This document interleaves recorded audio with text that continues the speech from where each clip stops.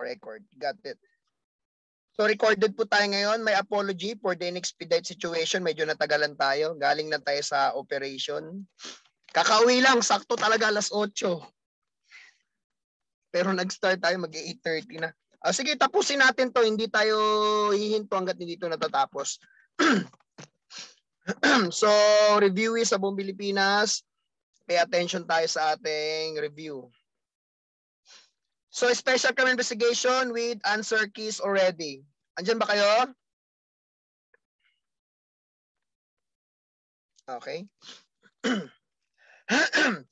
so, ang mga tanong, i-entertain natin sa sa chat box para hindi disorganized kasi recorded naman ito. So merong ano, merong gusto mag-admit sa waiting room pero si Sir Noli na lang ata mag-ano diyan intervene. okay, so start tayo guys. Um, may nakuha akong balita kahapon, no? Ato, atin-atin lang to, ah.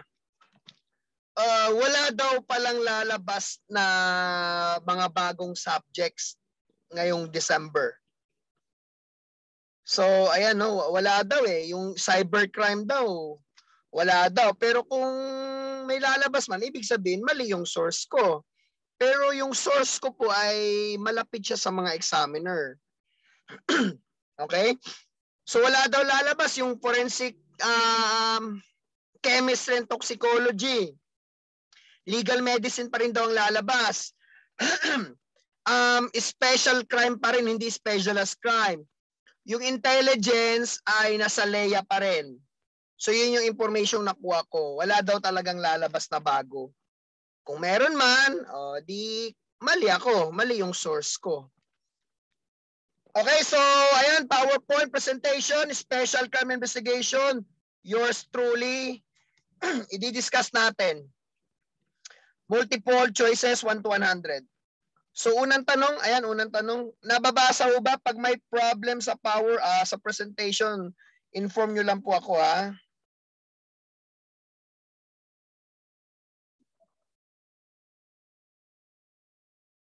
Yan, ayusin natin maayos.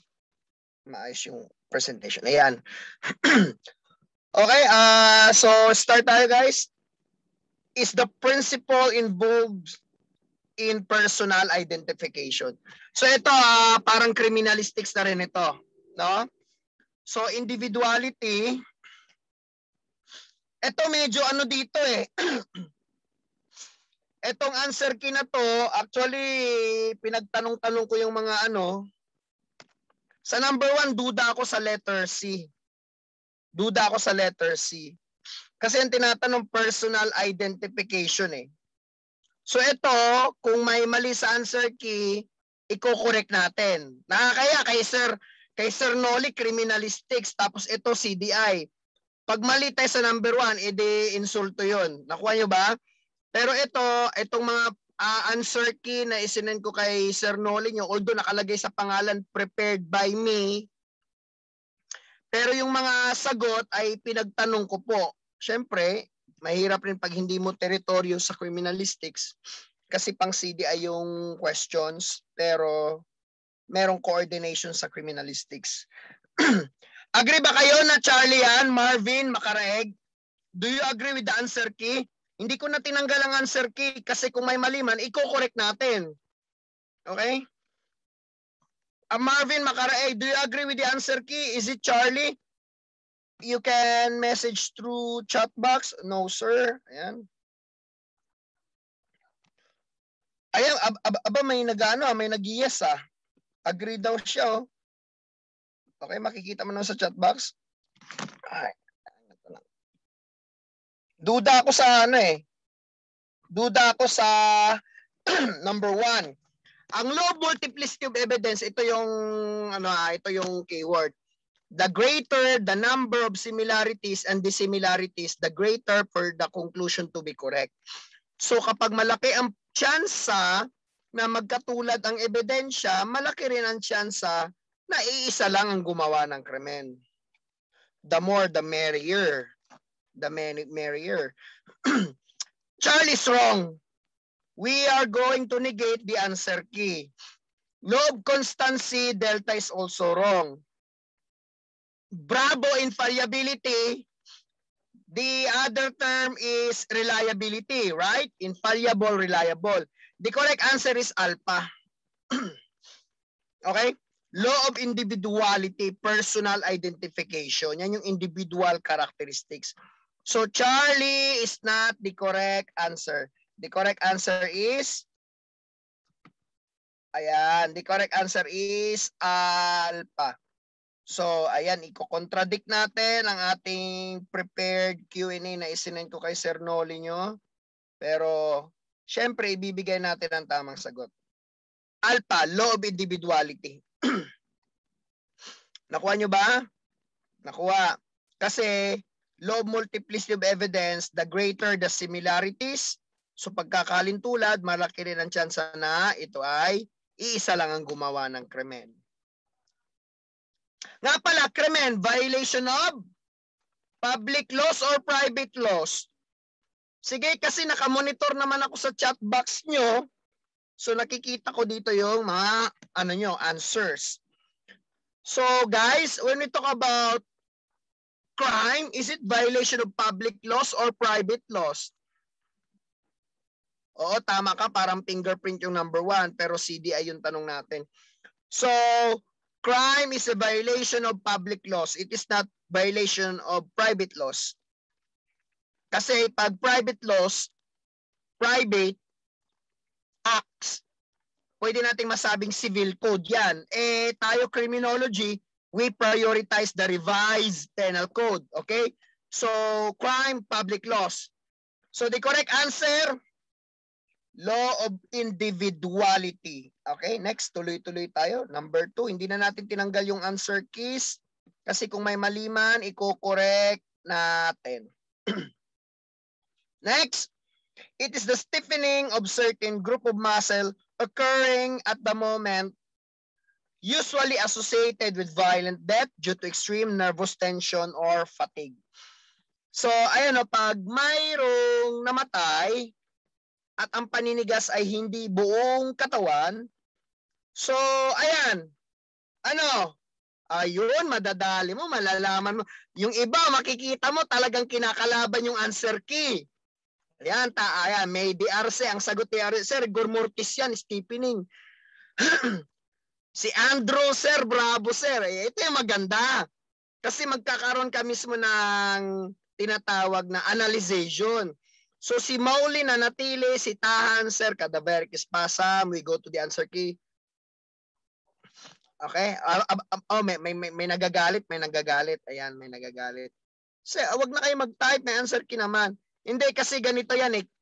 Tayo, um, review ito. So, ginagawa ko sa akin is open forum. Nakuha ba? So guys, uh, we cannot dictate an artist. So kung may nagagalit man na, oh wag na kayo mag-type, um, hayaan mo na yung classmate mo. Hindi mo pwedeng diktahan ang isang tao na gusto niyang matuto.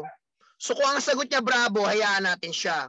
Kung ang sagot mo ay Charlie, sige manatili ka sa Charlie. Kasi ako, ikukure ko naman. You get the point? At saka ang criminalistics at ang crime detection medyo intertwine. You know the word intertwine? medyo tumutugma. Okay?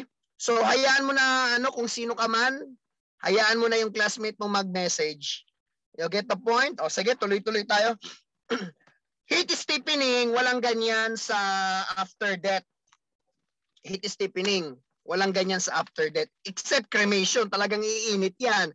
So alpha is wrong. So delta cold stiffening, pwede yan. Pwede yan. Pagkapag death occurred sa mga low temperature areas. Just like for example, Mount Everest. Mount Everest, pag ikaw ay namatay sa Mount Everest, cold stiffening. Kung tawagin yan, pag sobrang lamig na frostbite. May posibilidad ba na mamatay sa sobrang lamig na tubig? Kamuka TV. May posibilidad ba? Hindi, ano ka lang, thumbs up ka lang. Thumbs up, thumbs down. Huwag kang mag-dirty finger, bad yun, buddy. Okay? Ah, may posibilidad ba na mamatay sa sobrang lamig na tubig? Pwede. Kung nanood ka ng Titanic, ma-appreciate mo to. Diba? Sa Titanic, si Jack, namatay si Jack sa sobrang lamig. Ayun, hypertem hyperthermia. So cold stiffening, pwede natin masabi frostbite, pwede. Pero hindi yan yung tanong. Ang tanong kasi, paninigas, certain specific parts of the human anatomy, human body, muscle. So cold stiffening delta. So ayan, is it Bravo or is it Charlie? The correct answer is Charlie, cadaveric spasm. Okay? Cadaveric spasm. Charlie is the correct answer. So ayan, hindi natin i-correct yung answer kasi tama na. Not, not, not like the number one kasi number one, duda na ako. Okay? Ang naka-record is multiplicity. Yan yung naisend ko kay Sir Noli nyo. Pero i-correct natin ngayon, alpha number one. Number two, Charlie. Okay? Pag the whole muscle, the whole muscle, the whole body, mas marami matut dahil sa pagkakamali. Tama, tama. Oh, di ba? Basta um, wag lang magalit, wag ka lang masyadong ma-pressure. Uh, wag mong pagalitan classmate mo. Classmate mo yan, pareho lang kayo ng level. Nako, diba? So, ano lang tayo, review lang tayo. Review lang. okay? Sige, tuloy-tuloy tayo. Um, rigor mortis, rigor mortis is the stiffening of the whole muscle. Nag-start ang rigor mortis sa jaw, panga. Pero yung lumabas ng board exam noong 2019 is head. Okay, na, nabasa ko sa libro ni Pedro Solis. sa libro ni Pedro Solis, nakalagay doon sa libro ni Pedro Solis. Nakuha nyo ba? Nakuha nyo ba? Nag-uumpisang manigas, nag-umpisang manigas ang pag namatay ang panga, jawbone. The jawbone, panga. Nakuha nyo ba? Pero ang lumabas ng board exam is head. So okay lang kasi ang panga konektado naman sa ulo. Nakuha nyo ba? So okay lang. Mandible is the other term of jawbone. Nakuha nyo ba? So the correct answer is stiffening of the whole muscle, rigor mortis. Pero sa number 2, ang tamang sagot dito kasi nakalagay specific or certain muscle is cadaveric spasm. The other term of rigor mortis is cadaveric rigidity. Medyo magkaiba yun, huwag kayo mabigla. Pag may mabasa ang cadaveric, baka mamaya ma-excite ka, mabigla ka. Cadaveric rigidity is also known as rigor mortis. So unang maninigas ang panga, jawbone, mandible. Kung walang mandible sa board exam, which is lumabas nga nung nakaraang board exam bago mag-pandemic, um, head Nakuha nyo ba? Pababa yan, pababa. Kaka-start lang namin, Ruby. Number 2 pa eh. Kaka-start lang namin. Nakuha nyo ba? Pag ikaw pinalo ka sa pag ikaw pinalo ka sa braso, pag angat mo ng braso mo, natamaan yung braso mo, pag namatay ka, pinakamatigas sa parte ng katawan mo ay yung braso mo. Hindi yung buong katawan mo. Kasi nandun yung pressure eh kapag papaluin ka, inangat mo yung braso mo, inangat mo yung kamay mo, pinalo ka, napalo ka ng itak, lumusot, natamaan yung mukha mo, patay ka ngayon. So ang maninigas, ang pinakamatigas doon ay yung braso at kamay mo. So self-defense, defense wound, kung tawagin yan, live-in. Nakuha nyo ba? okay, tuloy-tuloy tayo, ladies and gentlemen. Ayan ah. Number three, ayan, kung nababasa nyo po, number three tayo. Okay, wait, what happened? Ayan. So, number three.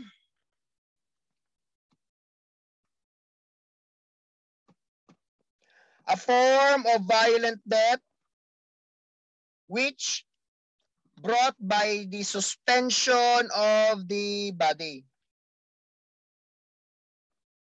Nagluloko yung ano ko. Ayan. Suspension of the body by a ligature which the neck is the point of interest. And the constricting force is the weight of the body. This is very basic. This is very basic. So ano, maninindigan ba tayo sa answer key or meron tayong pwedeng i-amend? So nagpakamatay, nagbigti. A, asphyxia by suffocation. Ang tamang pagbasa niyan guys, the proper pronunciation is suffocation.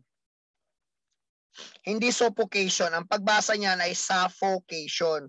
Also known as asphyxia. So pareho lang yan. Alpha mali. Manual strangulation, sinakal ka mano-mano, gamit ang kamay.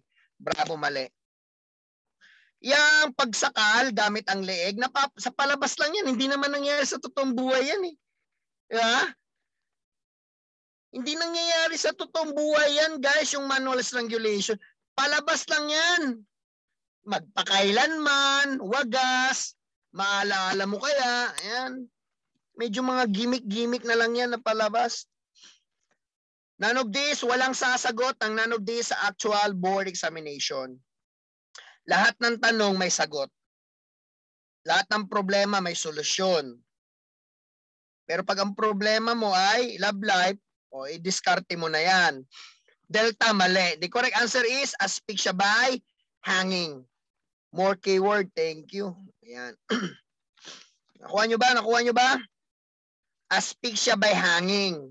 Ang keyword dyan, suspension of the body. Actually guys, ang keyword ay nakadepende sa isang mag-exam.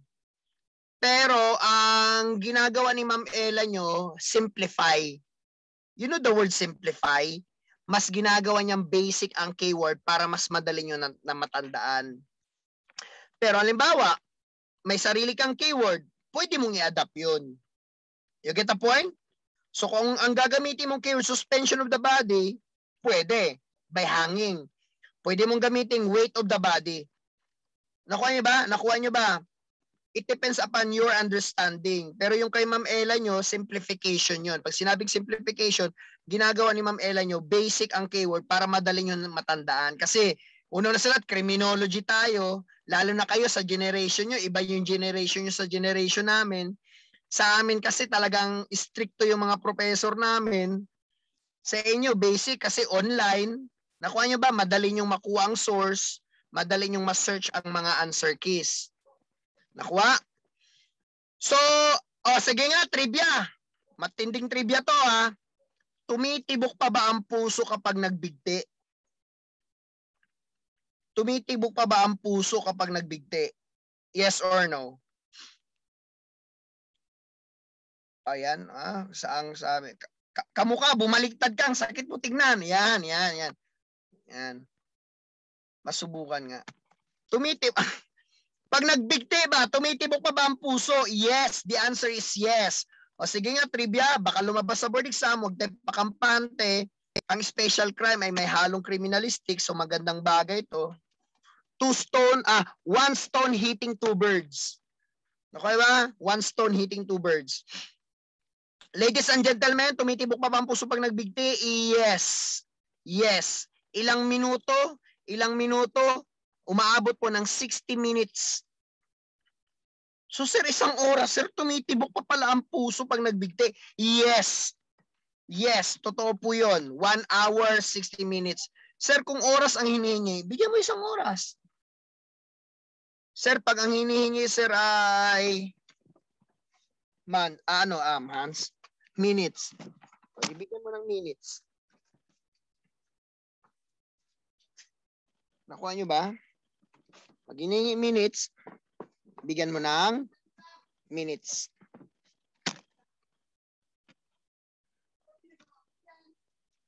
Okay? Naintindihan nyo po ba? Wait lang guys ha. Mina yung ano ko, laptop ko. Oh my goodness.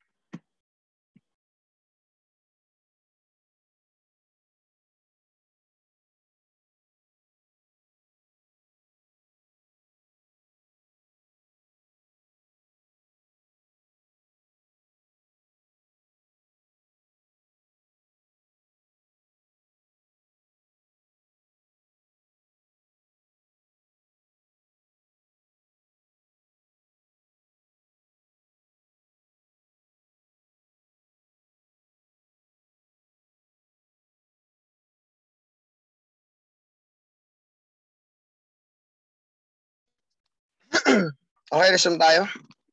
Totoo ba sa sir lumabas dila pag ganun? Um, nung ano ako, nung 23 years old ako, nagkanda kami ng simple investigation sa Muntinlupa. Um, merong alleged na victim ng suicide. May alleged na victim ng suicide. So, chinek namin yung bangkay. Pag-check namin, nakalabas yung dila. So that by hanging guys, there is a possibility na lumabas yung dila kasi napipressure eh. Napipressure kasi yung muscle, um, ang controllable yung breathing. Kasi ano eh, ah, hindi makalabas yung oxygen, hindi makapag-circulate yung oxygen kasi naiipit yung leg, yung throat.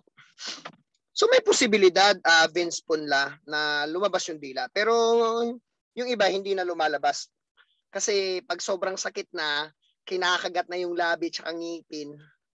So minsan hindi lumalabas. It depends upon yung ano yung method of pagpatay niya sa kanyang sarili. Okay? So ayan guys no, um death by hanging. Um pag pinutol yung ano, pinutol yung ulo, tumitibok pa ba ang puso? Yes or no? You're going to answer yes or no. Tumitibok pa ba ang puso? Ba that by ano, by beheading? yes, tumitibok pa rin ang puso kapag pinutulan ng ulo. ilang minutes? Ilang minutes tumitibok pa ang puso kapag pinutol yung ulo?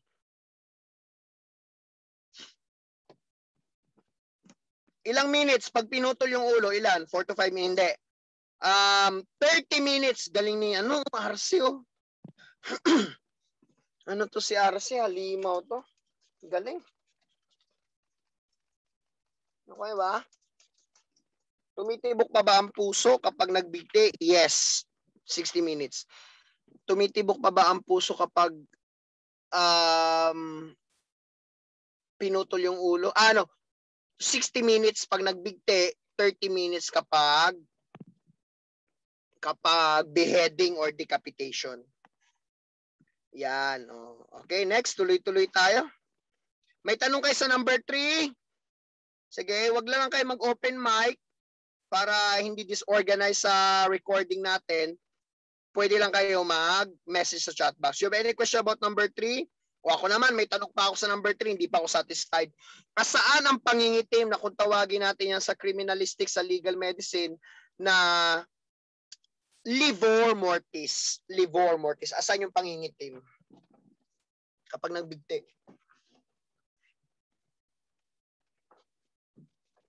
Hindi, nagbigti. Sa labi, nasa paa, talampakan, B. Anong B? Anong B?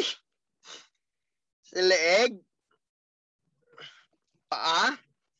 Oh, nangingitim kapag nagbigti, nangingitim kapag nagbigti sa sole of the feet.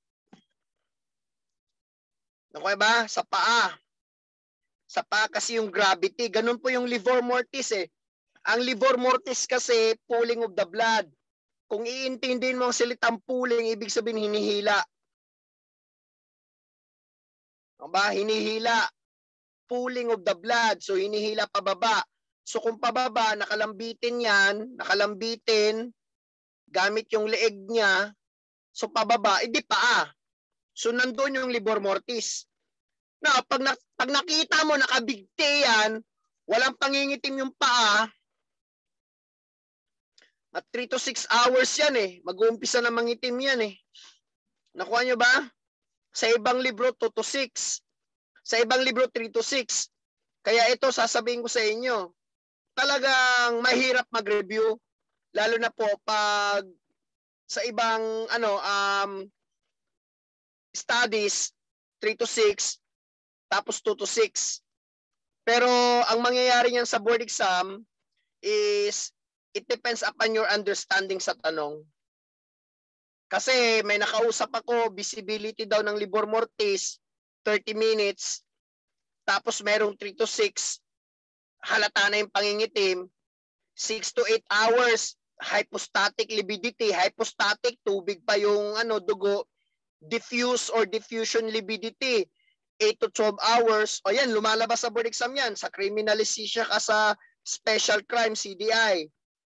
So pag sinabing libor mortis, pooling of the blood, pababa. So pag nagbigti, that by hanging ang pangingitim sa sole of the foot. Okay? Malinaw, malinaw? O ito, board exam, trivia. Makinig. Kapag gumamit ng alambre, ang pattern sa leeg ay V. Letter V pattern. Kapag gumamit ng alambre, ng nylon cord, uh, basta maninipis na mga ano, maninipis na mga tali, V pattern. Iba naman yung V pattern sa arson. Hayaan nyo ang lecturer nyo sa arson ang magturo ng V pattern. Iba yon. Iba naman tong V pattern na dinidiscuss ko. Sa ano to? Sa death by hanging. Iba to. Kaya minsan maganda talaga magtanong kayo. Kapag gumamit ng mga makakapal na tali, sinturon, kumot, tualya, ang pattern yan, pag namatay yan, yung leeg, titingnan mo, letter U. So pag mga makakapal na materyales sa pag-suicide, death by hanging, letter U. Kapag mga maninipis na materyales sa pag-suicide, letter V. Ay nga pala, napanood nyo ba yung bakla nag-suicide sa apartment gamit niya kumot? Yung nag-Facebook live siya, nabalita nyo ba yon? Ha? Hindi. Kausap pa ako dyan? Ay, hindi mo napanood yun, ano, bakla, yung mag-ama. Hindi, iba yun, iba yun. Yung bakla, mahaba buhok niya, nag-Facebook live siya, tapos nagbigti gamit yung kumot, nagbigti siya. Yung nabuhay, yung ano yung tinulungan ng mga kapitbahay, binuhay nila, nasagip nila. Oo, tama, tama. Yung nasagip, nagbigti. Ay, iba rin yun. Iba rin yun. Okay? So, ayan no. Ayan no. Okay? Pag makakapal, Sir, how about yung isang pamilya sa Afghanistan ba yung isang pamilya talaga nagbigti sila? Ah, ano na yun eh. Ah, mahirap na ipaliwanag yung ganong bagay hindi mo na pwedeng masasabing crime kasi hindi naman krimen ang suicide. Okay, so ang makaka makakasagot ng tanong mo, uh, J-Sub, ay sa sociology. Okay, kasi ang suicide is not a crime. And it is not part of the revised penal code. It is not part of a special crime and suicide. Perhaps it will be part of the um, criminology studies, juries, and crime causation. Pwede nating masabi yon doon. Okay? So next, number four. Tuloy-tuloy tayo, ladies and gentlemen. Bear with me.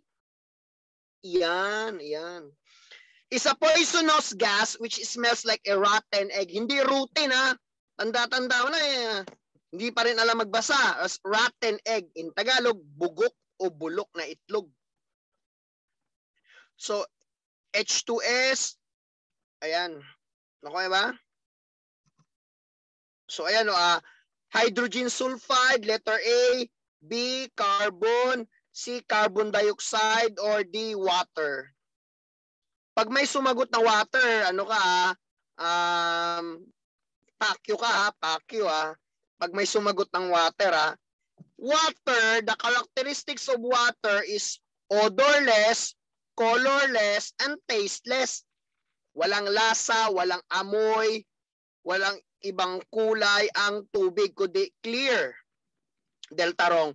Carbon dioxide, may nakakamatay bang carbon dioxide? Board exam. Is it poisonous carbon dioxide? Yes or no? Yes or no? Yes or no? Hala, si Jason. Sir, sir, ang ano sir, ang carbon dioxide sir nakakamatay, sabi ni Jason. Ang sabi naman iba, no. Yung utot, yung utot Jason, carbon dioxide ba 'yon? Yung utot? yung fart mo. Yung utot, carbon dioxide ba yon? Nakakamatay bang ang ano ang utot? Di ba nakaka-bad trip? Di ba? Hindi nakakamatay yung utot, Brad. Nakaka-bad trip, lalo pag walang, walang tunog. Bastos yun eh. Walang respeto yun eh. Pag umutot, walang tunog. Bastos yun, Brad. Hindi na vaccinated yun. Mga ganun. One dose lang yun. Mga uutot, walang paalam, wala pang tunog. Mga ganyan, mga one dose yan na vaccine. Okay Uh, guys, uh, carbon dioxide is not poisonous. Tama yung classmate nyo yung nag-post. Tama yun siya. Carbon monoxide. Carbon monoxide. Carbon monoxide is poisonous. Charlie is wrong. So Bravo carbon, hindi.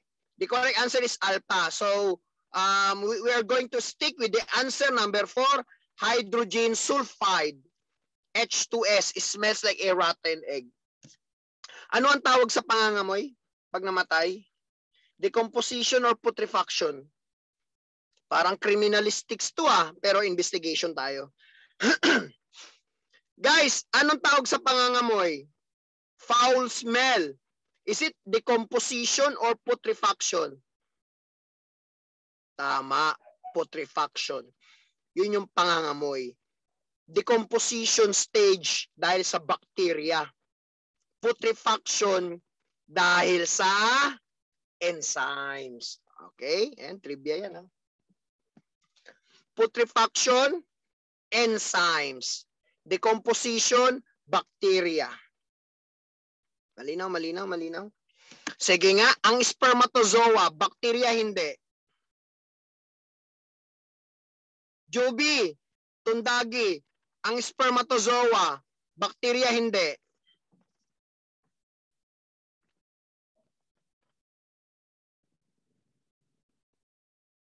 Cells. Vince punla, sir, bakteryang ano sir. Punjay? Sino yun? Puksain nyo yan, ha? Hayop, punjay, sperm. Brad, nagre-review ka ba, Brad? Oo, pinagre-review. Ano yung pinagbabasa yun? Siguro pinagbabasa, tik-tik, bulgar, bagong turo, sagad. Yan siguro mga ginagamit na notes niyan. Hindi punjay ang ano, Brad, sperm. Cells, sinagot na nga ni Tundagi. Cells. Ano protein? Okay? O sige, tuloy-tuloy tayo. Wala, buwang na, buwang. Bagtit na, Brad, bagtit. Kung sa Muslim yan, bunag na, bunag. Buang na, bro. malapit na, malapit na mabuang. Sige, tuloy-tuloy tayo, guys.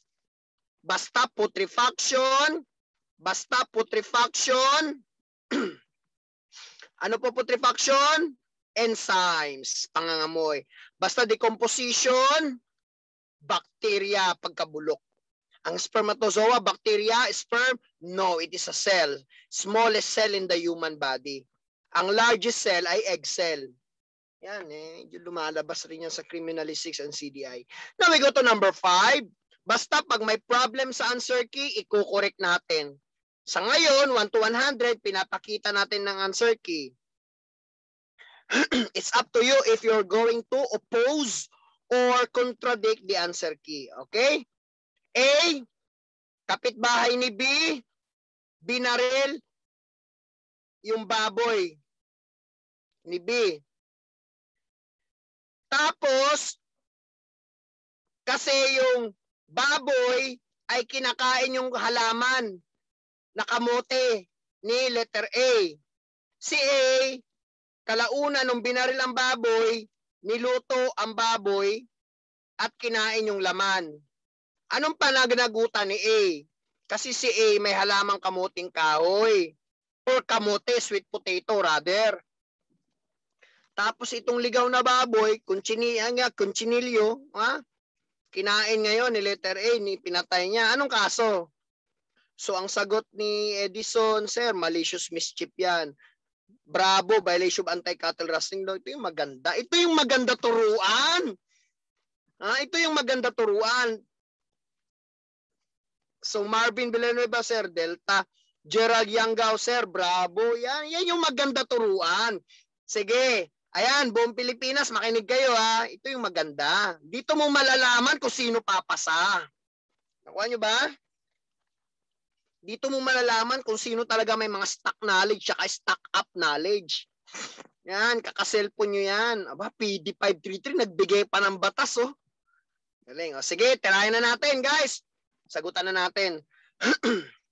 Sa mga kakapasok lang, good evening. Makinig kayo. Our topic for today is special crime investigation. Okay. Oh, sige. Okay, okay. Settle down, settle down. Ako naman. Vince Punla, anong love you? Ang landi mo. Landi mo. Bruha ka. Sige, sige. Pag binaril mo yung baboy, binaril mo yung pusa, binaril mo yung aso, pinatay mo, malicious mischief. Okay ba? Baboy, kambing, pusa, aso, manok. Pag binaril mo yan, pinatay mo yan, malicious mischief. Tapos pag kinain mo yung laman, laman ng kambing, laman ng aso, laman ng baboy, laman ng pusa, laman ng manok. Pag kinain mo yon, theft yon, theft. Sir, bakit sir? Ba- bakit delta ang sagot? According to the Title 10 of the Revised Penal Code, Crimes Against Property, pag may sinira ka na ari-arian at nakinabang ka, may kinuha ka sa ari-arian na sinira mo, theft yun. Yung baboy, makinig kayo ha, paminaw, pamati, dangag ka. Ha? Kinana makinig ha, makinig. Paminaw, pamati. Pag sinira mo yung property, that's malis mischief. Baboy, kambing, aso, pusa, manok is considered as personal property. Nakuha nyo ba? Nakuha. There and then, pag sinira mo yun, that's automatic malis mischief. And under the Title 10 of the, tandaan nyo ha, makinig kayo ha, Title 10. Title 10. Dengag ka. Title 10. Ha? Mawatan. Mawatan. Title 10 of the Revised Penal Code, ha? paminaw, pagsurba, paminaw, pamati. Title 10, Crimes Against Property. Crimes Against Property. Pag may sinira ka at may kinuha ka parte doon sa sinira mo, the theft. So yung yung baboy, pinatay mo, sinira mo. Okay ba? Yung baboy, pinatay, sinira mo, das malis mischief. Ngayon, ang ginawa mo, kinain mo, das theft. So, delta ang tamang sagot. Ha? theft yun. Kinain mo eh. May kinuha ka eh. Di ba? Kinain mo, may kinuha ka, nakinabang ka sa isang property. Sir, property ba yung baboy? Yes, that's personal property. So, theft. Sir, bakit hindi Sir Bravo? Ba't hindi Sir Bravo? Bakit? Kasi ang Bravo, bovine family, oh, tama yung classmate nyo. Bovine family. When we talk about bovine family, ito yung mga large animals except giraffe and elephant which kumakain ng mga grass. May sungay except horse. So, kabayo, kalabaw, baka, hindi kambing nga, ang kambing personal property yon. Although ang kabayo, kalabaw at baka personal property, pero part sila ng bovine family. Mga cattle. Yung kambing, hindi part yon ng cattle rustling. Hindi mo kina hindi mo kinatay yon. Cattle rustling, kinatay mo, kinain mo. Nakuha nyo ba? Nakuha. Okay? Anti-fencing, alpha, may ninakaw ka, benenta mo, or bumili ka. What if, De Vera, Jason, Hindi mo naman alam galing sa. Taga saan ka dong?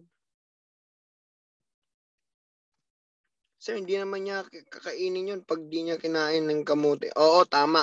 Tama, malilim. Parang gumanti lang siya. De, pero taga saan ka? Taga, saan ako dong? Bisaya ka ba? Wala. Sige, tuloy-tuloy tayo.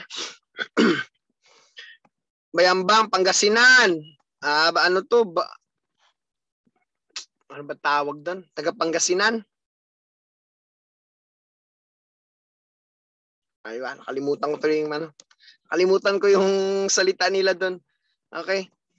Hindi, yung ano, yung may, may mga ano sila diyan eh. Yung paltak mo. Tama ba? Tama ba? Paltak. Ah, mura yun eh. O sige. De Vera, De Vera, Jason, um, iho, iho. What if may binili ka at hindi mo alam galing sa nakaw yung cellphone?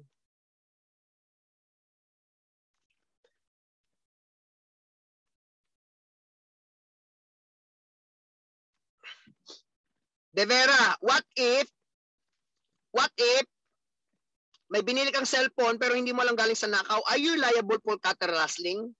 Ano no rather, are you liable for anti-fencing? Yes. Yes, tama.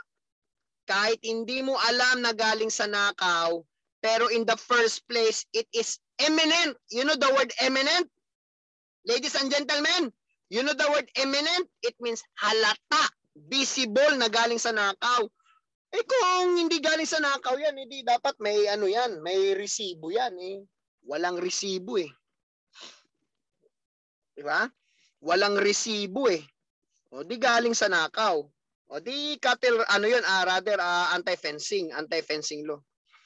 Nagtatanong yung classmate nyo si Power, Sir, pag pinatay mo, sir, yung hayop tapos benenta mo, may pananagutan, ang tanong, anong hayop? Anong motibo mo at intensyon? Masasagot natin ang maayos yan kung malalaman natin sa tanong mo kung anong motibo at intensyon. Nakuha ba? Saan galing yung hayop?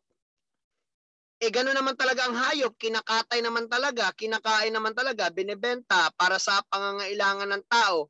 Meron tayong control over animals, living things. Nakuha nyo ba yung sense? So ganun po, ganun po ang mga, it depends upon the question. Tumatay daw kasi sa harapan ng bahay, sir. O anong gagawin?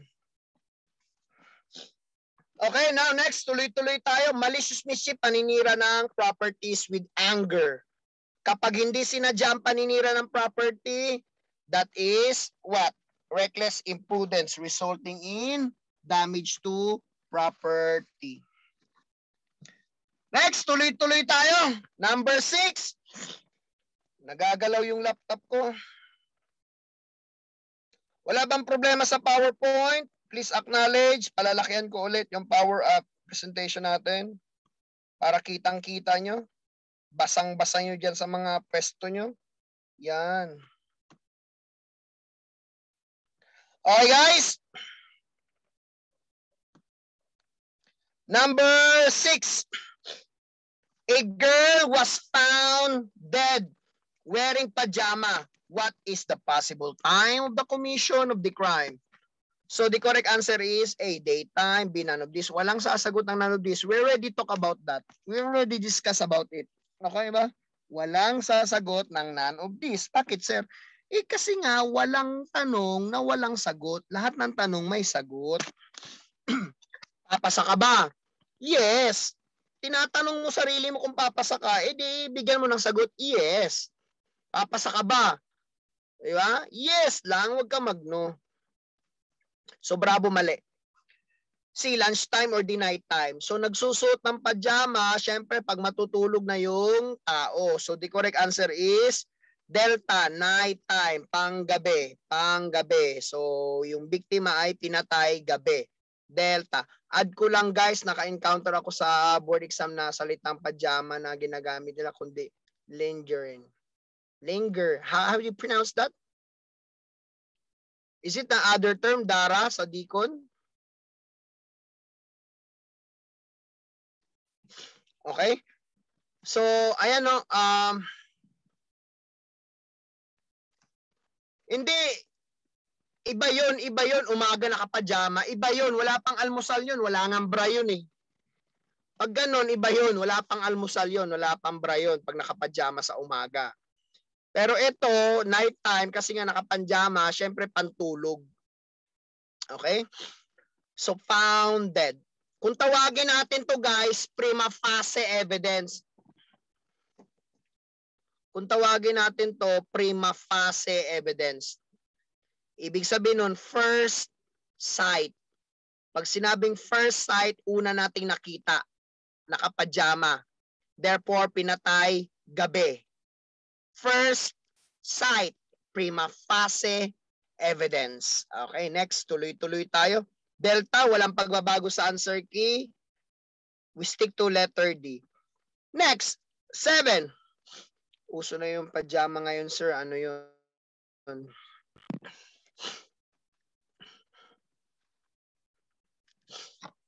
Ay, iba yun. Ano? Ala, ala, alaraw. Iba yung risk if sa lokitor.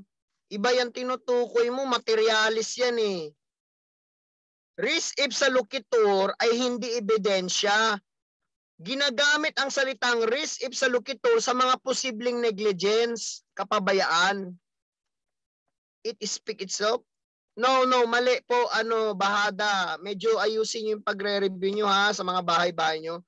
A thing speaks for itself. Ang bagay, hindi mismong salita at sarili. Speak itself? No, hindi po.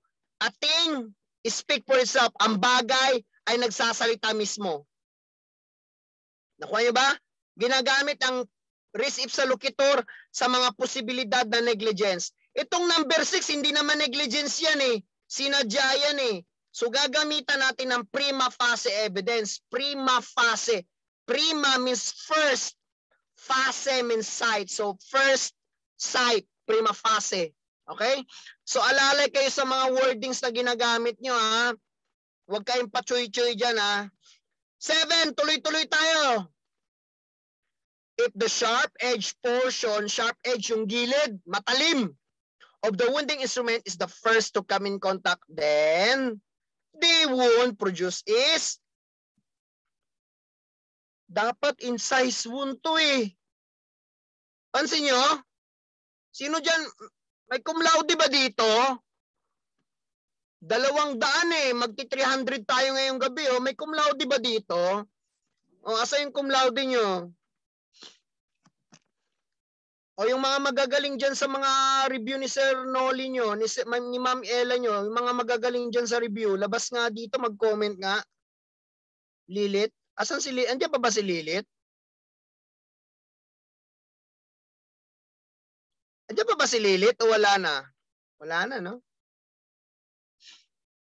Hakun, ang hiya ka talaga, ano? Kamuka? Ano nga sabi mong hakun?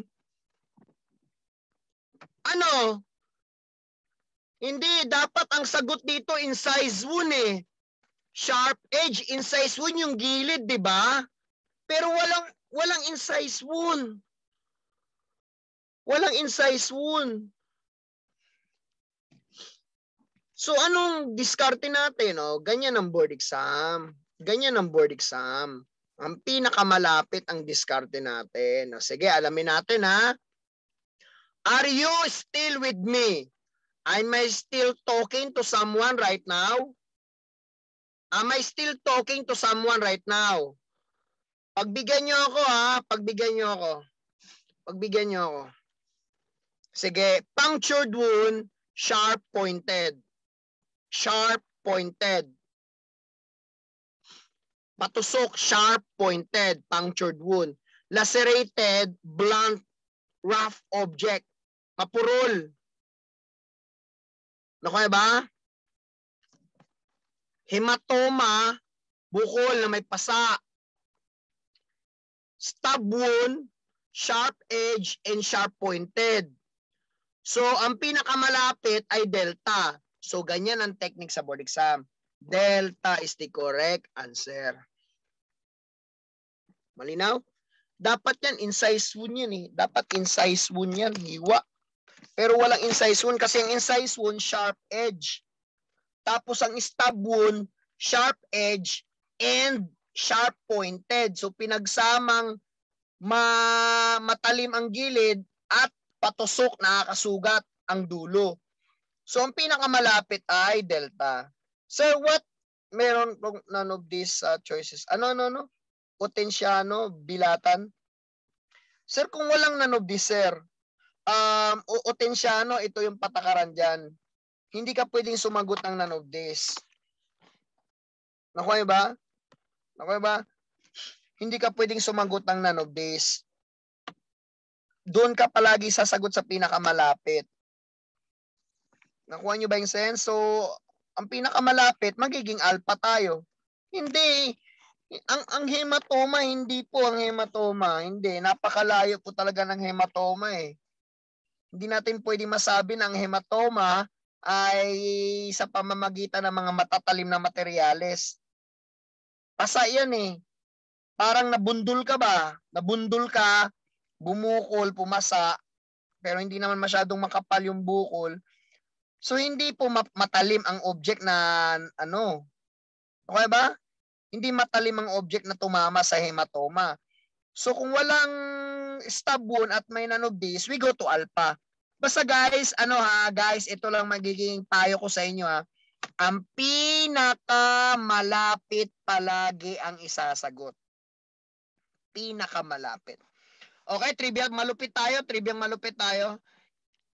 Um, ilang punctured wound ang kagat ng ahas? Board exam. Snake bites. Snake bites, punctured wound, ilan?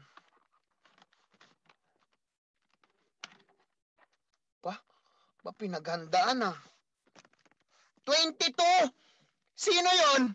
Sino yung nag-22? Puksain niyo yan. Puksain niyo yan. Hayop! Reviewist, 22 daw oh. Bad trip! Vince, ikaw na naman, Vince. Kuta ka na, Vince. Kuta ka na. Nakakuta ka na ngayong gabi. Dalawa lang. Hindi 22. Ano yung impacto? So ilan ang kagat ng snake bites? Dalawa. Board exam, anong poison produced ng snake bites? Board exam. Anong poison produced ng snake bites? Anong poison produced ng snake bites? Pakisagot na lang. Venom. May palabas nga yan, di ba? Venom. Next, next, next. Tuloy-tuloy tayo. Ilang punctured wound ang produced ng scorpion bites? Board exam ilang punctured wound ang produced ng scorpion bites. Galing. Galing ng mga reviewers na to. Tama, isa lang. One. Malinaw, one. Isa lang. Galing. Galing. Okay, next. Tuloy-tuloy tayo. Tuloy-tuloy tayo. Ay guys, i ano niyo na rin, idagdag niyo na rin sa notes niyo, shark bites, lacerated wound i-ano nyo na rin, dagdag nyo na rin sa notes nyo. Gutay-gutay ba? Gutay-gutay. Pag kinagat ka, gutay-gutay. Ayan. Lacerated wound, idagdag nyo na rin. Idagdag nyo na rin. Snake bites. Ah, uh, CJ, hindi ako nagkakape. Bawal sa akin. Bawal sa type O ang kape. Type O blood, bawal ang coffee.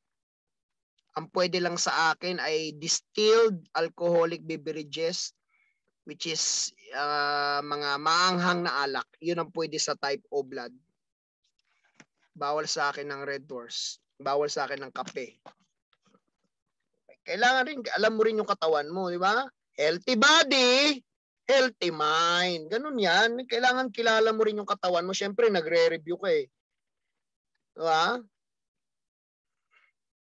Next, tuloy-tuloy tayo, ladies and gentlemen. Ayan, na uh, partida, makakaano na tayo, number 8.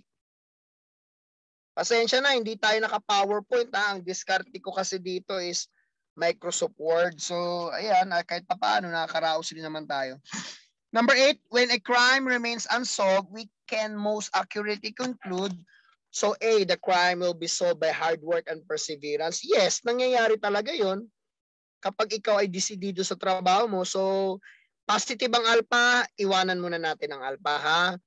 B, there was some deficiency in investigation, may kakulangan. May kakulangan. O bakit ka pa nag-imbestiga kung may kulang naman pala? Bravo, negative, tanggalin ko na. Ito ah, pag may mali sa answer key, pwede nating palitan. Kasi una-una sa lahat, itong mga tanong na to, wala naman to sa libro. Wala sa libro to, hindi to tinuro ng professor natin ng college. Ito yung mga questions sa board exam na mga personal understanding ng mga board examiner. You get the point? Kailangan ng common sense. So C, mananatili ba tayo sa answer key?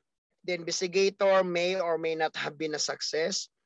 Kaya nga unsolved kasi hindi po na-resolve Pwede, iwanan natin ang Charlie. Delta, all available information have been uncovered. All uh, uncovered, unsolved. Uncovered. Dapat yan, na-discover na. Pero naging unsolved. Kasi nga, malay natin, obstruction of justice. Delta, tanggalin ko yung delta. All available all available pa ha. Investigador ka tapos lahat ng information available tapos uncovered. Mali ang Bravo, mali ang Delta. So ito, Alpha Charlie. Ano, mananatili tayo sa Charlie or Alpha ang sagot? Unsolved. Kasi ang krimen ay mariresolba sa ma, sa trabaho na matinding ano, discarded sakripisyo or dahil may kakulangan uh, dahil ito ay hindi naman talaga nagiging successful. Hindi naman talaga nararating ang investigasyon. Kasi may mga witness na nababayaran, may mga witness na natatakot, may mga ebidensyang kontaminado. So, mananatili tayo sa letter C. Stay tayo, stick tayo sa letter C. Charlie is the correct answer. Charlie. Anong other term ng investigator? The other term of investigator is prober. Anong other term ng detective? Anong other term ng detective? Sleuth. Private detective, sleuth. Prober is public service. Sleuth. Shera, Lima, Echo, Uniform, Tango, Hotel. Sleuth is the other term of detective.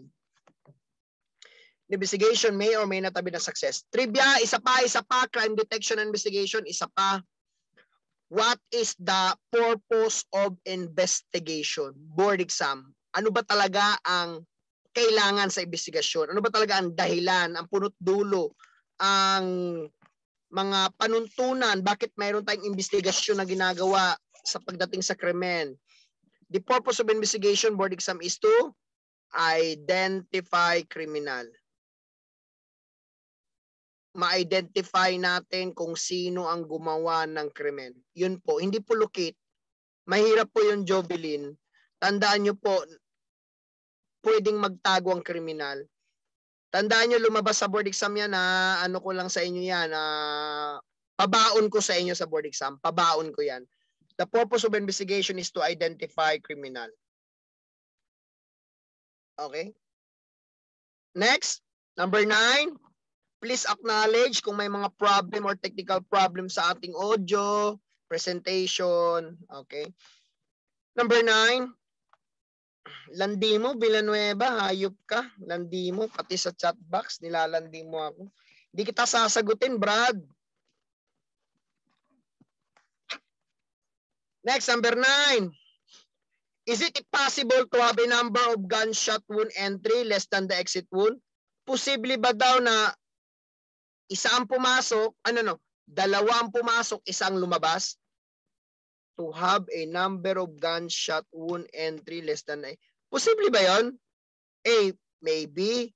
B, impossible. C, possible. D, none of this. O, tanggalin mo na yung delta. Tanggalin mo na yan. Kakadiscuss lang natin eh. Dalawa ang pumasok, Brad. Isa ang lumabas. Posible ba yun, De Vera? Bumaon sa buto. Galing ni ano? Sino yun? Galing, galing talaga. Tama. Mayroon kasing mga matataba na hindi po napipenetrate yung mismong fats, muscle at bones. Ah, uh, sino mahilig sa basketball diyan? Paki ano nga tayo? Open forum tayo. Discussion, open forum, review, 'yan. Sino mahilig sa basketball dyan? Buhay may, na may bala. Si Alipik, nadali mo, Choy. Nadali mo. Yung basketball player, si Alipek, kilala mo yan, Tondage? Mahilig ka ba sa basketball?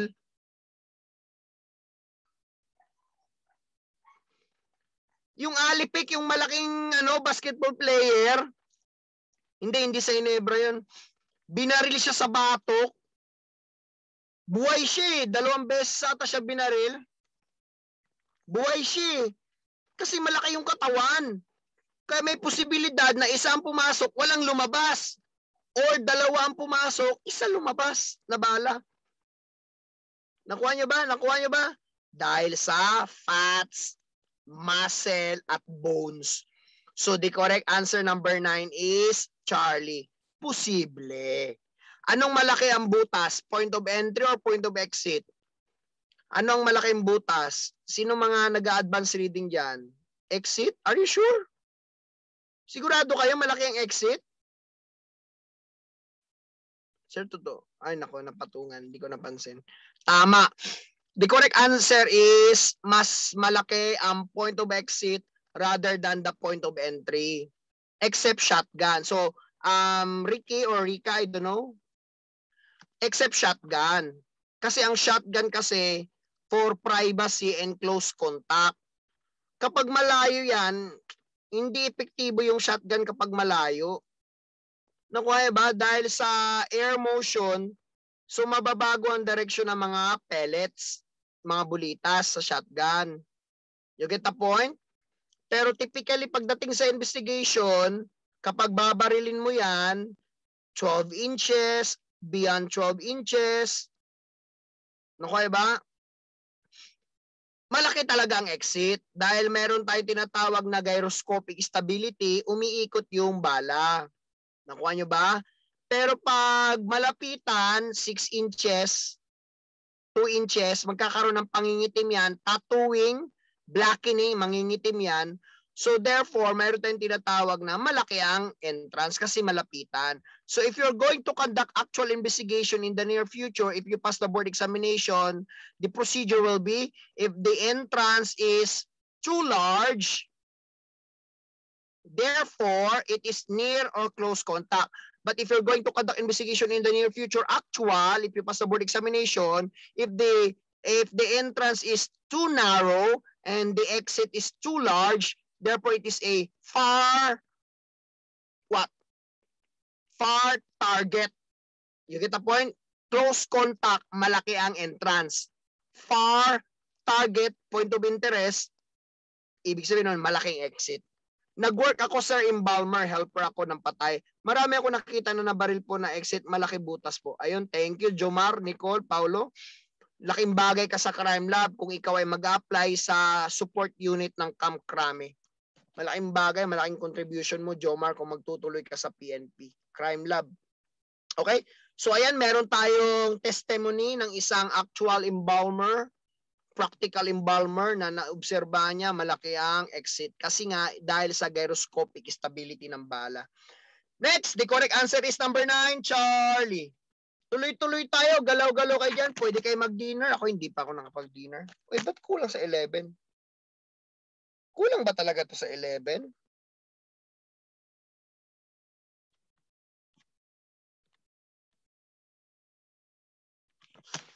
Sige, tuloy-tuloy tayo.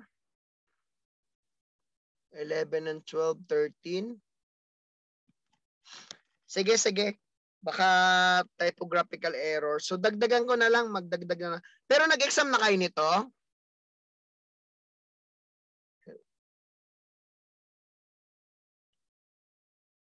Sige, okay, tuloy-tuloy tayo.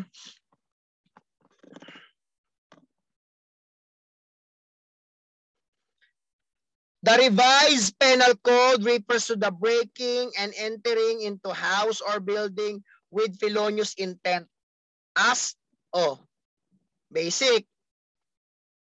Ayan. Ayan, mag, robbery, are you sure, robbery? Maganda yung ano ni Brian J. do nakalagay akle. Maganda yung ganyan, no? Para ma-identify ka na, reviewee ka. So Charlie, robbery? Eh ba ang other term ng robbery ay burglary? At ang usapan natin sa board exam kung ano na una yun ang tamang sagot. Yung sa LEA, naalala nyo ba yon? Yung sa LEA PowerPoint natin, Industrial Security. Di ba sabi ko kapag pareha ang sagot, kung ano na una, yun ang tamang sagot. Naalala nyo ba yon last week? Uh, yes, last week.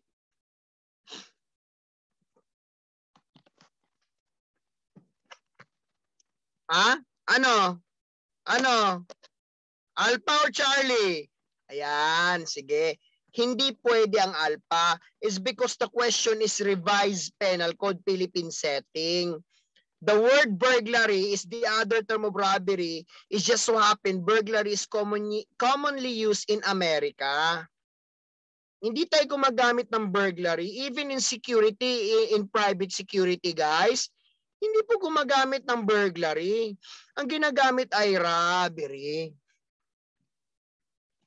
So American Standard, Alpha, but revised Penal Code Philippine setting, Charlie. Therefore, the correct answer is Charlie.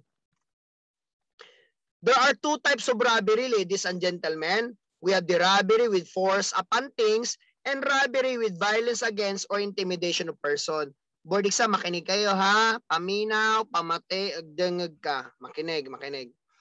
Is there any force upon person? Robbery with force upon person?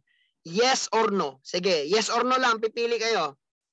Is there any robbery with force upon person? No, no, no, no, no. Limar, yes or no lang. Huwag ka na sumayi. Hold up. Is there any robbery with force upon person? My goodness. My goodness. Naku po. Oh, halatang hindi naki alam mo alam mo 'yun, guys. Alam mo 'yung kakasabi mo lang. Pero yung iba talagang hindi nakinig. Sayang, sayang yung sayang yung review. Sayang yung gabi na to kung hindi rin nyo rin naman iniintindi ang discussion you're not listening. Yeah, anak ko, sige, mali ka. 'Di ba sabi ko, 'di ba sabi ko, there are two types of robbery. Robbery with force upon things, makinig ka kasi. Force upon things and violence against or intimidation of person. So sa person, violence at intimidation. Dalawa sa person sa property or things, force. Force sa property or things. Eh anong tanong ko kanina? Anong tanong sa board exam na tinatanong ko sa inyo ngayon? Is there any force upon person? Robbery with force upon person? The answer is no. Walang robbery with force upon person. Walang robbery with force upon person force is always upon materials or things, whereas violence or intimidation is person. Tandaan nyo yan. Tandaan nyo po yan. Parang awan nyo na. Kung sa bagay, force. Kung sa tao, intimidation. Sir, anong tagal intimidation? Pananakot. Okay ba? Pamimilit, pananakot. Intimidation, violence, abuso sa tao. Yun yung tinatawag na robbery hold up. In Tagalog, hold up. You get the point? You get the point? Okay, malinaw pa sa sikat ng gabi, sa sikat ng buwan. Sir, yung theft. Ah, yung theft, larceny, pareho lang yan. Theft, revised penal code, Philippine setting, larceny, America. Pasok mo ba ang theft doon, sir? Anong anong mo ba? Yes, pasok rin doon yung theft. Pero pag pwersa na, pasok ang TEP sa pagnanakaw na topic. Pasok ang TEP sa intention na magnakaw. Pasok ang TEP sa intention na magkaroon ng ari-arian. Pero kung tinutukoy mo sa akin ay pasok ba ang TEP doon sa force? Hindi po. Kasi without force upon things ang TEP. What if sa sasakyan binasag niya ang salamin at bago niya dinukot ang CP, robbery pa rin ba sir? Actually guys, walang robbery sa sasakyan. According sa dalawang lawyer na nakausap ko, walang robbery sa sasakyan. Theft lang. may posibilidad na maging robbery sa sasakyan kapag ito ay highway robbery. PD 532, brigandage. Walang robbery sa sasakyan guys, theft lang sa robbery. Binasag mo yung salamin, kinuha mo yung bag sa loob ng gamit, binasag mo yung salamin ng sasakyan, kinuha mo yung gamit sa loob ng sasakyan, yun po, yun po ay ano, theft lang. Theft lang yun, theft lang. Magiging robbery sa sasakyan kapag PD, Presidential Decree 532, highway robbery. Halimbawa, may umandar na sasakyan, uh, Ford territory, ganda ng Ford territory guys. 1.3 Ford territory, hayop, ang ganda. Automatic 360 camera. Ford territory. Now, nagmamaneho Ford territory. Ha? Tinutukan mo ng baril, yung driver. Baba. Akin ang mga gamit mo. So ang purpose mo ay kunin yung mga gamit niya sa loob ng sasakyan. Akin ang mga gamit mo. Pero hindi mo ninakaw yung kanyang sasakyan. Ninakaw mo yung mga gamit niya. Tapos brigandage, just highway robbery. O doon na magkakaroon ng robbery. Eh sir, yung ano sir, yung karnaping sa investigation, uh, karnaping dalawa. Dalawang karnaping. Ako nung college, ang turo sa amin ng professor namin, ang karnaping daw nakapark. Alam mo talaga, minsan, kailangan mo rin magsariling mag-review eh. Di ba? Kailangan mo rin talagang mag-advance reading eh. Sabi ng professor ko nung college, oh, oh ang karnaping, nakapark yung sasakyan ha. Pero dalawa pa lang uri ng karnaping, merong nakapark na sasakyan at merong umaandar na sasakyan. Aba, nagmamane oh. Baba, akin na sasakyan mo, huwag kang pumalag. So the karnaping na pala yun, hindi pala rab, highway robbery, hindi pala brigandage yun. Baba, akin na sasakyan mo. Baba, akin na sasakyan mo. Oh, karnaping yun. Baba, akin na mga gamit mo sa sasakyan. Akin na mga gamit mo sa sasakyan. Brigandage, highway robbery. Oo. Ah, ang ang piracy robbery sa sa barko sa vessels. Nakuha nyo ba? Sa vessels. Okay, next. Tuloy-tuloy tayo. Tama, tama, Tampi. Sir, as lang po ako, karnaping pa rin ba yung bulldozer at back? Ah, hindi po, theft lang yun, uh, bilantan. Sa karnaping kasi, under Republic Act 6539 as amended, please bear with me, I'm not talking only to Atenciano Bilatan, I'm talking to all of you reviewees. Backhoe, bulldozer, used for, for construction site, used for building bridges or infrastructure, it will be never it will never be considered as carnapping because under Republic Act 6539, a vehicle will be considered as carnap if it is used in a public places, public road. Hindi naman ginagamit ang bulldozer sa public road. Ginagamit ang bulldozer sa construction. Theft lang yun, Choy Papi. Theft. Okay? Walang may may ano, oy badahos mag mag-ingat ka sa sinasabi mo, badahos ha. Anong alam mo sa ano, sa registration? Ah, oy badahos may registration 'yan. Bako, may registration. Napatawa tuloy si Badahos. Sir, joke lang po. Okay, uh, komedyante si Badahos. May registration 'yan. Lalo na sa local government, may registration po 'yan, Choy Papi. Kasi kung walang registration na, hindi wala kang kaso pag ninakaw mo. Di ba? Meron yan, guys. 4K per hour, tama. Ang alin? 10 niya. Ang alin yan? Anong 4K per hour? Sa ulo? Kapag ni-rent. Okay, tuloy-tuloy tayo. O, malinaw na. O, 11, 12. Kulang, oh. Kulang. Ngayon ko lang napansin.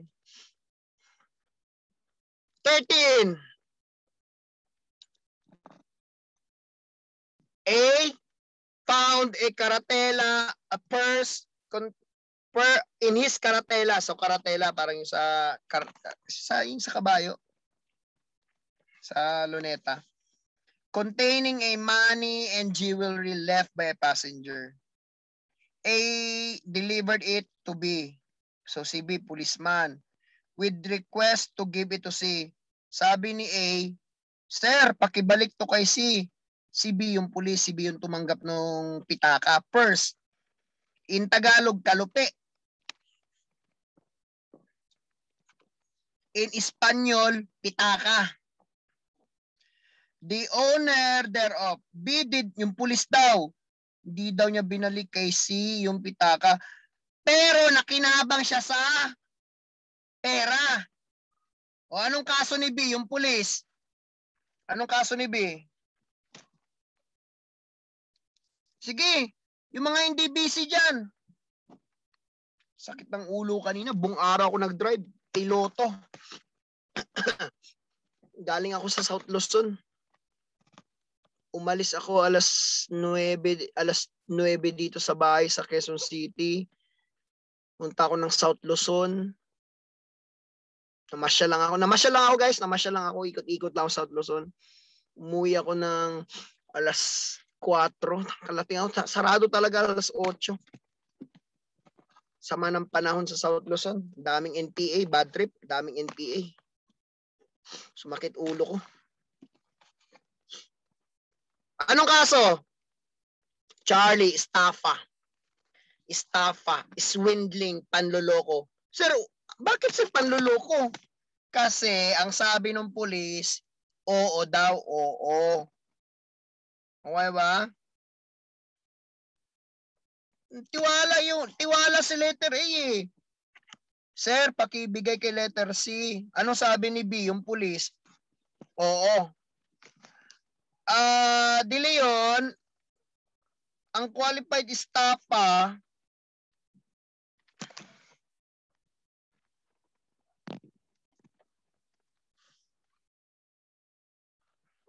qualified staff pa natin, ibig sabihin, umabuso ka sa isang tao pa ulit-ulit. Marami kayo, sindikato na kayo ngayon. Ang qualified ay ginagamit yan kapag sobrang abuso ang ginawa mo sa biktima mo. Sir, tanong lang, paano kung sa bangko na deposit yung client ngayon, yung kahera, kinupit niya yung pera? Anong krimen makukumit? Istapa! Istapa! Krimen eh. Administrative case, civil liability. Tatanggalin siya sa trabaho. Criminal ang tinatanong, istapa kasi nag-deposit ka eh. Di? Pinagkatiwalaan ka ng pera eh. Tapos ang ginawa mo, kinupit mo, istapa yun. Istapa. Pero kung civil, kung civil, admin yun, tanggalin ka sa trabaho. Magmumulta ka. Okay, malinaw, malinaw. Ang, ang coercion is excessive use of force. Ang keyword sa coercion, ito ha, keyword, force, excessive use of force, puwersa. Uy, cellphone ko yan ah. Akin na yan. Eh di ba yung cellphone natin pare-pareho lang? Di ba yung mga brand ng cellphone natin, brand, pare-pareho lang? La, cellphone ko yan ah. Tapos pagkuha mo ng cellphone, hindi mo pala cellphone, pareho lang kayo. Coercion yun. Puwersahang pagkuha, pero wala kang intensyon na magkaroon ng ganong gamit kasi alam mo sa sarili mo, meron kang ganong gamit. Akala mo sa'yo yun. Coercion means excessive use of force. Robbery is by means of force, intimidation, and threat. Staffa is by means of abuse of trust. Sir, what if po if nasa organization ka tapos nagnakaw, qualified theft po ba yon?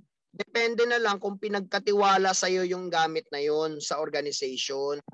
Halimbawa, nagtatrabaho ka sa security, pinagkatiwalaan ka ng mga gamit ng mga CCTV, eh ninakaw mo yung CCTV, ininstall mo sa bahay mo yung ibang CCTV. So pwede nating masabing qualified theft kasi pinagkatiwalaan sa iyo isang ari-arian. Sir, tanong lang po sir, totoo po ba nangyari 2019 na may kolekta from client, kinolect po yung empleyado ngayon for sure yung nag patranton gastos niya yung pera, binayaran last week. Opo, totoo po yun. So ano po yung grave coercion? Ang grave coercion ay parang robbery. hindi ka nagbayad ng utang mo. O bilang kapalit, hinatak mo yung sasakyan ng kapitbahay mo kasi hindi ka binayaran. Grave coercion yun sa pilitan. Nakuha nyo ba? O magbayad ka ng utang mo. Hindi naman nagbayad ng utang. Kinuha mo ngayon yung motor niya, yung NMAX. Ngayon, pagkuha mo doon sa motor na NMAX nakalak, kinaladkad mo yung motor na NMAX, dinala mo sa bahay nyo. NMAX ang kapitbahay mo na hindi nagbayad ng utang mo. Edi grave coercion. Ang grave coercion, para kang nagnakaw. Pero wala kang ninakaw. Ang gusto mo lang ay magkaroon ng ganung gamit kapalit doon sa utang na binayad. Grave coercion yun. Parang pagnanakaw pero wala ka intensyon na. So in case po ba na paluwagan, paano po, uh, estapa yun? Yung paluwagan, pa, palawagan. Estapa yun, Brad. Alam mo, ano guys, ladies and gentlemen, para ano tayo, uh, malinaw sa sikat ng buwan at between, kapag tiwala mo sinira, estapa yun. Iba naman yung sa relasyon. Iba yung sa relasyon. Ay ano, uh, nimyenyo, hindi lahat ng estapa ay repa. Ano anong repa? Yung repa, sir? Ano repa? Nim, niminyo. Binaliktad niya, pera. Ay, ba yung sa kapa, yung sa kapa, ano yun? Stapa yun sa kapa. Stapa pinagkatiwalaan eh.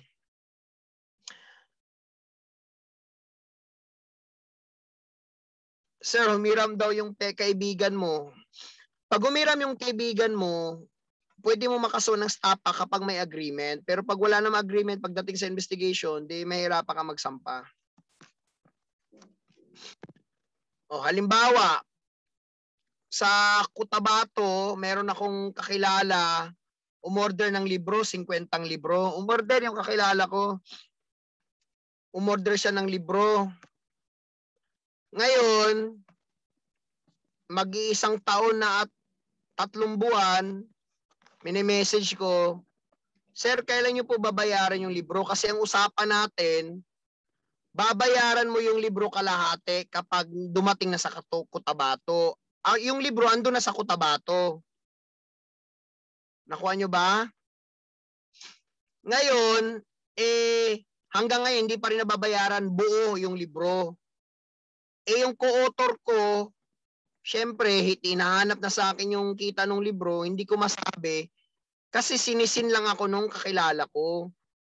Alam mo, kahit kaibigan mo yan, pag business ang pinag-uusapan, business talaga. Ang kaibigan, andyan ang kaibigan. Pero syempre, negosyo, kailangan kumita. Nakuha nyo ba? So hanggang ngayon, hindi pa rin ako binabayaran. Mini-message ko, sinisin lang ako. Kung ganun, kabastusan yun. Nakuha ba? Walang respeto yun sa kaibigan. Siyempre, mag-reply ka, kailan babayaran. Okay, the correct answer is Charlie. Ayan, di makapag-antay si power user. Gusto nang mag-top sa board exam. Oh. Next, if the normal amount of semen per ejaculation of a normal built person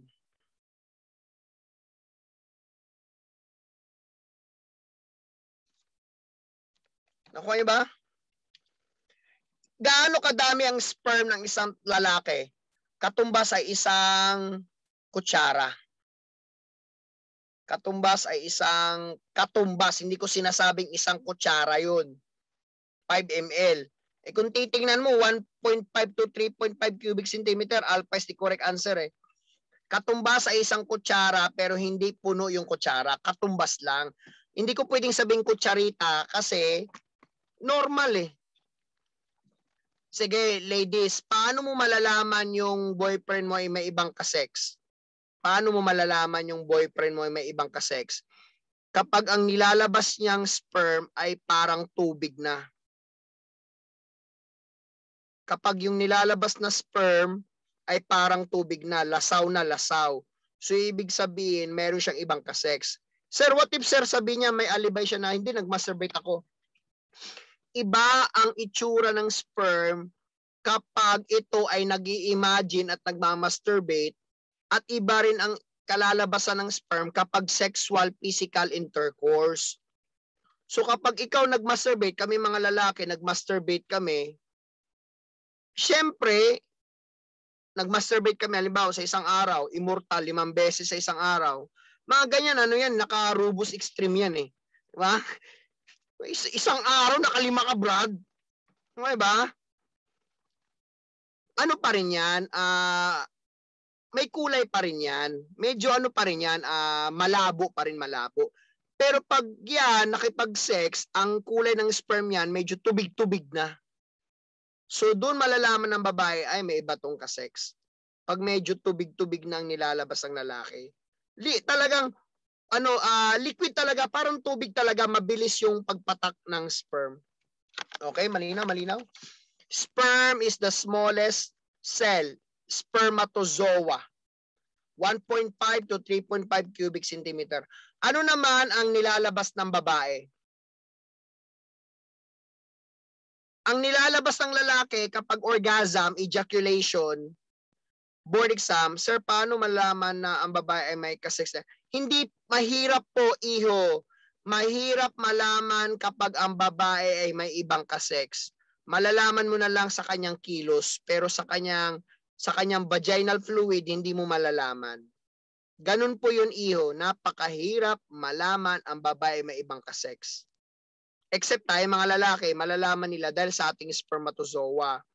Kapag medyo labnaw na, medyo tubig-tubig na yung nilalabas na sperm, ibig sabihin may ibang kasex yan. Ay, ang bastos ni ano, Peña, ang bastos ng ano niya, pag-iisip niya. Bad ka, Choy, bad ka. Puksain niyo yan, ha? Bad yan. Guys, um, ano ang nilalabas ng babae kapag ejaculation or sexual intercourse? Sige nga, board exam. Sinong ano dyan? Ichatat ko. Itatype ko. Sino nakakaalam? Anong ihi? Squirt. Ang squirt ihi yun. Exhale nilalabas ng babae. Kapag sex, exhale, may cancer yun, Brad. Hindi lumalabas ang exhale. Yun, ayun, ayun. Okay. Do, derlane, ba, si, lay. Yan. Okay, pakitandaan na lang, pakitandaan na lang sa criminalistics, pwede rin sa sa CDI. Pero hindi po, Choy, kupo. Makinig. Sa lalaki lang sperm, walang sperm ang babae. My goodness. Lactobacilli, pinagsasabi mo, kamuka. Yung lactobacilli, cultured bacteria yan, matatagpuan sa Yakult. Hindi matatagpuan sa vagina. Doderlane bacilli. Sa mga nakahabol, pakisulat na lang Doderlane. Ba paki-copy paste. Paki-copy paste nung tinype ko para mabasa nung iba. Iba puro haha na lang eh. Next, tuloy-tuloy tayo. Yan. Thank you, ladies and gentlemen. Doderlane bacilli. Yan ang nilalabas ng babae kapag sexual intercourse. Sa lalaki naman ay spermatozoa sperm. Next, tuloy-tuloy. Ay nga pala, pwede bang mabuntis ang babae kapag lumunok ng sperm? Ito yung controversial question na maraming gustong makaalam eh. Pwede bang mabuntis ang babae pag lumunok ng sperm? Yes or no? Pwede po, pwede kapag may ovary sa leeg.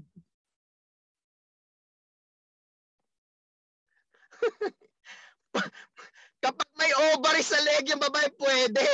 Bad trip, bumukol yung lego. Bad trip, sir. May bukol yung leeg. Hindi ba gweter lang? Hindi, two months na yan. Ayun. Next, tuloy-tuloy tayo, Choy Papi.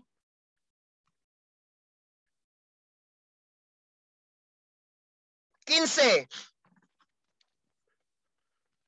What kind of solution is used in the restoration of serial number? So this is carnapping. Republic Act 6539 as amended. Stainless steel, lead cast iron are example. So, ayan o, um, hindi na natin pwedeng kalabanin yung tanong, basic na yan, etching solution. Actually guys, ang tamang sagot yan is macro etching. Kapag serial number, Yan. Plate number. Etching solution chemical.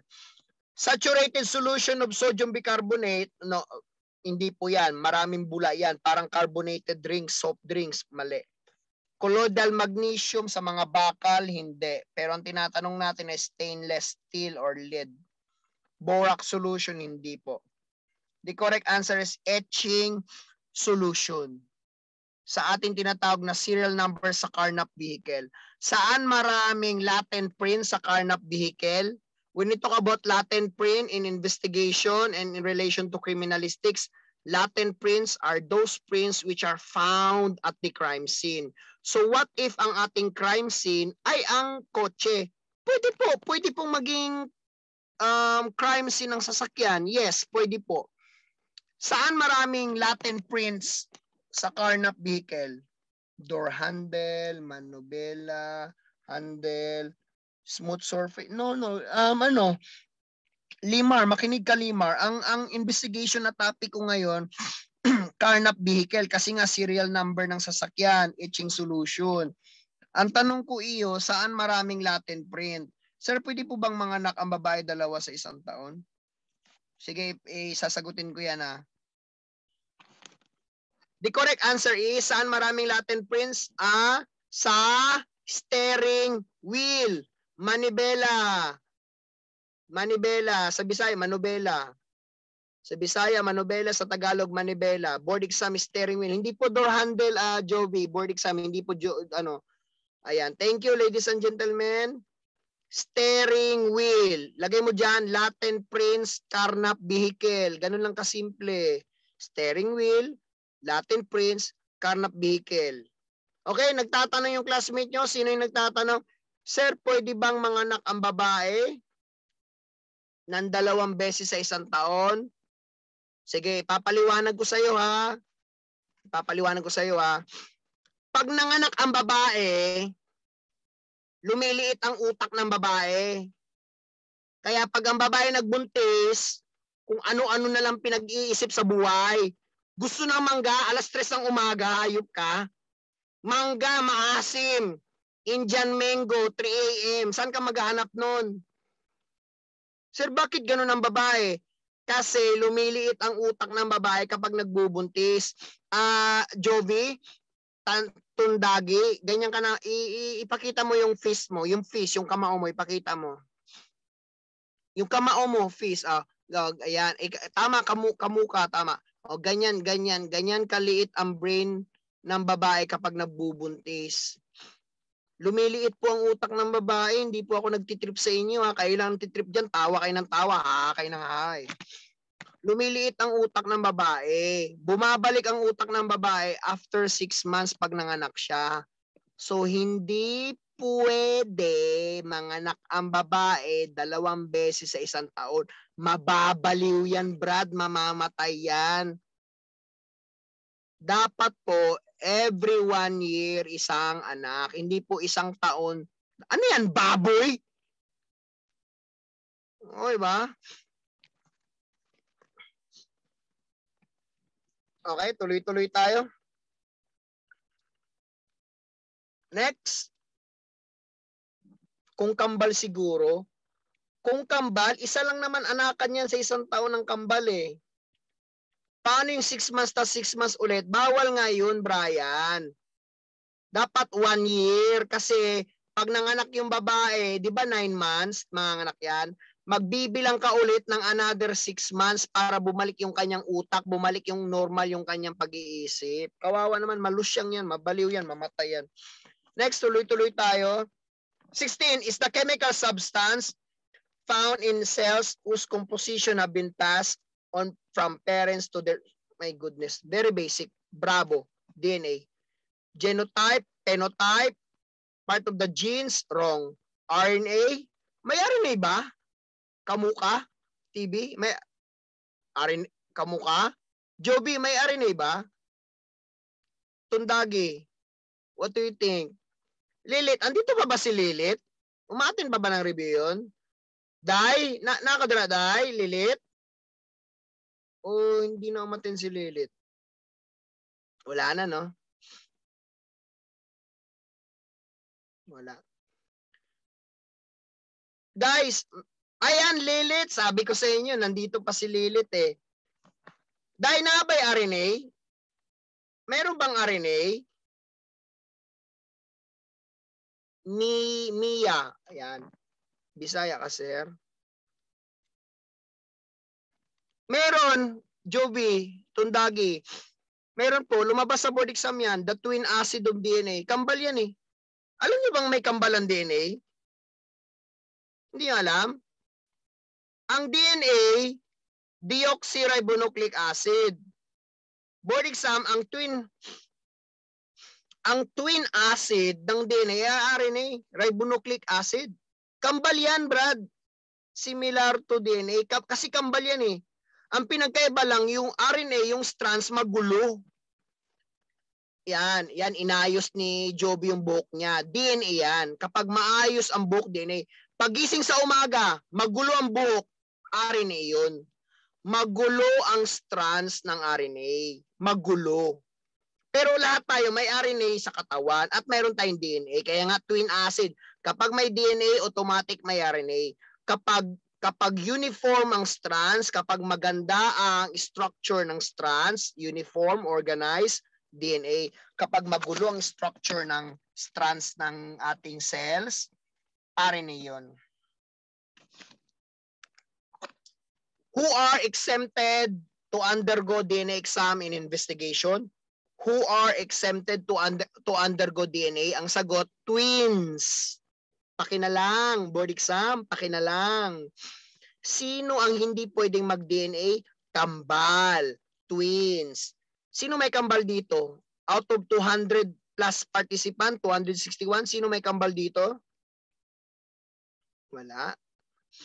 Walang may kambal dito. Ang kambal, ang unang lumabas ay bunso. Yung panganay, yung huling lumabas. Ayan, Josel Enriquez, may kambal. Sabi ko sa inyo eh. Out of 200 plus, mayroon talagang kambal. Josel, una ka bang lumabas o huling lumabas?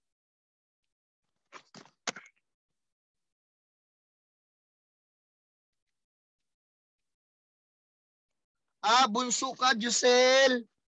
Josel Enriquez kapag unang lumabas, bunso,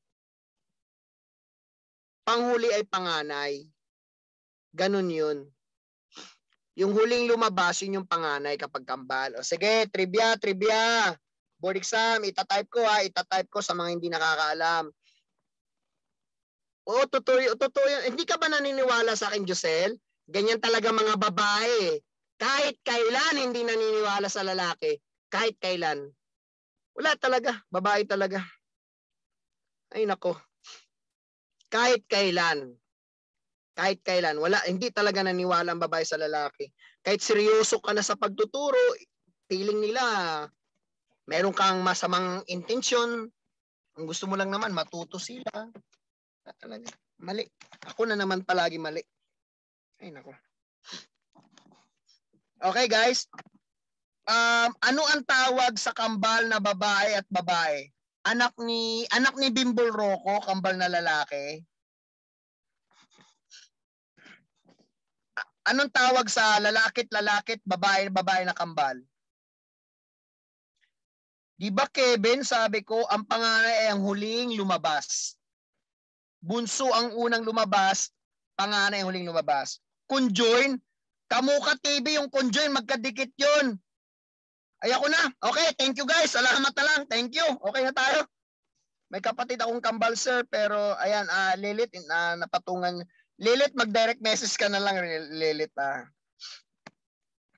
Guys, kapag both ayan tinatype ko male or female. Ayan, tinatype ko ladies and gentlemen.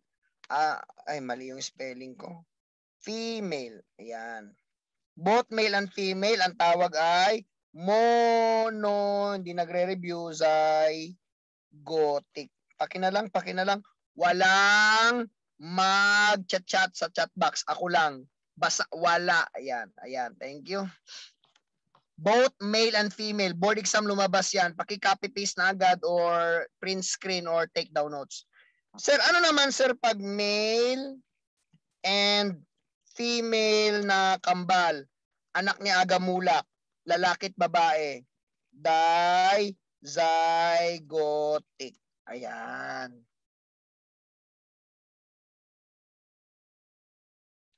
Dizygotic. Babae at lalaki kambal. Pero pag pag puro babae, puro lalaki monozygotic.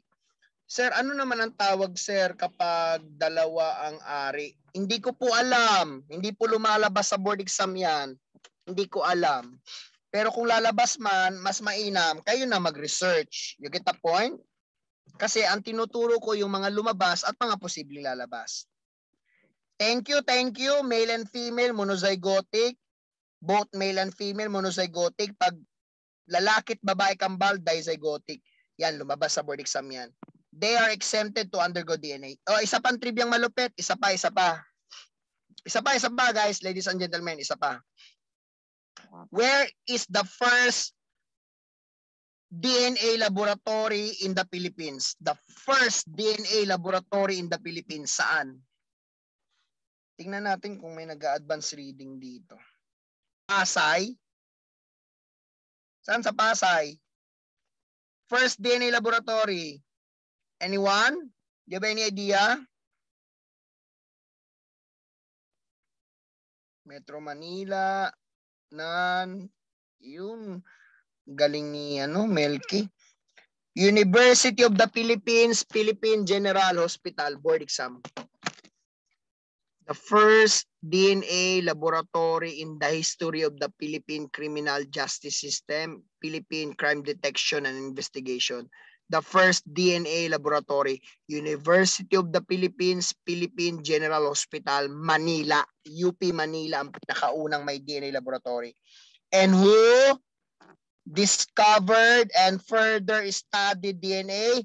Sir Alec Jeffries, the professor of University of Winchester in London, England. Alec Jeffries, British Okay, don't you worry guys. This is recorded so pwede yung panoorin to sa website ng ACLE. Next, number 17. Which among the following is not one type of death that an investigator will generally encounter? My goodness. Sir, sabi mo kanina, sir, ang suicide hindi na pinag-aaralan. Oh, hindi naman talaga pinag-aaralan suicide. Pero may mga suicide na kung tawagin natin ay foul play. So, pwede ang suicide. How about homicide? Pwede ang homicide. Accidental, pwede. How about natural cause? No, hindi. Hindi na natin pinag-aaralan yan. Namatay na sa katandaan yan eh. Ay nga pala, last week, nabalitaan nyo ba yun? Yung namatay sa hotel, yung lalaki? Na, na, may nabalitaan ba kayo last week? Isang 41 anyos na lalaki, driver, nakipag-sex sa kanyang kabit, 21 anyos na babae. Tapos yung lalaki inatake sa puso, namatay habang nakikipag-sex. Is it natural cause?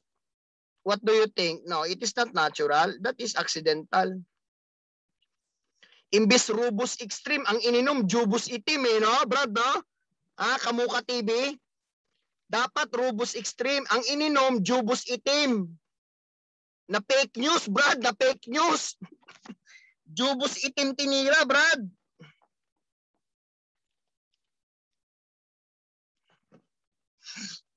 Next, tuloy-tuloy. na fake news eh. Next, tuloy-tuloy tayo. Tuloy-tuloy. Does homicide is there is is with intent to kill? Ladies and gentlemen, Does homicide is with intent to kill? Vince Paula, yes sir. Choi Tuli, yes, yes. Galing ni ano, Brian, Akle Brian. Okay, tama, tama. Okay, tama. Yes, homicide is with intent to kill but the killing is not intended to eradicate a person. Take note on this ha. Please bear with me, take note on this. Akle review is merong intensyon pumatay pero ang intensyon ay para hindi mamatay talaga o pinagplanuhan patayin yung tao. Ang intensyon kaya napatay yung tao sa homicide para pigilan sa kanyang tinatawag na evil acts. Kung tawagin natin yan sa revised penal code, avoidance of greater evil. Yan. Kaya mo siya napatay para pigilan siya sa kanyang maling gagawin. Pero hindi ka rumaldumal. Tama, Christian. Tama. Without aggravating. You should not use the word no aggravating because that is wrong wording. Power user, the proper wording should be without aggravating circumstances. From, from the word no, it means not. From the word without, it means there is none. Next. Um, next question. We go to 18. Batang-bata sariwa, mapagmahal. 18. What type of blood stain pattern is produced when the blood is thrown off a great speed or falls a large distance? Elliptical, wrong. Delta, wrong. Crenulate, actually guys, crenulated tsaka circular are the same, paikot. Pakalat na paikot. Nakuha nyo ba? Pwede naman nating isagot ang Charlie. It just so happen, we are not using crenulated blood stain. Ito yung dugo pagdating sa crime scene investigation. The correct answer is circular. Nakuha niyo ba? Sino maraming dugo? Babae, lalaki? Sino maraming dugo? Babae, lalaki?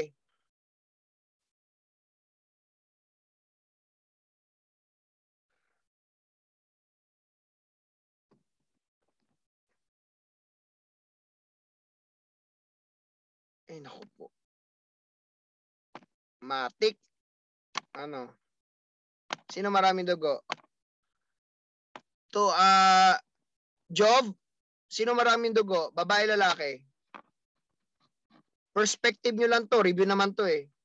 So, ang sagot ni Joby, sir, babae po. Ruby, andyan si Ruby? Rubes, sino maraming dugo? Babae, lalaki? Wala ata si Ruby. Choi? Ruby? Wala, wala na si Ruby. O, sige, sige. Okay, okay. Uh, ano no? Uh,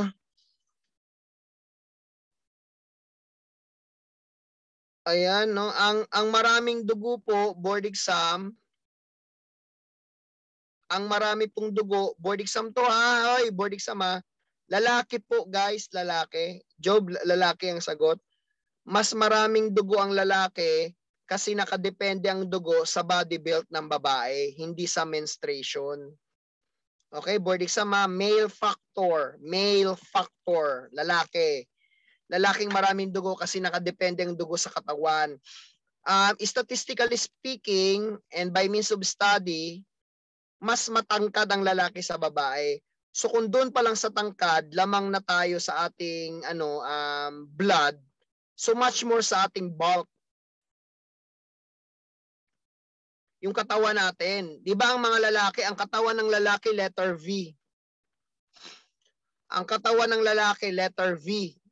Ang katawan ng babae letter 8, uh, ah, number 8 rather, number 8. Pa-8 ang katawan ng babae. Ang katawan ng lalaki pa letter V. Masculine ng lalaki. Balibalik ta rin mo man ang mundo, masculine ng lalaki. So doon pa lang sa katawan, lamang na tayo mga lalaki. So board exam, maraming dugo ang lalaki kaysa babae. Tandaan nyo po yan. Um, bakit po nireregla ang babae pagdating sa investigation in relation to criminalistics? Bakit nireregla ang babae? Kasi kulang sa estrogen. Anong kulang sa T? Ano yan? T? Tarub? Ano yan, Jason? Tarub? Or toye? Ano yan, Jason? Kaya nireregla ang babae kasi kulang sa estrogen. Ang lalaki, bakit ang lalaki nangihina? Oy, every month nangihina ang lalaki, hindi nyo lang napapansin. Ang kami mga lalaki, ano, ladies, nakakaramdam kami ng bigat sa katawan. Nakakaramdam kami ng bigat sa katawan. Nakuha nyo ba? Kasi kulang kami sa androgens. Ang genes ng lalaki androgens. Ang babae, estrogen. Pag kulang, kasi nasa katawan na ng babae every month, nababawasan ng estrogen, tapos bumibiyak yung kanilang ano, fallopian tube, yung blood vessel, bumibiyak. Tapos 7 days, gumagaling yung sugat. Kaya akala nung babae, ay wala na akong regla. Hindi, mali ka iha. Kaya wala kang regla kasi magaling na yung sugat sa vagina mo. Ganun yun. Hindi ibig sabihin na talagang mawawala yung regla mo. Gumagaling yung sugat kaya wala nang lumalabas sa dugo. Next, number 19 is considered as the highest form of proof when it comes to investigation. Is considered as the highest form of proof. Is it documentary, real, testimonial, experimental? Wala namang experimental na evidence or proof, delta disregard. Testimonial, there is. Real, there is. Documentary, there is. But for the purpose of board examination by means of special crime investigation, the question is highest, beyond, beyond admissibility in court proceeding. The correct answer is bravo. Real, autoptic, or object evidence. But generally speaking, under the Philippine criminal justice system, we prioritize in investigation physical evidence. If physical evidence is presented in court, therefore it depends upon the senses of the judge if that physical evidence will be considered as real object or autoptic. Additional information, photograph is considered as a documentary evidence. Autopsy report is considered as documentary evidence. Board exam lumabas po yan sa investigation. Ulitin ko, Choy Papi ha autopsy report, autopsy is documentary evidence. Autopsy report, autopsy. Photograph, documentary evidence. Testimonial, actually guys, mahirap maging ebidensya ang testimonial. Sir, bakit sir? Kasi unang-una sa lahat, pwedeng baguhin yung statement hanggat hindi ito nasusulat. Nagtatanong si Choi Tuli, best evidence ba yan, sir? Iba yon, iba yon ibang best evidence rule. Admissibility sa court yun. Rules on evidence yun, best evidence. Ang tinatanong dito ay ebidensya lang. Okay? Hayaan nyo ang lecturer nyo magturo sa inyo ng best evidence rule.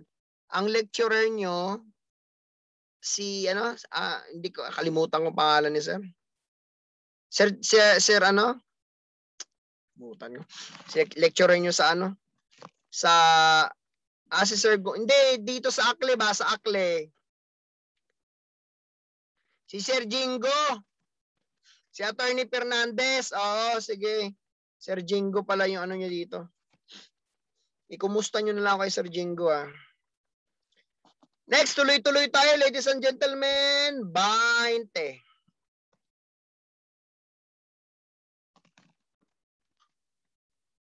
Anong face reveal? Mag-review ka. Next, number 20. After death, blood remains fluid in the blood vessel for how many hours? Ah, ito na yung sinasabi ko kanina. Ito na yung sinasabi ko kanina. Kapag 8 to 12, blood remains, ano, blood is fixed Okay? Blood is fixed kapag 8 to 12 hours. So alpha mali. Yung Charlie Delta, tanggalin nyo yan. Wala namang ganyan eh. Naglalaro ang dugo 6 to 8, 8 to 12. Pakina lang. Di ba guys? Space reveal tayo lahat. May usapan tayo. Ayun. Mamaya, si Sir Inkadal. Mahirap pa naman tanggihan si Sir Noli nyo. Naku po, obligado. Mababurnout tayo pare. Maburnout tayo pare. Baka mamaya may operation ako, sisigaw-sigaw tong mga ano na to, eh, makukulit na to. Eh.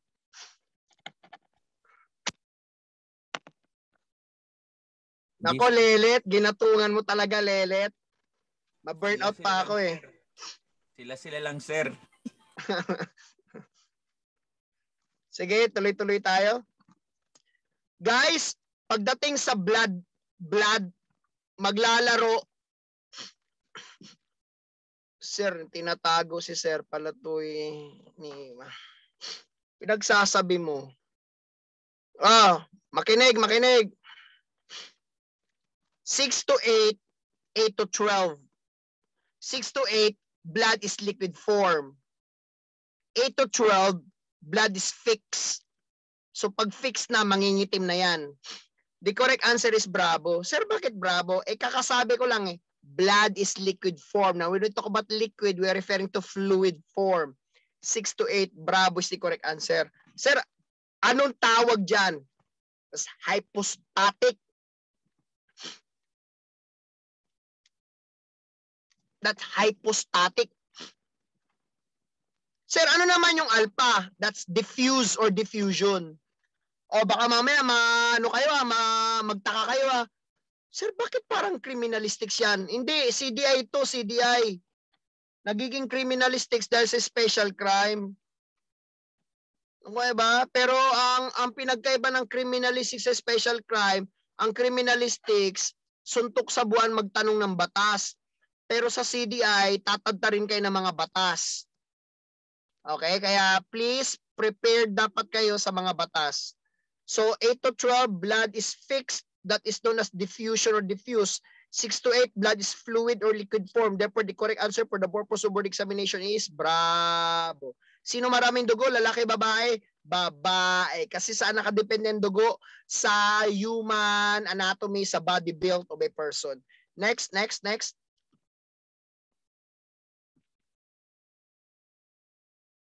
Blood contains hemoglobin. Thank you, Choy Toli. Lumabas sa board exam yan, guys. Paki-ano nyo yung kay Choy Toli, hemoglobin. Lumabas yan, itirahin nyo na yan. Blood contains hemoglobin. Lumabas po yan, paki na lang. 78%. Galing ni Choy Toli. Pasado na, pwede. Mag-exam ka na bukas. Mag-exam ka na. Ayup ka. Next, tuloy-tuloy tayo.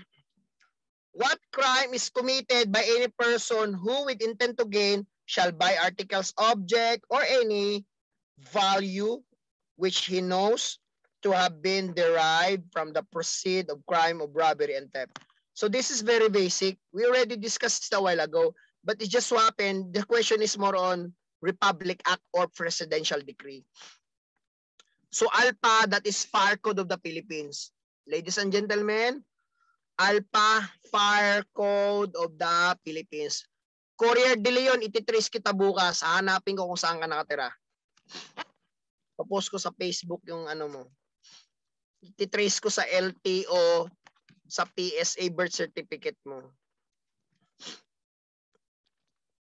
O Alpha, wrong. Alpha is PD 1185, Fire Code of the Philippines. Juby, nagsasabi mo, issue ka Joby ah. Fire Code of the Philippines. Alpha mali. Charlie, Republic Act 6539. Republic Act 6539. That is anti-carnapping law as amended. Anti-carnapping law. Delta, PD 533, na-discuss na to ng classmate nyo. This is anti-cattle rustling. Take note, cattle, hindi kasama ang kambing. Baka mabigla kayo ha. Okay, uh, Delta wrong. The correct answer is Bravo, PD 1612, anti-fencing law. Sir, hindi ko naman alam sir na galing sa nakaw. Hindi ko alam. Um, Siyempre, meron tayong tinatawag na ignorantia legis nominum excusat. Ignorance of the law excuses no one from compliance therewith. You get the point? You get the point? So the correct answer is bravo. Hindi kita papansinin, bahala ka sa trip mo. Mag-review ka. Kulit-kulit mo. Bravo, violation of Presidential Decree 1612, anti-fencing law. Ay, ay, trivia, board exam. Paki na lang. Ano ang tawag sa tao na nagbenta at bumili ng nakaw? Sige. Tingnan natin. Yung mga cum laude dyan, ha. Galing. Hmm, Tinatype ko pa nga lang pero nag-post na yung ibang. Galing. Galing. Thank you. Thank you. Shukran. Adjamanak. Dagan salamat. Dagan salamat. Adjamanak. Shukran. Thank you. Damo salamat, Choy. Galing. Galing ng re- mga reviewees si Sir Inka. To. Fans. Ang tao na bumili at nagbenta ng nakaw. Isa pa, isa pa. Baka nakachamba lang to. Baka nakachamba lang. Isa pa, isa pa. Ano ang tawag sa kumpanya na nagbebenta ng nakaw? Sige. Tingnan natin kung baka tsamba ka lang. Kung ang tao na bumili ng nakaw at ang tao na nagbenta ng nakaw, ang tawag ay fence, eh ano naman ang tawag sa kumpanya? Fencing, hindi. Ak yun eh. Black market. Mali, mali, mali. Pareho lang. Fence pa rin. Board exam. Pareho lang guys. Pareho lang. Fence pa rin. Tao na bumili ng nakaw, nagbenta ng nakaw, at ano ba? Kumpanya na nagbenta ng nakaw. Pareho lang. Fence. Fixer is the person fence pa rin. Ang pa rin, separate yan, ah, sa baybaying salita, sa pamamagitan ng panlapi, sa Pilipino, ang pa rin ay hiwalay. Pa rin. Pa space rin. Okay? Naintindihan mo ba mga estudyante? Dapat isagot nyo, opo, pinuno. Di ba? Okay, next, tuloy-tuloy tayo. Master si Sir Noli. Si Sir Noli ang master. Ako ay pinuno. Ayop. Next. The act of killing a father by his own child is called A. Homicide. B. Parricide. C. Murder. D. Patricide. Wait lang. Hindi ba bravo to? Josel Enriquez, tama ka. Hindi ba bravo to? Kasi tuloy na tuloy ng board exam eh. Okay? 49 days. 49 days. Bukas, 48. 48 days bukas, board exam na. Exciting. Sino kaya papasa? Sino kaya papasa? 48 days to go bukas. Sino ang papasa? Para kang para kang manok. Ha? 45 days pero ikaw 49 days. Pag 48 bukas. Sino kaya ang papasa? Sino kaya ang nag-review, naggumastos, nababagsak? Ha? Huwag kang gumastos, huwag kang mag-review na ibabagsak mo lang. Kaya ka gumastos, kaya ka nag-review, kaya ka nagpuyat para pumasa. Itanim mo sa kukuti mo yan para pumasa.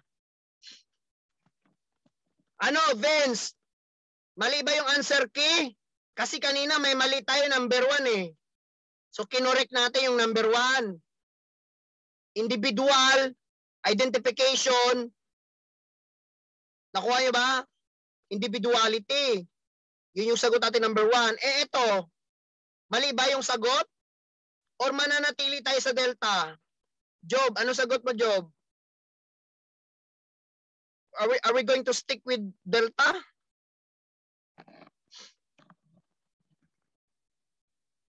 Ruby, andyan si Ruby? Ruby, what is your answer? Wala. Wala si Ruby. Naku. Naku po, naku po. The correct answer is Delta. Patricide is, no, no, no, no, mali, mali ka ng keyword. Ang keyword dyan, act. Act, ang keyword, act. The keyword is act. Nakuha ba? The keyword is act. Malinaw po ba? Malinaw? Kapag killing a father, mother, killing a father and mother, that is what? Parricide, killing a father and mother. Malinaw? Killing a father, mother. Tapos, act of killing a father or mother, act of killing, that is, ano po, patricide. So the correct answer, ladies and gentlemen, the correct answer is delta. Delta is the correct answer. Okay, next. Tuloy-tuloy tayo. Tuloy-tuloy tayo, ladies and gentlemen. Um, homicide, Article 249 of the Revised Penal Code. There is intent to kill, but the killing is not intended to eradicate a person.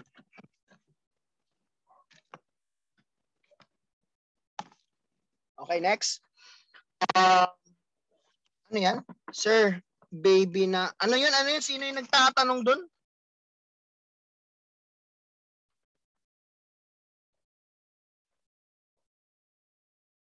O, oh, ayan, ayan. May mga keyword na kayo. Okay? So, tuloy-tuloy tayo guys. Tuloy-tuloy tayo. So, parricide, the killing of a father, mother, or child. Child is whether legitimate or illegitimate and or his or her legal spouse or asawa, husband and wife. Murder, on the other hand, Article 248 of the Revised Penal Code, Book 2, Title 8, Destruction of Life, Crimes Against Person there is intent to kill and the killing is aggravating qualifying circumstances. If you if you killed less than three days old less than 72 hours a particular infant or fetus then that will be tantamount leading in the crime of what? Infanticide.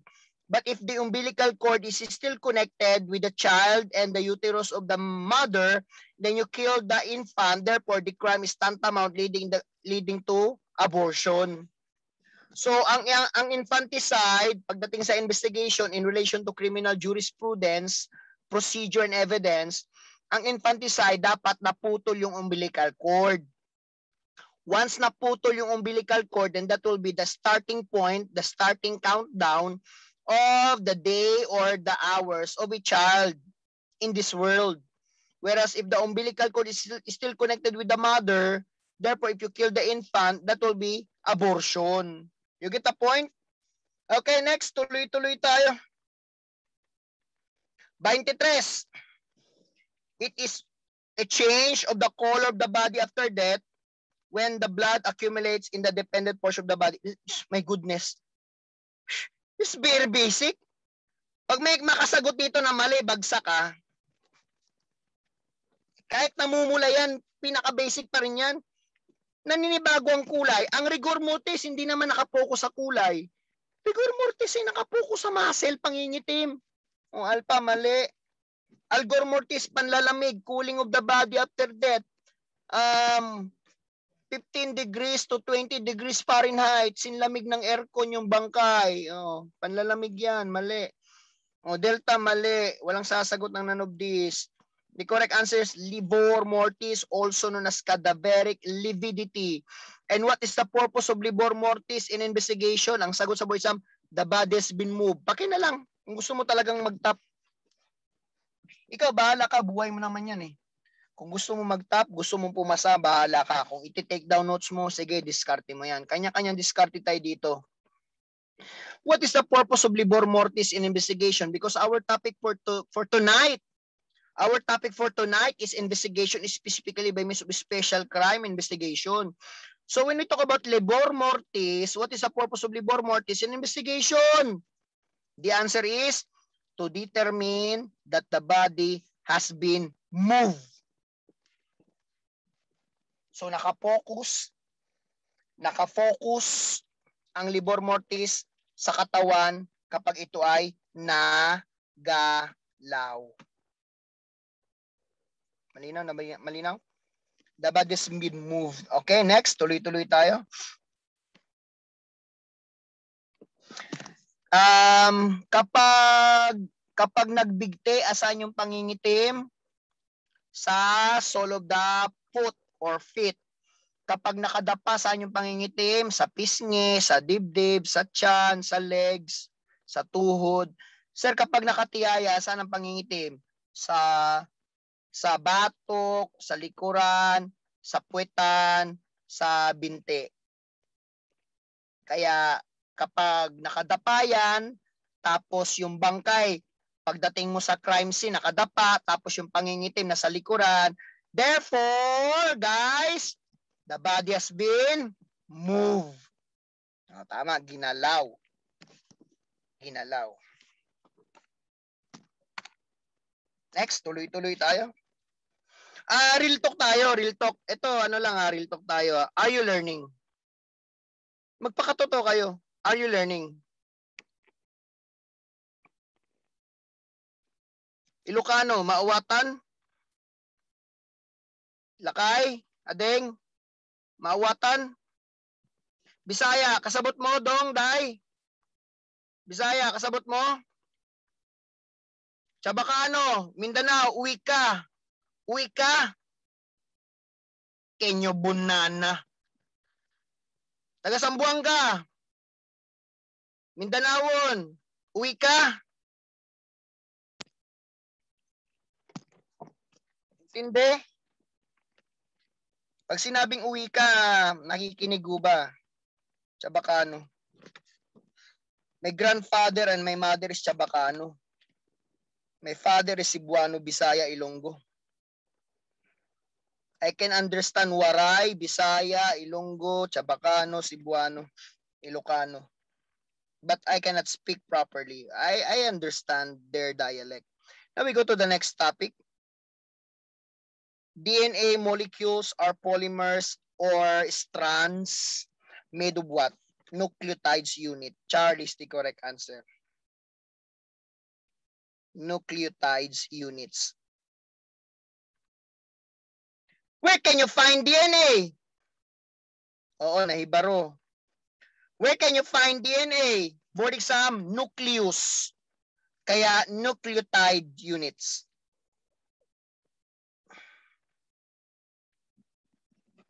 Okay? The answer is Charlie.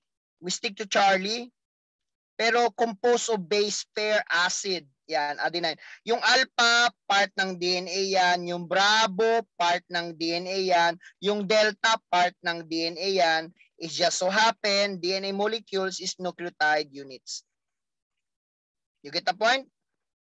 Where can you find DNA? The correct answer is nucleus. Nucleus. Board exam. Next, tuloy-tuloy tayo. Okay, who discovered DNA and further studied DNA? Actually, hindi naman talaga discovered eh. Kasi nasa DNA na talaga sa katawan natin yan eh. Di ba?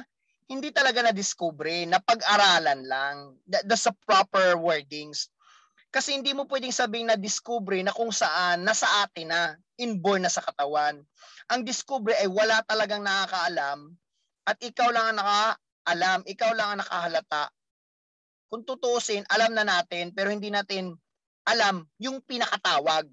Mahirap ipaliwanag pero sana naintindihan nyo na hindi po pwedeng sabihin na na-discover ni Alec Jeffries. Ang mas mainam doon na salita na gagamitin natin sa pamamagitan ng pagtuturo ay sino ang nag-aral.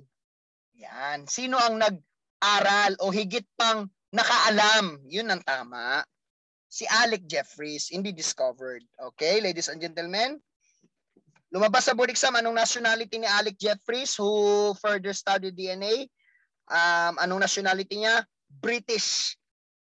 Next, tuloy-tuloy tayo. Thank you guys sa mga nagpo-post. Thank you ha.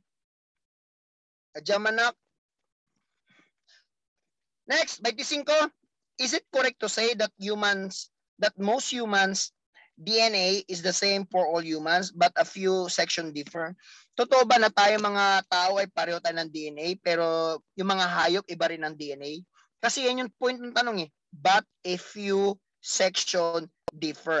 Walang section ng DNA. Ang tinutukoy na section dito sa tanong ay living things. Ang halaman ay may DNA. Kaya may mga halaman na walang bulaklak, may mga halaman na may tusok, may tinik, kaya may mga prutas na hindi nakakain, yun yung DNA section. So, ano? Alpha ba or no? Correct answer is alpha. Yes. Iba ang DNA ng babae, meron silang vagina. Iba ang DNA ng lalaki, meron tayong penis. Nakuha niyo ba? Walang sasagot ng Bravo Delta.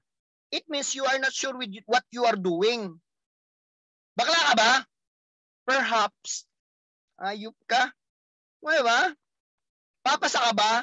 Maybe. Wag ganun. Dapat yes or no lang. Huwag kang magdalawang isip. Huwag kang mag-second thought. Sir, ano yung second thought? Second thought, nagdalawang isip. Biro mo, isa lang utak mo, nagdadalawang isip ka pa. Next, alpha. Isa lang yung utak, bira lang gamitin, nagdalawang isip pa oh. Bad trip, di ba? Bad trip yung mga ganyan tao eh, no? Isa lang yung utak, bihira lang ginamit, nagdalawang isip pa sa buhay. opo, opo, Marco Bisio, opo. Next, condition which is characterized by stiffening of the muscle due to the solidification of fats, fluids, and muscle as a result of the exposure of corpse to extreme cold. Ano, frostbite? Frostbite or cold stiffening? Sige, akle. Mananatili or magpapalit? Parang kung tawagin natin to, deal or no deal? Mananatili or magpapalit?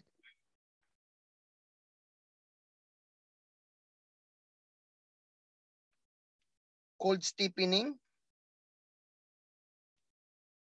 Hindi ba frostbite? Hindi ba bravo? Hindi ba frostbite? Ay. Anong manatili kahit nasasaktan? Landi mo. Lantod ka. Ay ako na sa'yo. Manatili kahit nasasaktan. Ano, ano ka, Ben and Ben? Okay, are we going to stay with cold stiffening or are we going to cho to choose another answer, frostbite?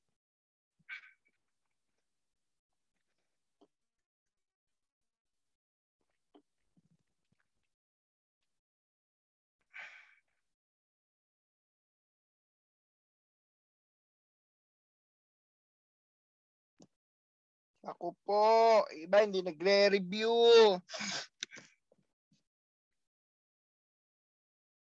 Pros, okay. So, mali ang spelling ng Bravo. Thank you. Ang galing mo talaga, Choy. Yan ang gusto ko. Dapat yan, frostbite, hindi frostbite. You get the point? So, dapat yan, tango. So, ayan. Galing. Galing talaga. Kudis? Anong kudis? Uy, anong merienda natin? Kudis. Parang ngayon, di ba? O, alpa, mali. Champigno di ukum. Ano yan? Sa criminalistics yan, di ba? Yan ba yung parang may bula-bula sa ilong? Bravo is wrong. Eh kung may frostbite dyan, kung frostbite yan, magbabravo talaga ako eh. Nga lang, ayun, yan gusto ko. Para analyzation. Cold stiffening. Pero pag may frostbite, we choose frostbite because that's the close to the answer, uh, close to the question rather. That's the answer which is close to the question. Yes, tama, tama. Add rain. Next. 27. Which word nearly expresses the meaning of vacillate? Vacillate. Alam ko lang Vaseline eh, pampadulas eh. Yun lang alam ko, brad eh.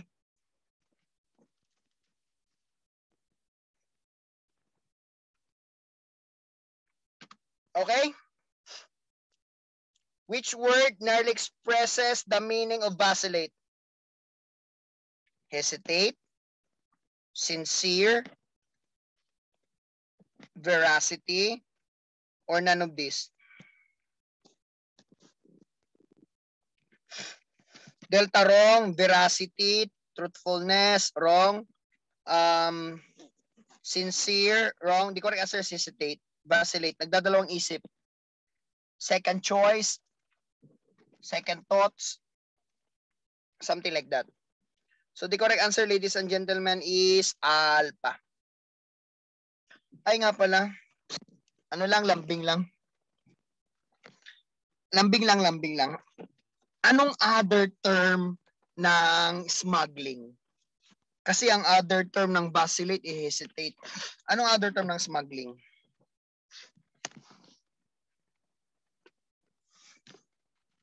May, may nakakaalam? Wala. Trafficking. Trafficking. Yun, thank you, ano, uh, uh, akyatan. Thank you.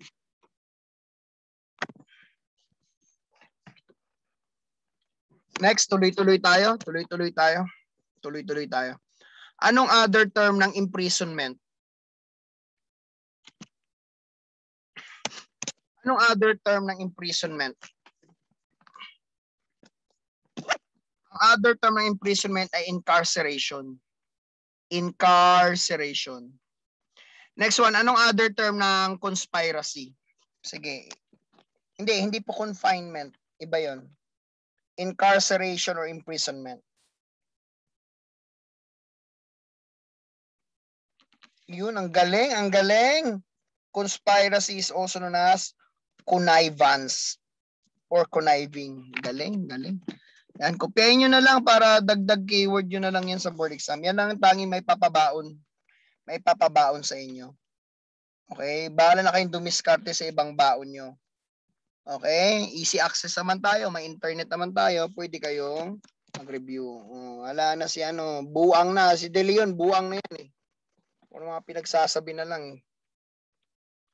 Dong, mag, mag-dinner ka ha? De Leon, mag-dinner ka. Iba, ibaon mo na, ibaon sir. Mag-dinner ka dong ha, mag-dinner ka, maligo, mag-nail cutter. Para ano, hindi tayo matuluyan ha. Kinin na. Sige, sige, tuloy-tuloy. Napatawa tuloy si Lilit. Ako, isang taon ko hindi nakikitang tumawa si Lilit eh. Next, tuloy-tuloy tayo. Ay, hindi pa pala kayo nag-dinner? Job, di pa nag-dinner? Sige, pwede kayo mag-dinner dyan. Ako, mamaya na pag matapos to. Nahiya ako sa inyo eh. Sige na, mamaya na ako pag natapos to. Pwede kayo mag-dinner dyan. Sir, break muna. One time lang. Sige, bahala kayo. Bahala kayo. Basta ako tutuloy ako. 28.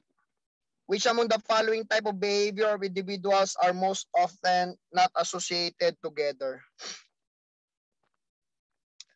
Tribadism and men, correct yan.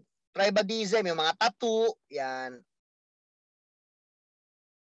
Sadism and masochism, correct yan. Sadista, nananakit, masochism, nasasaktan. Futures and women, correct, pasok yan. Um, fragile or feminism, transverse tight and homosexuality. Ayan, the correct answer is bravo.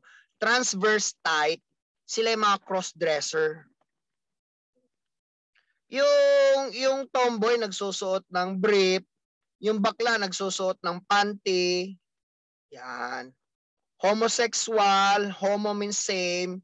It means lalaki may gusto sa kapwa lalaki, babae may gusto sa kapwa babae. Anong acronym ng LGBT? Lumabas sa board exam dati yan eh. Ewan ko na lang kung hindi mo masagot yan. Napaka ano ka. May nang nilalang ka. Hindi, LGBT yung lumabas kasi dati, Choy, Tuli. LGBT, walang LGBTQ nung lumabas dati sa board exam. Ang lumabas lang sa board exam, anong ibig sabihin ng LGBT? So, lesbian, gay, bisexual, and transgender. Thank you, thank you. Yan. Yung Q, ano yung Q? Kung itanong man sa board exam, ano yung Q? Queer. Ang ibig sabihin ng queer ay questioning, nagdududa pa siya. Anong queen? Landi mo, Jaysa ba? Anong queen? Landi mo, girl! Queen, queen ka dyan. Ayop ka. Queer. Ibig sabihin nung nagdududa. Darna ka, girl confused. Okay, next, tuloy-tuloy tayo. Ay nga pala guys, anong sexual behavior yung nakikipag-sex at nasasarapan siya kapag mga ungol lang, mga ungol, mga mura, fuck shit, mga ganyan, mga ganyan. Pre, baon mo pa pre, mga ganyan. Anong tawag doon sa sexual behavior na yon? Ang galing, ang galing. Sino yon? Galing nun ah. Papasa yun. Coprolalia, board exam. Yan. Sexual behavior, coprolalia. Eh anong sexual behavior ginagamit yung daliri? Ginagamit yung daliri. Sexual behavior. Kapag ginamit ang daliri sa investigation, that is automatic rape. Kapag ang daliri ipinasok sa vagina, kapag ang daliri ipinasok sa puwet, rape. Sir, pag pinasok sa bunganga, acts of lasciviousness. Hindi pwedeng maging rape ang daliri ipinasok sa bunganga, ladies and gentlemen. It will be perhaps acts of lasciviousness. Whereas, if finger is used to enter the vagina and to enter the anal orifice, Therefore, that is tantamount leading in the crime of rape. Lesbian behavior. Oh, hindi. Ano, iho, Jeffrey. Hindi lang naman ang lesbian ang gumagamit ng daliri kapag nakikipag-sex. Pati rin ang lalaki. Okay? Yung pinagbabawal na technique ng isang hokage.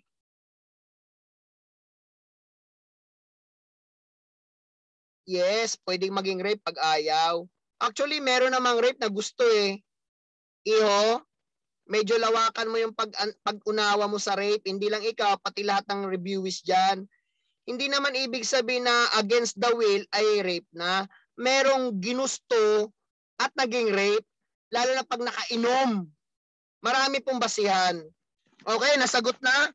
Using the finger by means of sexual behavior at pag ginamit ang daliri, pinasok sa vagina at puwet sa investigation, that is rape.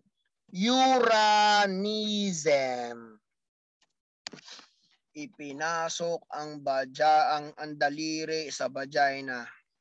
Uranism. Bote sir, pag pinasok, rape. Yes, iho. JSAB, in investigation, under Republic Act 8353, anti-rape law. Again, recapitulate ko for the second time around. Bear with me, ladies and gentlemen. Republic Act 8353 Anti-Rape Law, any object that has been entered in the vaginal orifice, anal orifice, and oral orifice will be considered as rape. Whereas if you use a bottled water or bottling and used to enter that particular object in the vagina, that will be considered as rape. Pag lalaki ni rape na babae, sir, meron ba? Yes, there is rape case way back 2014 and 2015. Yung lalaki, 21 anyos, yung babae, 18 anyos. Yung lalaki, si, kinam, sinampa niya ng kaso rape ang kanyang girlfriend. Meron po, meron. Malinaw po ba? Pag rape sa hayop, sir, anong tawag? Actually, walang rape sa hayop. Kasi hindi alam ng hayop kung ano ang puwersa at hindi. Ang mga nakakaalam kung anong puwersa at hindi ay mga taong nag-iisip. Therefore, I'm referring to human being. Walang rape sa hayop. Meron sa hayop ay tinatawag natin na bestiality na pwedeng maging katumbas ay malicious mischief. Malinaw, malinaw?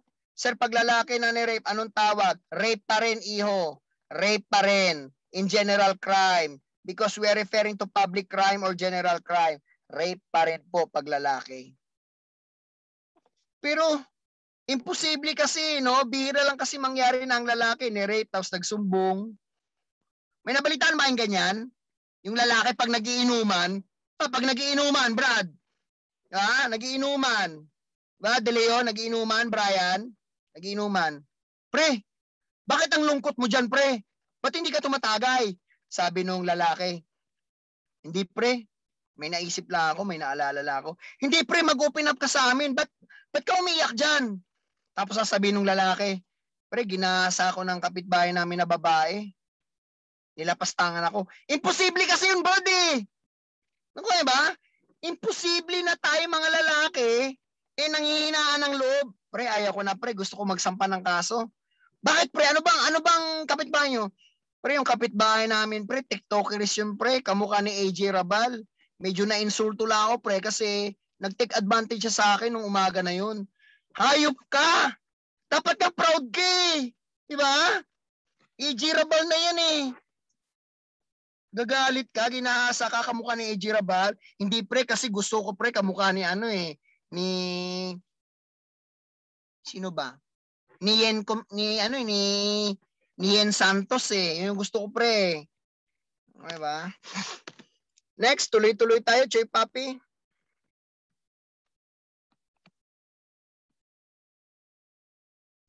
It is the racing of the cadaver, no, no, no, no.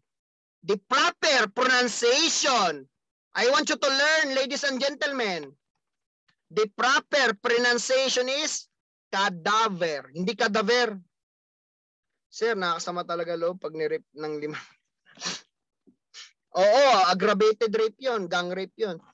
Um, guys, uh, ladies and gentlemen, ang tamang pagbasa ay cadaver, hindi cadaver. Ang tamang pagbasa ay cadaver, mabagal.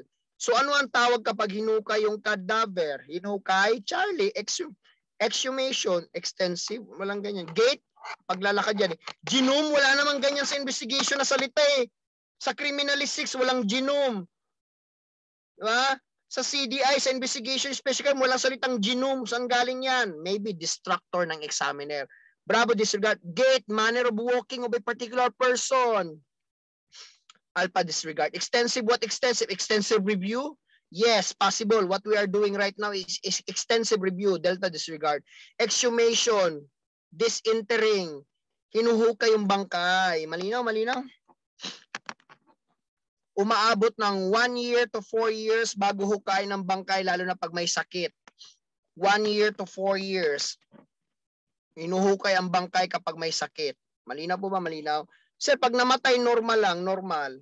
O di hukayin mo after 6 months. Pero ang skeleton ang uh, nagiging skeletonize ang bangkay 12 months eh. Ano?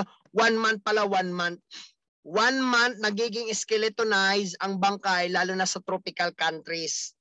So one month sa Pilipinas kasi tropical ang bansa natin. Sir, yung hinuka yung ginto ngipin sa patay, anong gusto mong malaman dili yun? Ayan ka na naman dili yun eh. Nanggugulo ka na naman eh. Kulit-kulit mo eh. Pilyugang ka eh, no? Ah, pilyugang ka eh. Dili yun. Ano na naman yung kinukulit mo sa akin? Ano ang tawag sa lalaki na binebenta ang kanyang katawan? Anong uri ng pagbenta? Is it binebenta para magkapera? External at internal organ? That is trafficking. Binebenta ang kanyang katawan kasama ang kanyang laman at pakikipagtalik. Oh, tama ka. Adonis yun. Adonis, Brad. Adonis. 150 yun, Brad. Choy papi yun.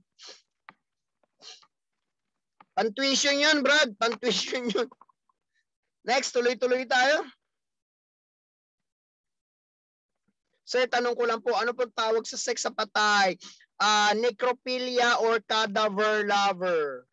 Necrophilia. Ang kaso, kapag nakipag-sex sa patay, actually, iho, walang sex sa patay eh. Kasi ang sex ay intimate contact ng vagina at ang penis. Hindi na intimate yon kasi patay na, wala nang reaction yon. Pag sinabing intimate, reaction yan. Sarap wala nang sarap kasi patay na yung partner, nakipag-sex ka. So pwede nating masabi na kapag ang patay kinukonsiderang bangkay na tao, ang magiging kaso kapag nakipag-sex ka o nakipagtali ka sa patay ay impossible crime of rape. Pero pag ang patay sa tanong nakalagay sa board exam kinukonsiderang property, therefore magiging kaso natin kapag nakipag-sex ka sa patay o nakipagtali ka sa bangkay ay malicious mischief. So nakadepende sa tanong. Nakadepende sa tanong. Sir, tanungin natin sa expert yung embalsamador. Hindi, depende rin kasi yan eh. Depende rin sa embalsamador. Lang patay na i-rape pa, wala na. Actually, JSAB, hindi mo masisisi kasi ang tao is sexual animal. JSAB, para malaman yung lahat, man is a sexual animal. Take note on that, Iho. Kaya hindi mo pwede sabihin na walang hiya tong mga abnormal na to, nakipagtalik pa sa patay. Hindi mo masisisi, lahat tayo ay sexual animal, babae o lalaki. It's just swapping, hindi napipigilan ng ibang tao ang kanilang, kanilang sexual urge. That's why they commit crime. Nakuha nyo ba? That's why they commit crime. Next, next, next. Police usually come in contact with the acts of sodomy when it involves blank. 80, 19, experience ko sir, bangungot pagkamatay. Ayan. 80, 90, 20, experience ko sir, bangungot pagkamatay. Thank you, Jomar. Si Jomar yung embalm, embalmer natin. So, violence and murder, yes, pwede yan. Pwede yan. Pero sodomy ang tinatanong eh.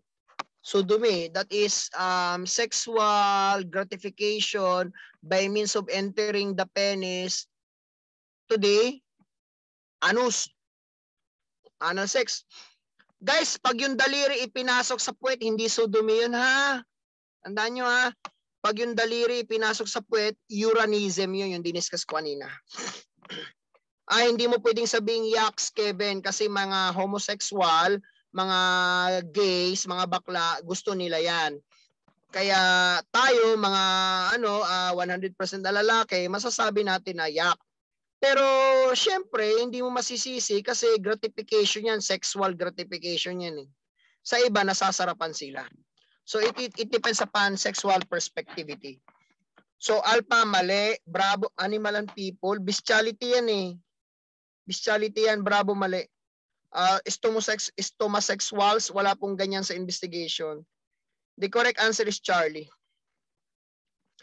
Pwede ang sudumi sa babae, pwede ang sudumi sa lalaki. Charlie, Choy Papi, Charlie. Next, tuloy-tuloy tayo, ladies and gentlemen. The night is young. Tandaan niyo yan. The night is young. Maaga pa para mag-settle down. Maaga pa para magpahinga. Next, 31, exhumation is also known as, ito yung hinuhukay yung patay, ito yung hinuhukay yung patay.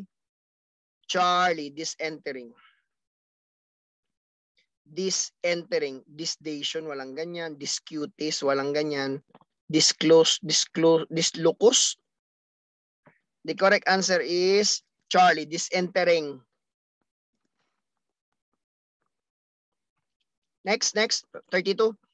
Refers to those produced by sharp-edged instrument. Eh, wala na. Basic na. Ito yung number number 3. I, I, I'm not sure. 3 or 4 question kanina. So, what's the question? Sharp edge. So, hematoma, there is a cessation.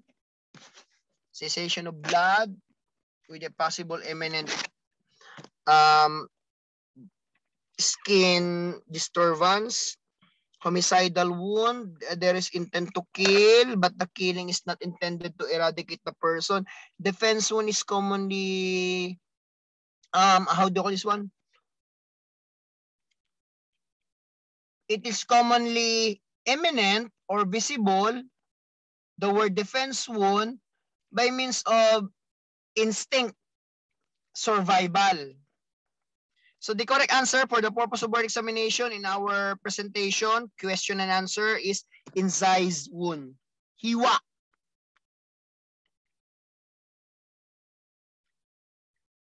Guys, kung nawawala kayo, kape kayo. Nag-dinner na ba kayo? Ruby, nag-dinner ka na, Ruby? Si Ruby, nag-dinner na? Wala. Ikaw, Lelet, Nag-dinner ka na, Lilit?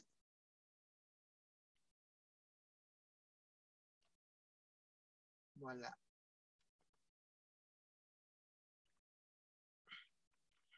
Sige, tuloy-tuloy tayo. Bahala ka, ano, Bilatan. Pwede ka mag-ano yan. Sige. O sige, Lelet, makinig ka lang. Ruby, andiyan ka ba, Ruby? Busy ata si Ruby. Sige, tuloy-tuloy tayo. Refers to an abrasion Mitch? Nagpalit ka pangalan?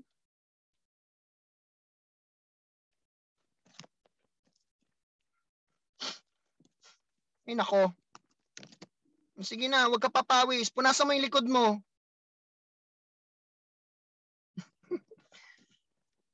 Punasan mo yung likod mo. Huwag ka tapat agad sa electric pan ha. Next, tuloy-tuloy tayo. Refers to an abrasion due to possible contact with the rough, hard object resulting to the irregular removal of the skin surface. Guys, ito ah, walang biro ah. Nababasa nyo to? Ayan, ayan, ayan. I, i, i ano ko, i-highlightin ko. Ayan, ayan. Nababasa nyo ba yan? Nababasa nyo ba? Hindi. Job, nababasa mo ba yan? Yung naka ano? R-O-U-G-H. Alam niyo may estudyante ako, hindi ko napapangalanan na, hindi ko nasasabihin kung taga sana. May estudyante ako dati, 2018 tsaka 2019. Binasa nila yan. Alam mo paano labasan yan? Ru. Estudyante ko, binasa niya, Ru. Sabi ko, pakyo ka. Hayop ka, buhay ka pa. That's rough. Siyempre, hindi mo masisisi criminology eh. May mga ibang crim na papasok, prelim, midterm, ay, baka nga pulis na yun eh. Hindi, hindi. Baka estudyante ko criminology. Criminology. Binasa, Ru. Bad trip. Kala mo ano eh, no? Pilyugang eh. The correct answer is bruise. Pasa. Anong other term ng bruise? Graces. Delta is the correct answer. Ay, hindi pala pasa. Gas, gas pala, gas, gas. Hindi pala pasa.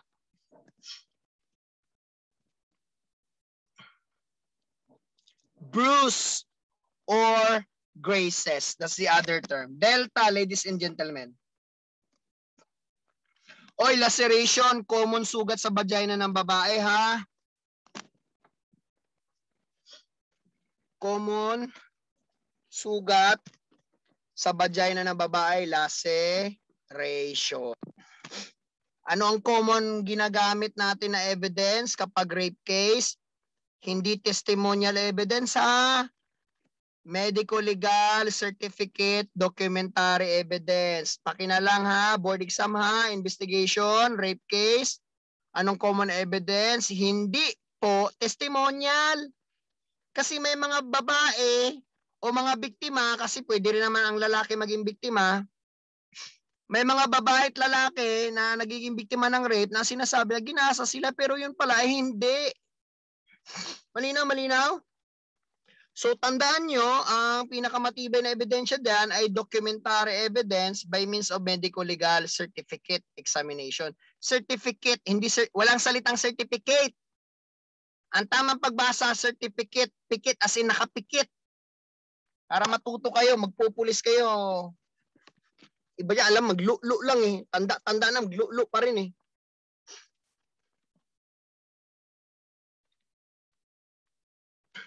Pwede po sa puwet, yung laceration. Pwede po.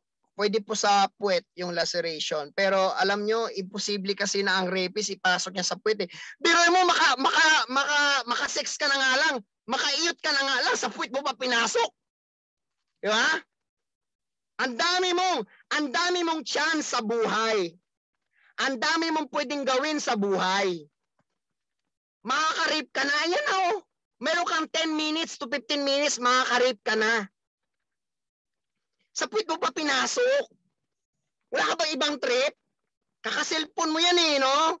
Kakaselfon mo yan eh. Makaka-rape ka na sa puwit mo pa pinasok. Imposible rin kasi sa puwet, kaya common ang laceration sa vagina. Next, due to death of disease or ailment in the body. Death due to disease. Bravo. Medyo mahirap, no? Medyo mahirap. Pag may magkamali dyan, ano ha? Walang booster na vaccine ha. Pag may magkamali dyan, hindi makaka-booster. Pag may magkamali dyan, yung kanyang panganay na anak ay kulang yung daliri. Yan. Para matakot, di ba? Grabe yung threat, di ba? Pag may magkamali sa number 34, yung kanyang panganay na anak ay kulang ang daliri. Mga dalawa lang, dalawa sa gitna lang, nakapakyo. Ha? Ah, hindi ka nag-aaral ha. Dali-dali nagkamali pa eh, no? Para hindi makalimutan. Death due to disease, natural death. Pag may magkamali dyan, kulang yung daliri ng panganay mo na anak. Dalawa lang sa gitna nakapakyo. Next, 35. A form of sexual deviation done by folding, nako po, hinihimas, kini, uh, pinipisil-pisil ang external genital organ para maramdaman, mapuntahan ang kalagitnaan ng universe. Naku, ba? The correct answer is bravo masturbation. Sino unang nalalabasan kapag nakikipag-sex, babae o lalaki? Sino unang nalalabasan? Babae. Ang ka, kaming ang mga babae, girls, uh, ladies ha, with all due respect, walang walang lascivious or malis, makinig kayo mga babae. Kayo po kapag nakikipag-sex, dalawang beses kayong malabasan. Kami mga lalaki sa isang round ng sexual intercourse, isang beses kami malalabasan. Ano nga other term ng sexual intercourse? Carnal knowledge, also known as coitus. Yan, board exam. Ang galing talaga. Carnal knowledge, sexual intercourse, or coitus. Anong Tagalog ng libog? Ang libog ay isang ano um, baybaying salita, tayutay. Libog. Ano ba talaga ang Tagalog ng libog? Hindi manyak. Hindi, hindi. Makamundo. Ang Tagalog ng ng libog ay makamundo. Naintindihan po ba? Makamundo. Tagalog ng libog. Next, tuloy-tuloy tayo. Are you learning? Are, guys, are you, ano, Otinciano, Choy, tututo ka ba, Choy? Okay, thank you. Explain mo po, sir, paano mag-masturbate babae. Ah, uh, Juniper, assignment mo yan bukas, ha? Explain daw paano mag-masturbate ang babae. Juniper, assignment mo bukas yan. Yellow pad, ha? Back to back. 250 words, paki na lang, i-ano mo na lang sa email, i-send mo na lang. Okay, next. It is the accumulation of substances, the blood ordinary in the urine. Urine. Accumulation ng blood. May defect, may disease. Uremia. Scapula, purine, walang ganyan. Trends, wala. Um, uremia is the correct answer. Blood substance sa ihi, uremia. Eh pag matamis yung ihi mo, nilalanggam, mayroon kang sakit nun. Diabetes yon Brad, diabetes. Um, guys, ang urine sa investigation, ginagamit yan sa drug test. Ayan. Drug test. Um, pwede sa DNA, ladies and gentlemen, pwede sa DNA yung urine, pero 99% accurate sa drug test. Pero ang pinaka-common talaga sa investigation, special crime na DNA examination ay blood. Paki na lang guys. Paki take, down notes, tandaan niyo na lang. Ang pinaka-common sa drug as a drug test ay urine sample. Ang pinaka-common naman sa DNA ay blood sample. Blood, 78% sa human body. Maraming dugo ang lalaki kaysa babae. Okay, next. Kala ko sa ihi na lang ako kikiligin sa urine pa nga.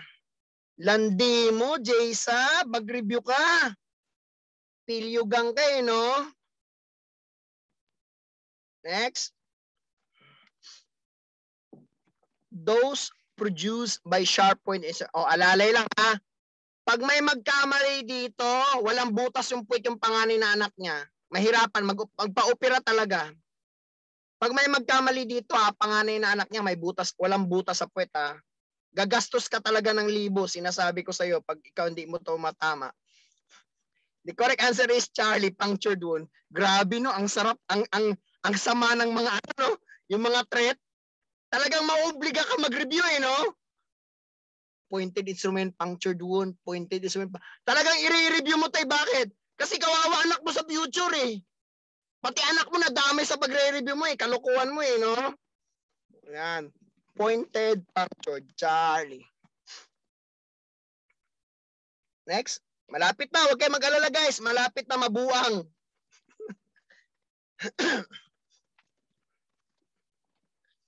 Thirty-eight. The pace of molecular change after death characterized by softening of the muscle which no longer responds to mechanical stimuli. Very basic ituro ko sa inyo ah. Yung primary, ang pagbasa yan, flaccidity. Yung, yung let, yung double C, ang pagbasa niyan, letter X. Yung double C, ladies and gentlemen, ang pagbasa niyan, letter X. So pag binasa mo yan, flak. Hindi flashy. Mali. Hindi flashy. Flak.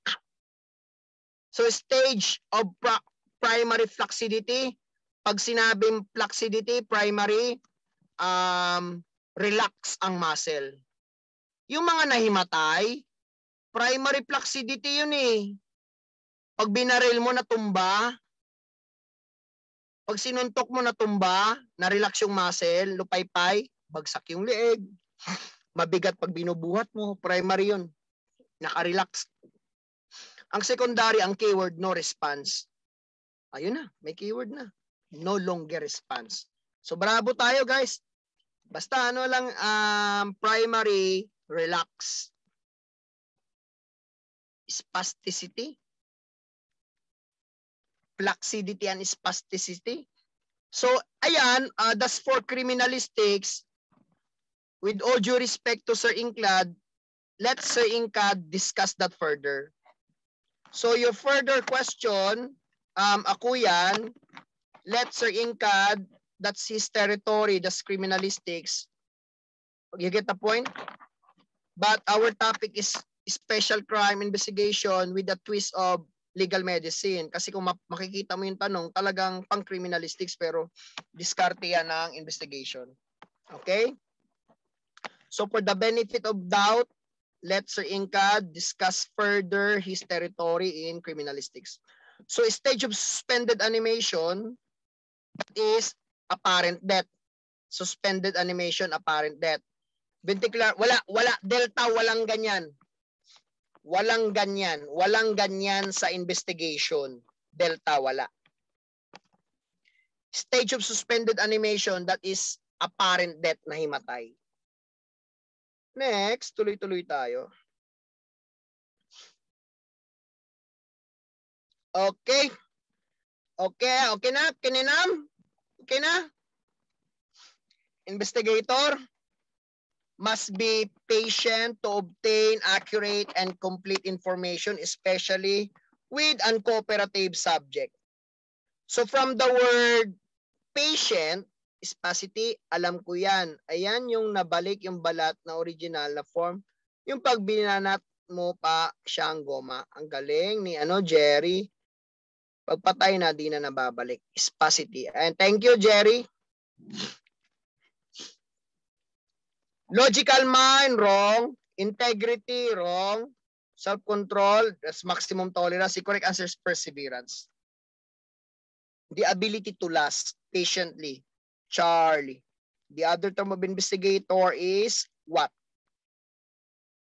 Prober. Investigator commonly conducts interview and interrogation to gather information.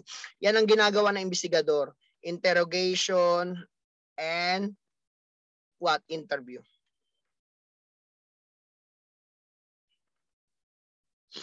Next, in collecting glass standards samples, must at least be the size of the quarter and must be taken from what area. Any of these, alpha disregard, walang sasagot ng ganyan. Near as possible to point of contact from the point of contact from the biggest cluster. Charlie is the correct answer. We're going to stick. Uh, guys, are you still with me? Medyo nawawala na yung iba. Hindi tayo hindi tayo hihinto hangga't hindi to natatapos. Tandaan niyo nakalagay sa Biblia. Tandaan niyo nakalagay sa Biblia. Wala kang mararating kung hindi mo tatapusin ang inumpisahan mo. Hindi po pwede na, o oh, pag alas 12 na, o oh, kata ah, hindi po pwede ganun. Tatapusin natin to Katulad nung ginawa natin nakaraan sa sa Leia um, industrial security. So from the point of contact, meron bang fracture ang glass board exam? Yes or no? May posibilidad ba na magkaroon ng fracture ang mga glass or salamin? Yes or no? The answer is yes. The other term of fracture sa mga glass ay crack. Sa mga salamin, dalawa lang ang ginagamit. Fracture or crack. Kapag diretso ang biyak, radial crack ang tawag. Makinig kayo ha, board exam ha. Kapag diretso ang biyak, dire-diretso yung biyak. Parang spider web, dire-diretso yung biyak, radial crack or fracture. Kapag pabilog, kapag pabilog ang biyak, concentric crack. Sige nga, ang galing talaga ni Joby. Joby, kulang ka ng isa. Kapag tuldok-tuldok ang biyak, maliliit, tuldok-tuldok yung biyak. No, no, no, no, hindi po crazing.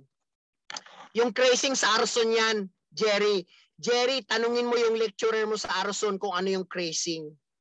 Hayaan mo siya magpaliwanag dyan sa arson. Yung crazing sa arson yan eh. Sa investigation tayo sa special crime.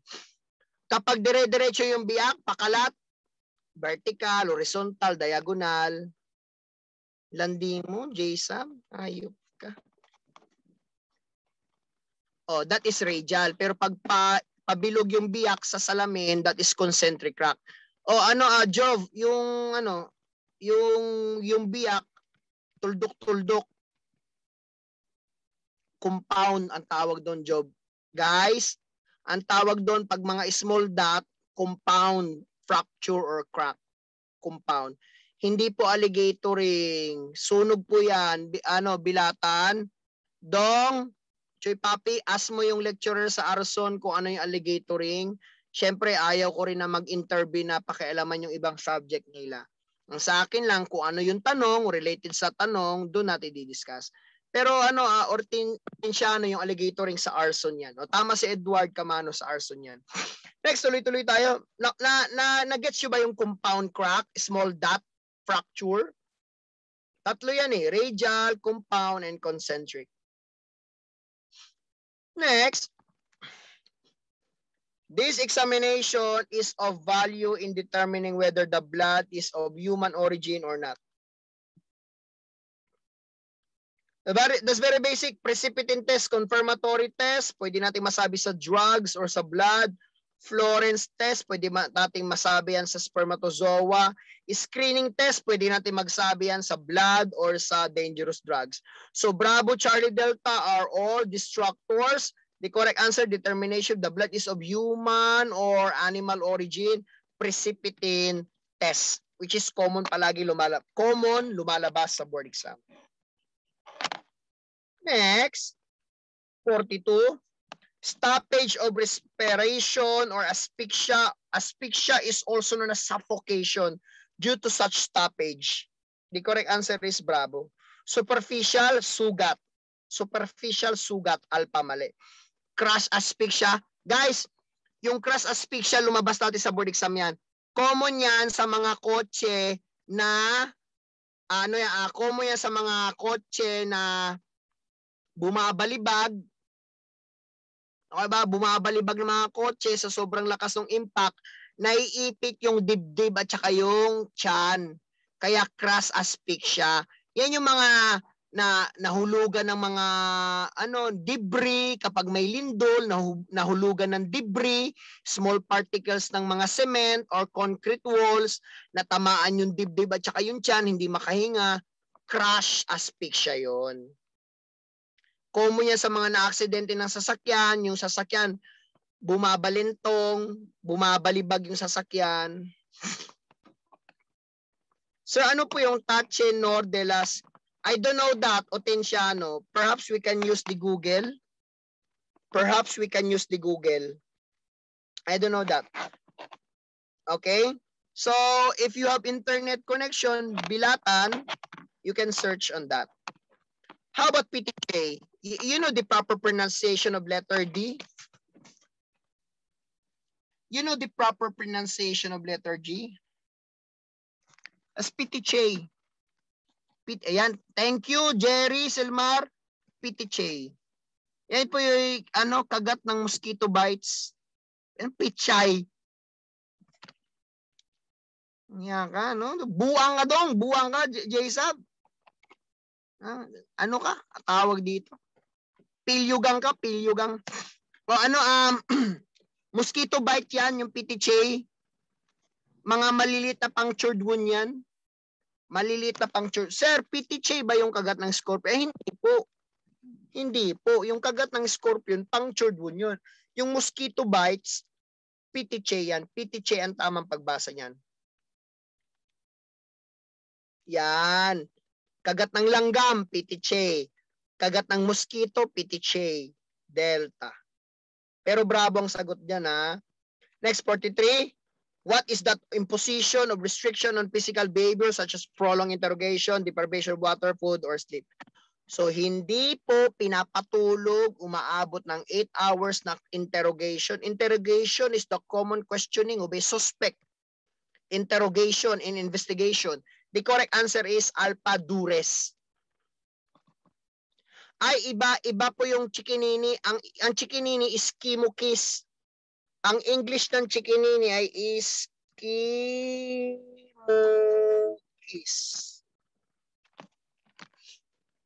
Chikinini.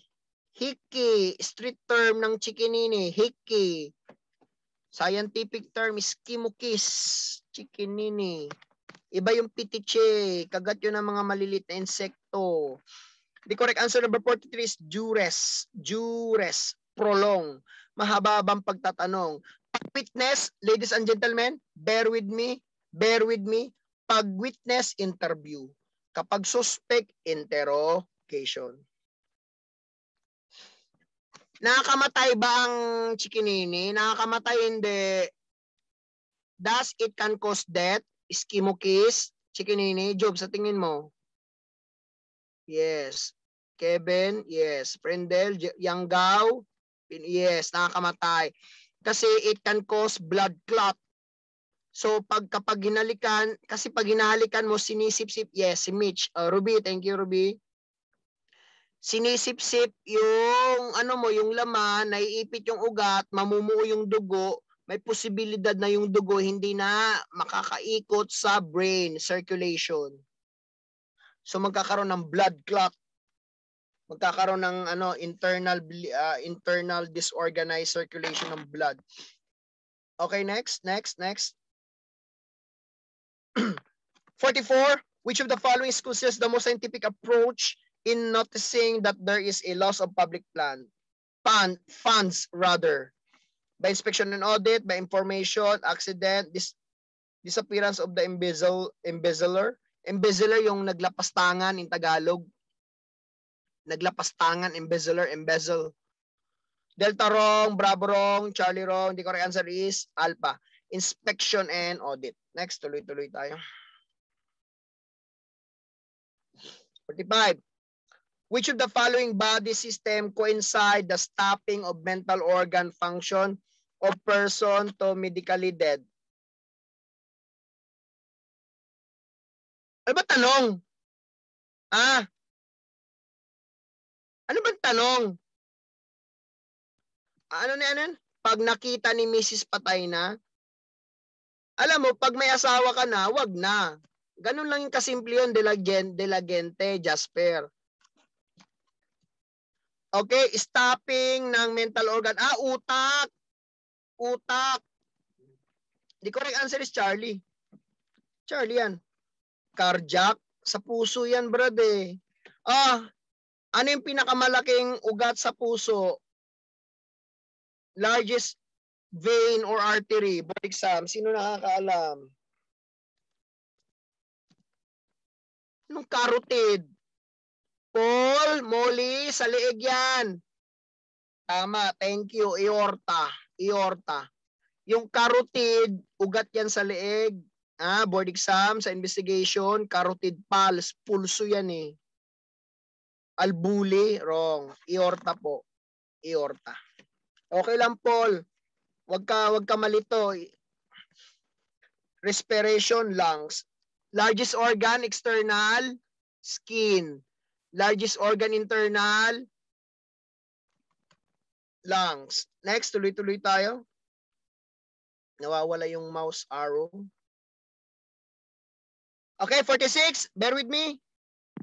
Okay, um, guys, uh, pwede kayong magkape, pwede kayong kumain ng peanut, mani, uh, yan, kasi mayroong compound, ang component, ang mani na nakaka-enhance ng brain activity.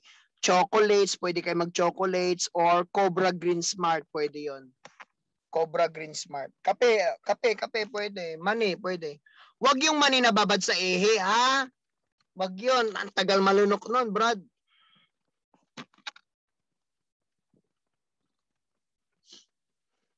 Next, tuloy-tuloy tayo. Modus operandi. That's not modus operandi. The proper pronunciation is operandi. Modus operandi files would normally be most valuable if the crime was Sino daw marami? Sino daw maraming record ng mga krimen? E di yung matanda. First time offender, mali. Ba- bago pa yan eh, nag-uumpisa pa lang yan eh. Bagito pa yan, Choy Papi. Babae, hindi, bira lang babae gumawa ng krimen. Minor de edad. Alpha tsaka Delta, pareho lang yan. Juvenile, first time offender. The correct answer is Charlie. Yan yung maraming modus operandi file. Modus operandi, method of operation and investigation. The correct answer is an old offender. 47. What should be highlighted for publicity in a kidnap for ransom case? What should be highlighted for publicity in a kidnap for ransom case? O bravo, mali. Police, na, Charlie, mali. Detail. Hindi mo pwedeng sabihin kung magkano binigay mo na pera kasi baka mamaya pagka baka mamaya pagka-interesan niya ng ibang sindikato. Okay? O, si Otenciano Bilatan ay nagbigay ng ransom rate ang kanyang kamag-anak ng 10 million. Eh kung malaman ng ibang sindikato na, ah, may kaya pala to si Bilatan, eh, 10 million pala yung kamag-anak nagbigay. O, di baka sa pangalawang beses, i, i ano naman si, i-detain or i-kidnap si Otenciano. You get the point? So hindi mo pwede sabihin magkano yung binigay mo na pera. Sabihin na lang natin kung sino yung kinidnap. Sino yung inabduct? Alpha. Tama ka, tama ka, Jerry. Next, 48. What should the police officer do to make other think while he is on the witness stand? E magpresenta ka ng ebidensya. That's the purpose of a witness. To present facts, katotohanan, to tell the truth, the whole truth, but nothing but the truth. I swear to God. Delta. Merely presenting facts. Nga pala, trivia. Anong Tagalog ng probable cause?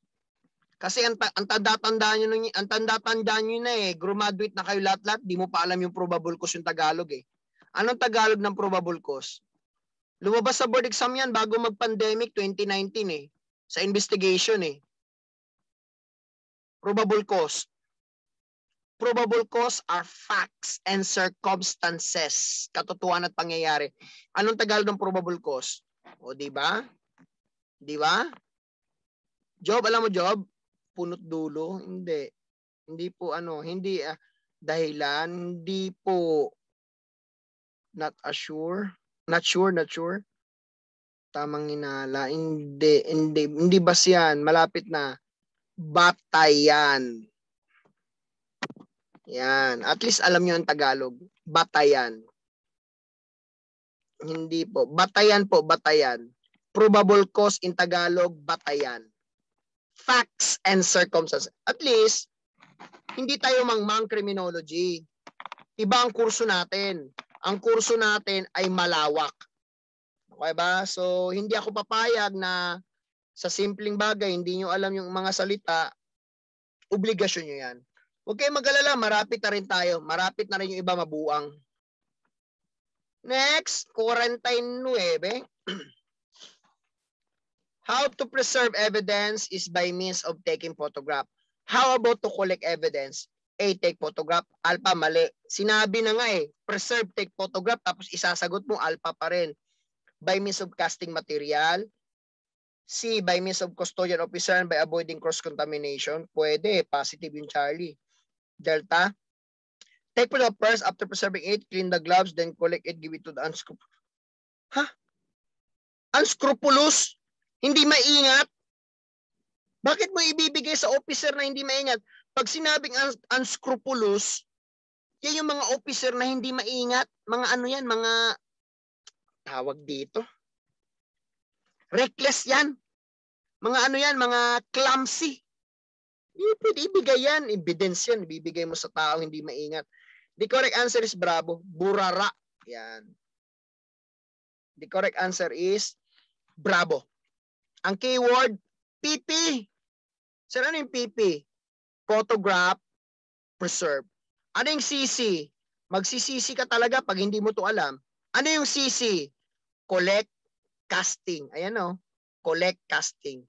So, bravo. Huwag kayo mawala ng pag-asa. Tuloy-tuloy lang. Tuloy-tuloy lang. Inaantok, pare-pareho lang tayo. Napapagod, mas napapagod ako. Ang gagawin mo lang, nakaupo ka, nakikinig ka lang, nakahiga ka, nakikinig ka lang. Ako, nagsasalita, nagdi-discuss, pinapaliwanag. 50. Habang naglalakad sa kalsada, si Johnny Walker ay nakakita ng 20 pesos at may lisensya at may credit cards. Si Johnny Walker, napag-isipan niya na ang pera ay itago at ang pitaka ay sirain kasama ang lisensya at credit card. Ngayon, sa pagkakataon na to, si Johnny ay may pananagutan na ano or alin? A. Theft. B. Paglapastangan sa mga ari-arian. C. Paninira ng ari-arian or di walang krimen. Alpha po, tama. Theft or larceny. Kapag nakakita ka ng isang gamit at hindi mo naman gamit, kailangan mo ibalik yun. Kung hindi mo kilala kung sino may-ari, edi ibigay mo sa taong nakakaalam. Okay? So the correct answer, ladies and gentlemen, is theft. The other term of theft is larceny. Understood? The other term of theft is larceny. The other term of robbery is burglary. Alpha. Alpha Choy. Alpha Choy.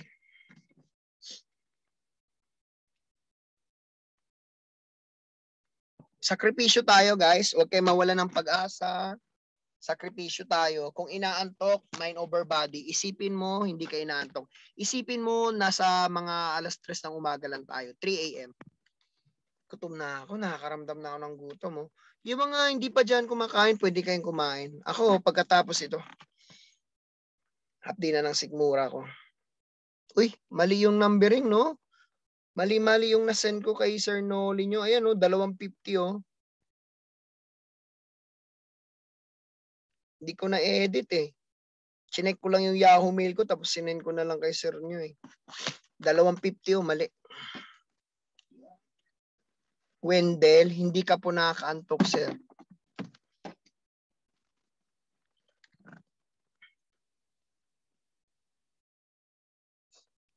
Hayop, oh. Jason, kung ano naiisip, oh.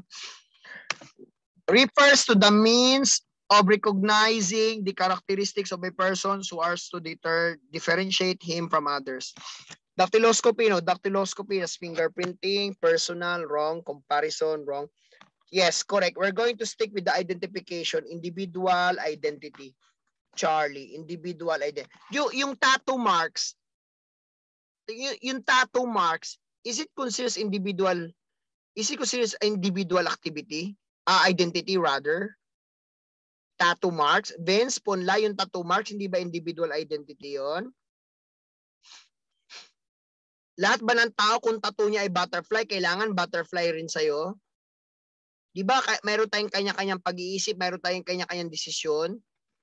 So ang tanong yes or no lang. Be decisive with all your answer. The question is, go something like this. Bear with me, ladies and gentlemen. Does tattoo marks is considered an individual identification? Yes. Yes. You get the point? O sige, tribyang malupit. Itingnan natin kung sino talaga papasa dito sa inyo. What is the old term of tattoo marks? What is the old term of tattoo marks? Yan, thank you Kamuka TV. Branding no, no, smudging no smudging, Ba ballistics yan? Next, anyone? Wala? Wala nakakaalam? Suit? Arson yan eh. Stigma? Criminal sociology yan eh. Wala, wala na. Mitch? Rob, anong sagot, Rob? Old term of tattoo marks. Ayun, ang galing niya, ano, Yanggaw. Gerald. Gerald, huwag ka magduda sa sagot mo, ha? Huwag ka magduda, ha? Galing. Tribal marks. Okay, It itatype ko sana eh. Total, nilagay na eh. Galing, oh. O guys, paano na lang lumabas sa board exam? Tattoo marks, tribal marks. Oo, old term yun. Old term yun. Tattoo marks. Next, lapit na. Malapit na mabaliw si J-Sub. Kunti na lang. Next, 51. Considered to be the first scientific method of identification in person done by measuring various bony structure of the human body. Ah, ayan ha.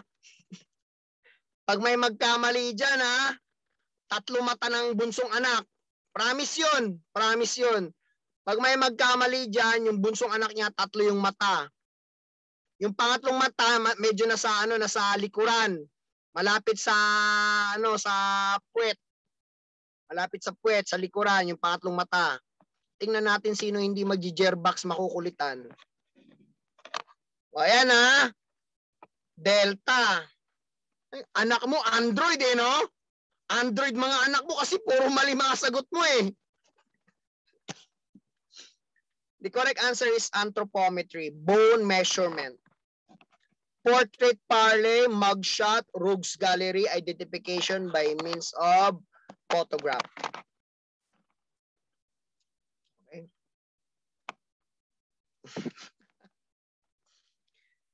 Next, Delta. Alphonse Bertelon, father of scientific and personal identification. Next, which of the following personal identification is not easy to change? Um, memory, mahirap mapalitan o mahirap baguhin ang memory. Speech, yung pananalita, mahirap mapalitan yung speech. At ang lakad, gait. The correct answer is Charlie, which is not easily changed. Memory, speech, and gait. Ang buhok pwede magpagupit, ang damit pwede palitan, ang personal paraphernalia, sing-sing hikaw pwede palitan. Charlie mahirap palitan. 53, considered to be one of the most infallible means of identification. Oy, wait lang. Infallible Is it alpha? Or magpapalit tayo ng sagot? Sige guys. Sige guys. Iwan ko ba dito? Ba't mali yung mga answer key ko? Considered to be the most. Actually, kung most, kung most, alpha.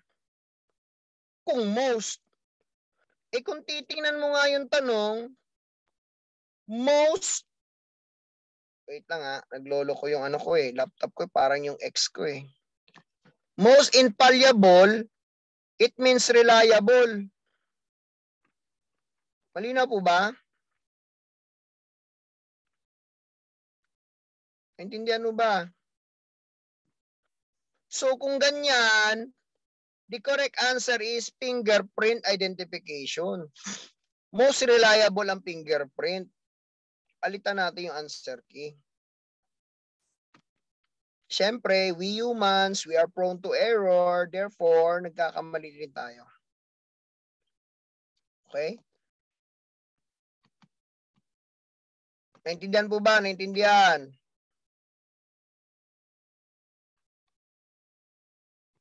Hoy.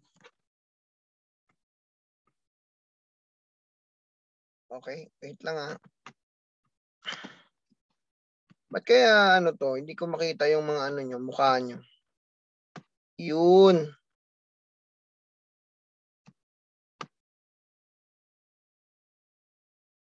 Nawala. Okay guys, let's continue. Ayan, okay na. So the correct answer is what? Fingerprint identification.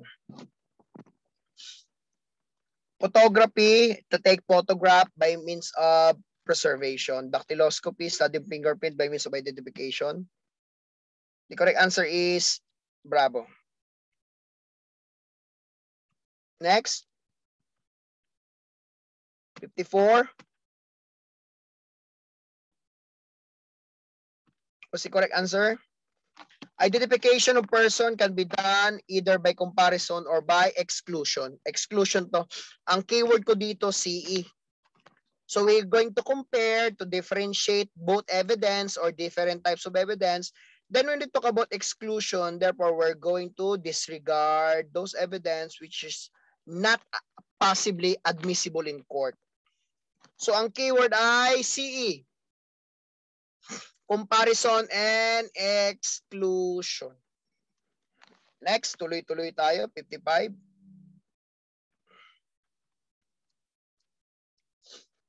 In photographing the scene of the crime, what view should be used in order to show the best feature of the nature of the crime scene?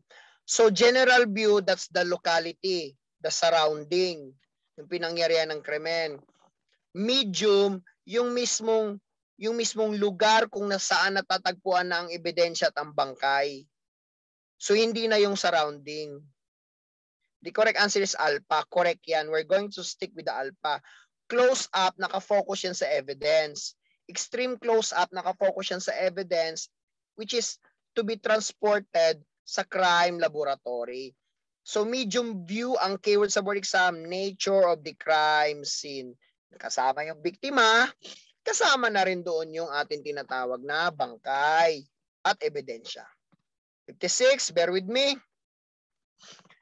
To readily determine the degree of magnification of the subject in photograph, blank should be placed beside the o subject. Ruler, para malaman yung size, actual size ng evidence, um, firearm, what else? Um, cartridge case, pencil, murder weapon or knife, contraband, something like that. Ruler is necessary in order to determine its actual size. Alpha. 57. Ang pangkalahatang pagkilos ng ating mga pangangatawan o parte ng ating katawan na kung saan ito ay tinatawag na buhay ng ating mga similya physical reaction, vital reaction, chemical reaction, inflammation. Correct answer is vital reaction. We think, therefore we exist. You get the point? We live, therefore we are alive. That's the essence of life. Vital reaction.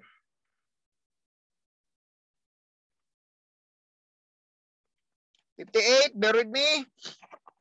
247 strong force, actual strength, 247 total tayo, included na ako, is the breaking down of the complex protein into similar or simply or rather component associated with the foul-smelling gas, hydrogen sulfide. The correct answer is putrefaction. Maceration, ito yung lumalabas sa vagina, ng buntis pag namatay. Saponification, ito yung uso na sa. Ito yung 59. De, uh, alpha is the correct answer. Ito yung lumalabas sa tenga, sa bibig, sa ilong. Parang nana. Fuzz. The correct answer is adiposer. Adiposer or saponification. Alpha and Charlie are correct. It's just swapping. Kung titingnan mo, waxy substance. Sa board exam ko, anong nauna? Yun ang palaging sagot. Sa isinta. Death due to injury inflicted in the body by some forms of outside force. The correct answer is violent death. And if it is a violent death, therefore necessary ang tinatawag natin na investigation. Necessary ang tinatawag natin na investigation. And the purpose of investigation is to identify criminal. And what is the other term of criminal? The other term of criminal is perpetrator. What is the other term of suspect? The other term of suspect is, what is the other suspect? Person of interest. Next, ay sintay uno. Si A, a mayor of municipality X, killed B, his brother, with abuse of his public position.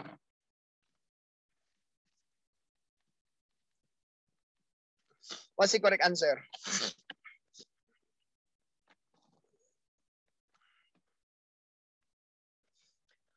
Sa murder, walang nakalagay doon na umabuso ka ng kapangyarihan ay pwedeng maging murder. In general, okay, i-move ko lang to. In general, ang sagot po dito ay homicidal. Okay ba? Kasi hindi pinaliwanag kung paano niya pinatay pinatay niya at umabuso siya ng kanyang kapangyarihan. O ano doon? Hindi na specify.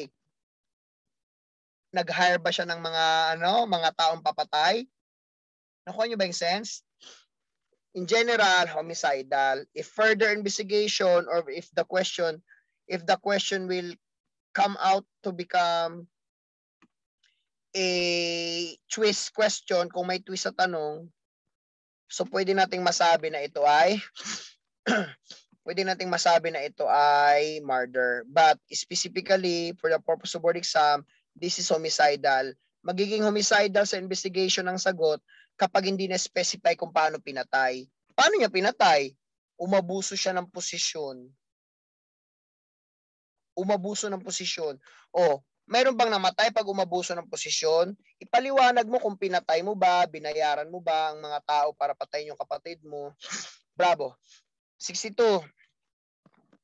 The act of practice of killing or bring about the death of a person who suffers from incurable, disease or condition. Euthanasia, also known as mercy killing. The correct answer is alpha. Suicide is not a crime unless otherwise you provide assistance to those who commit suicide. Therefore, there is a liability. Pathological death, wrong. None of these. We should not answer for the purpose of our examination. Any, none of these. Euthanasia is the correct answer. Mercy killing. Pero sa Pilipinas, board exam, trivia. Makinig kayo trivia. Kapag ginamit ang euthanasia sa panahon ngayon, automatic board exam murder.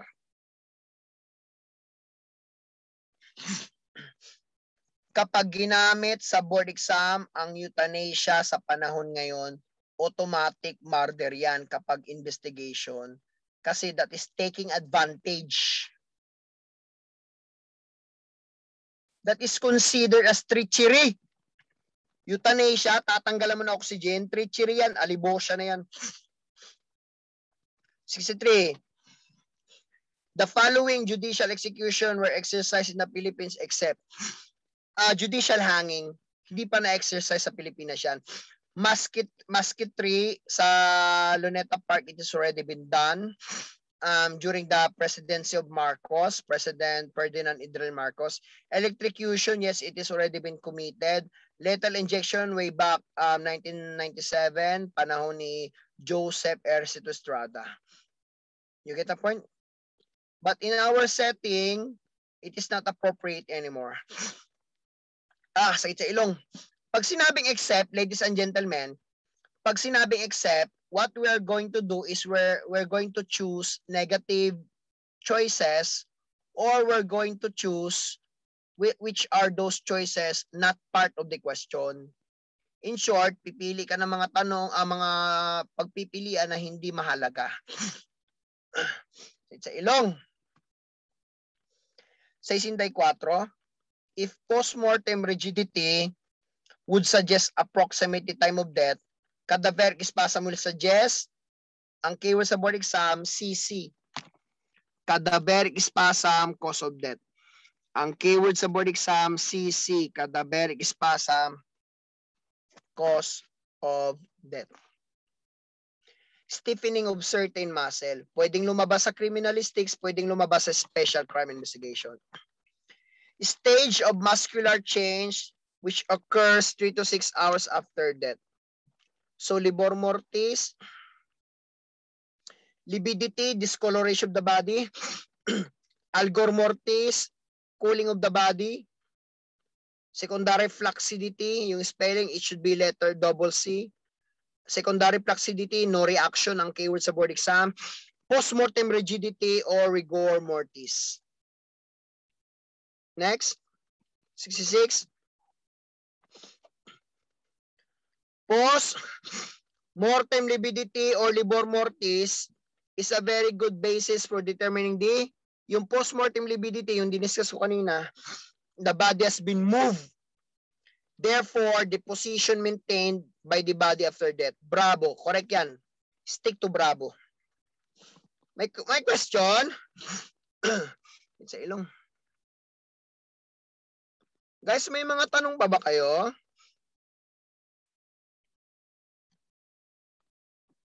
Kung may mga tanong kayo sa sa PowerPoint or Microsoft presentation, please do not hesitate to ask. okay, next, 67. The following are changes after death except secondary flaccidity, no reaction. Rigor mortis, rigor mortis, uh, that is part of the, how do you call this one? stiffening of the muscle. Sa investigation, sa nag-umpisa ang paninigas sa panga at sa ulo. Yung hair follicle, yan po yung bumabalot sa root.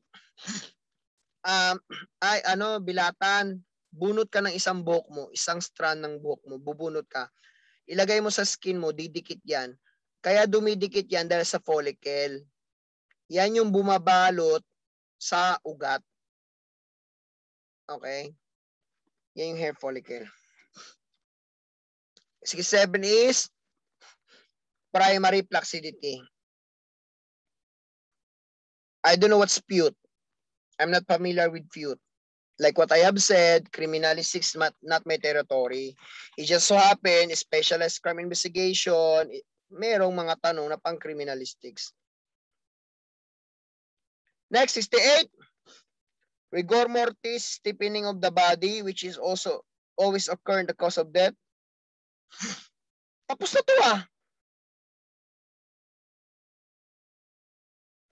Ganun ang board exam, paulit-ulit. Pero kung paulit-ulit man, in favor sa atin yon lalo sa inyong mga reviewees. Yung embezzlement, paglapastangan niya ng mga gamit, paninira ng mga gamit, pag-abuso ng mga ng mga ano tiwala dahil sa kagamitan. Yun yung embezzlement, Hannes or Haynes. Embezzlement, paninira. Paglapastangan sa kagamitan, embezzlement. So delta, cadaveric spasm, stiffening of certain muscle or group of muscle. Where did we discuss that? Oh, 69. Pulverization of the body into ashes with the use of intense fire cremation. Cremation. Okay, next. Halos parang criminalistics lang special crime.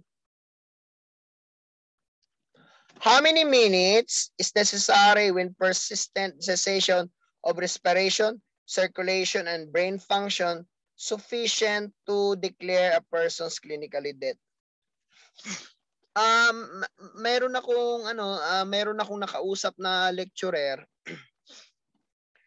Um, ang sagot niya, brain function is Charlie 10 minutes. Sabi ko, hindi brain yung tanong. Sabi ko, yung, yung tanong, respiration, circulation, brain function, 5 minutes yan. Pero pag ang tanong brain activity, 10 to 15. Ganon yun balita. So, ito yung sinasabi ko sa inyo na perspective ng mga examiner. Kaya magugulat ka, sir, bakit iba yung sa libro na basa namin? Kasi perspektibo to ng examiner. Hindi nagre-rely examiner sa libro. Minsan ang examiner nagre-rely sa kanyang pag-unawa sa kanyang nabasa. Kung utak lang, 10 to 15. Pero kung titingnan mo yung tanong, hindi utak ang tinatanong. Ang tinatanong ay paghinga, Nakuha nyo ba? Correct answer is alpha.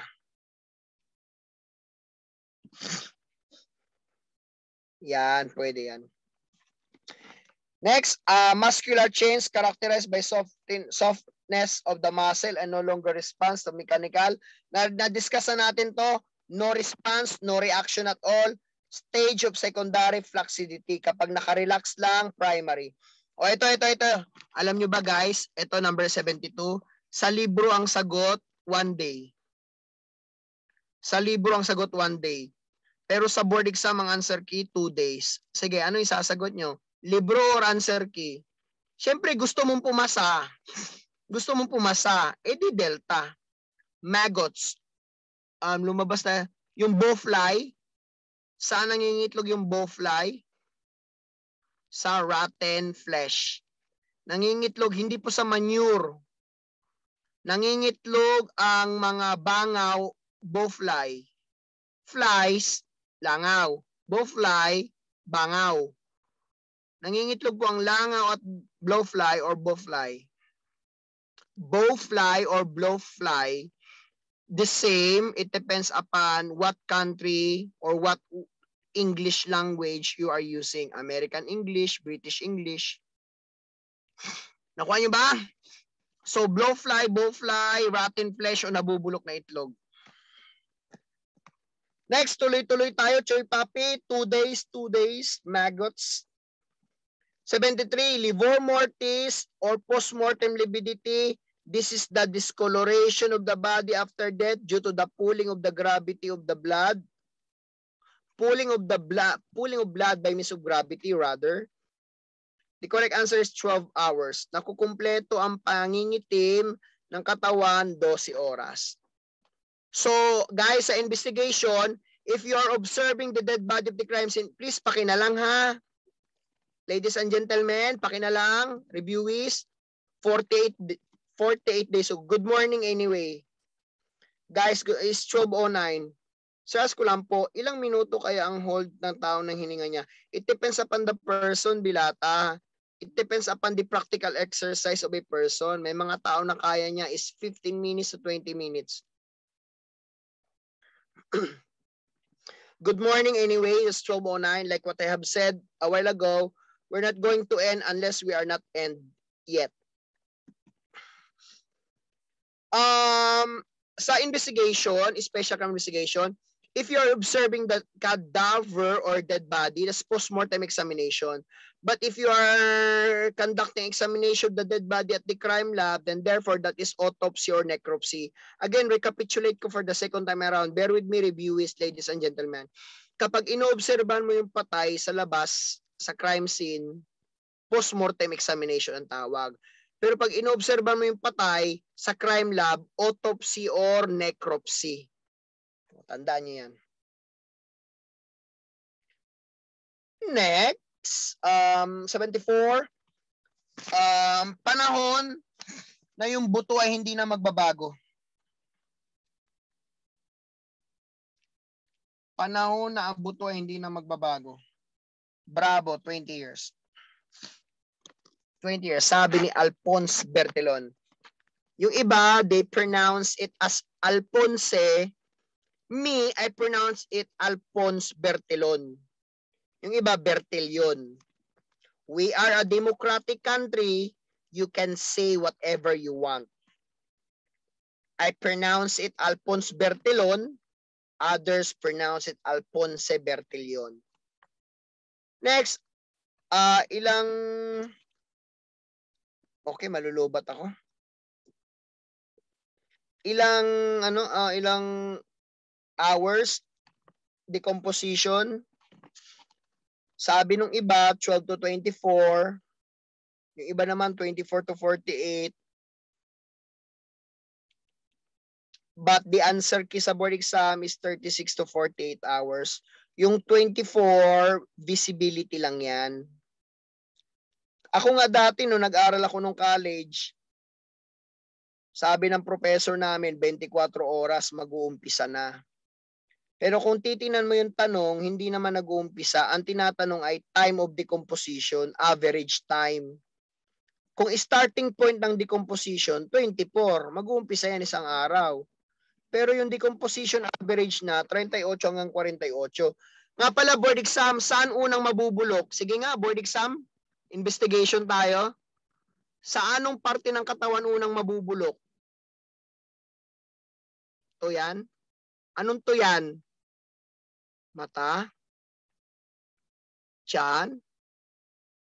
Stomach unang mabubulok? Ngipin? Ayop ka, J-Sab! Pakyo ka! Alam mo, bawal, alam mo, ayaw ko na talaga magmura eh. Dahil sa'yo, J-Sab. Ah, ayop ka. Nag-promise na ako sa sarili ko, ayoko na magmura eh.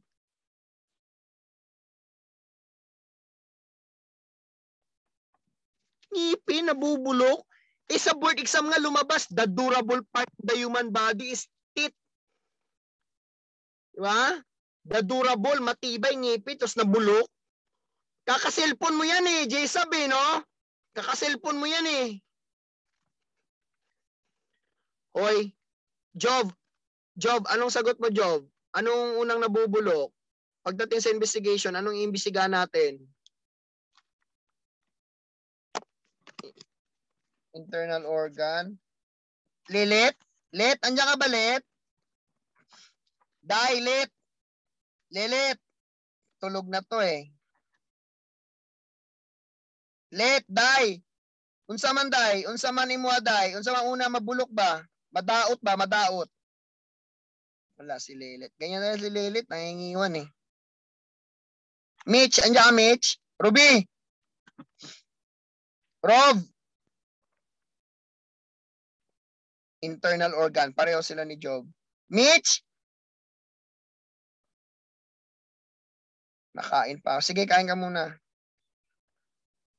Kuya, ano ba yung mga sagot niyo? Bakit ano? Stomach? Hindi. Ang unang nabubulok ay ang moisturized part ng katawan. Hindi naman moisturized ang, ang tiyan na. Uy, ang una, may, may, may saplot bang muka? Sige nga, may, may saplot bang muka? Sa panahon ngayon may face mask. Pero may damit bang muka? Uy, samahan mo ako pre. Pre, saan tayo pre? Bibili ako ng damit ng mukha ko. Walang damit ang mukha. Ano yan? Vagina? Ano yan? Etits? Make up lang, make up. Tama ka, Job. Make up lang, walang damit. Nagpasama pa eh. Pre, samahan mo pre. Bili tayo ng damit ko sa mukha. Bilang ko lang ng sando yung mukha ko. Oy, ang unang nabubulok ay mukha, moisturize yan, pababa kasama ang stomach. Kaya sa investigation, pag oobserbahan mo yung bangkay, mukha talaga yan. Obserbahan mo yung mukha. Pag medyo wala pang bulok-bulok yung mukha, nasa 24 oras pa yan. Pero pag ano na, ayan, nag-reply si Lilith. Pero pag ano na yan, pag nabubulok na yung mukha, nasa 36 na. Pag yung yung may butas-butas na yung stomach, 48 na yan. So it depends upon the analyzation sa question sa board examination. Oh, 75. Charlie. 76. A wound which resembles a shape of object of an instrument which cause ah katulad sa object na ginamit. Charlie, pattern wound. Defense wound by means of instinct or survival self-inflicted suicide yan eh. Self-inflicted wound. Sige, paano mag-suicide ang lalaki? Naglalaslas ba mga lalaki? Agkawili, majority ba ng lalaki nagsusuicide? Naglalaslas? O bakit ka nag-off agkawili? Wala, busy si agkawili. Let, ah ano, let, Lelet, nagsusuicide ba mga lalaki naglalaslas? Bigte, o oh, tama. Bigte, thank you Mitch. Nagsusuicide ang lalaki, nagbibigti, umiinom ng ng ano, pwede nakikipag-sex, ayan, namatay. Nagbibigti ang lalaki or umiinom ng lason, silver cleaner or nagbabaril sa sarili. Ang mga babae, ang common naglalaslas, yun yung mga self-inflicted wound. Nakuha nyo ba? Mutilate, mutilated? Hindi. Ay nga pala, nga pala, sige nga. Bago ako malobat, magcha-charge ako tapos resume tayo ha. Walang uuwi hanggat hindi ito natatapos ha. Okay? Uh, may tanong lang ako. May tanong ako. Importante lang to. Importante to, Choy Papi. Anong kaso pag pinutol yung ari? Anong kaso pag pinutol yung ari? Anong kaso pag pinutol yung ari? Kaso.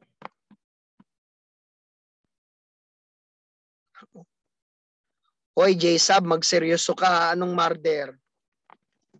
J-Sab, ah, kontaminado ka, hayop ka. Kontaminado ka pinutol yung ari na murder na agad namatay. Ayun, ang galing ni Crispin. Ang galing oh.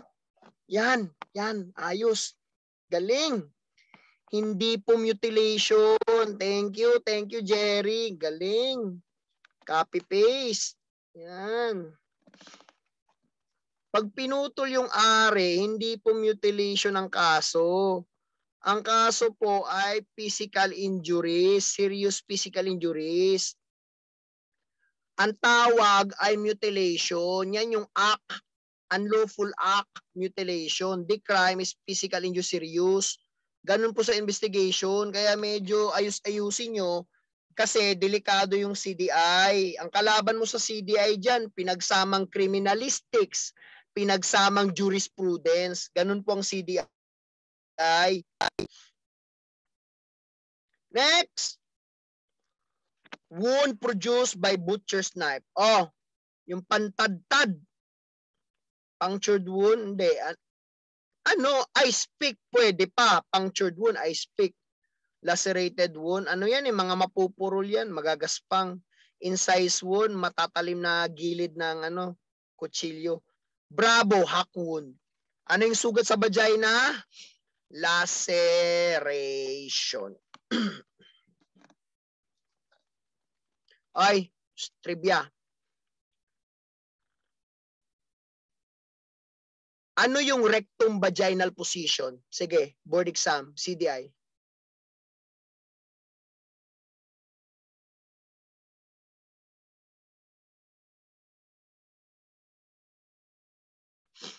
Guys, ano yung rectum vaginal position? Rectum vaginal position. Para to sa mga babae. Sa mga lalaki, wala naman kayong vagina eh.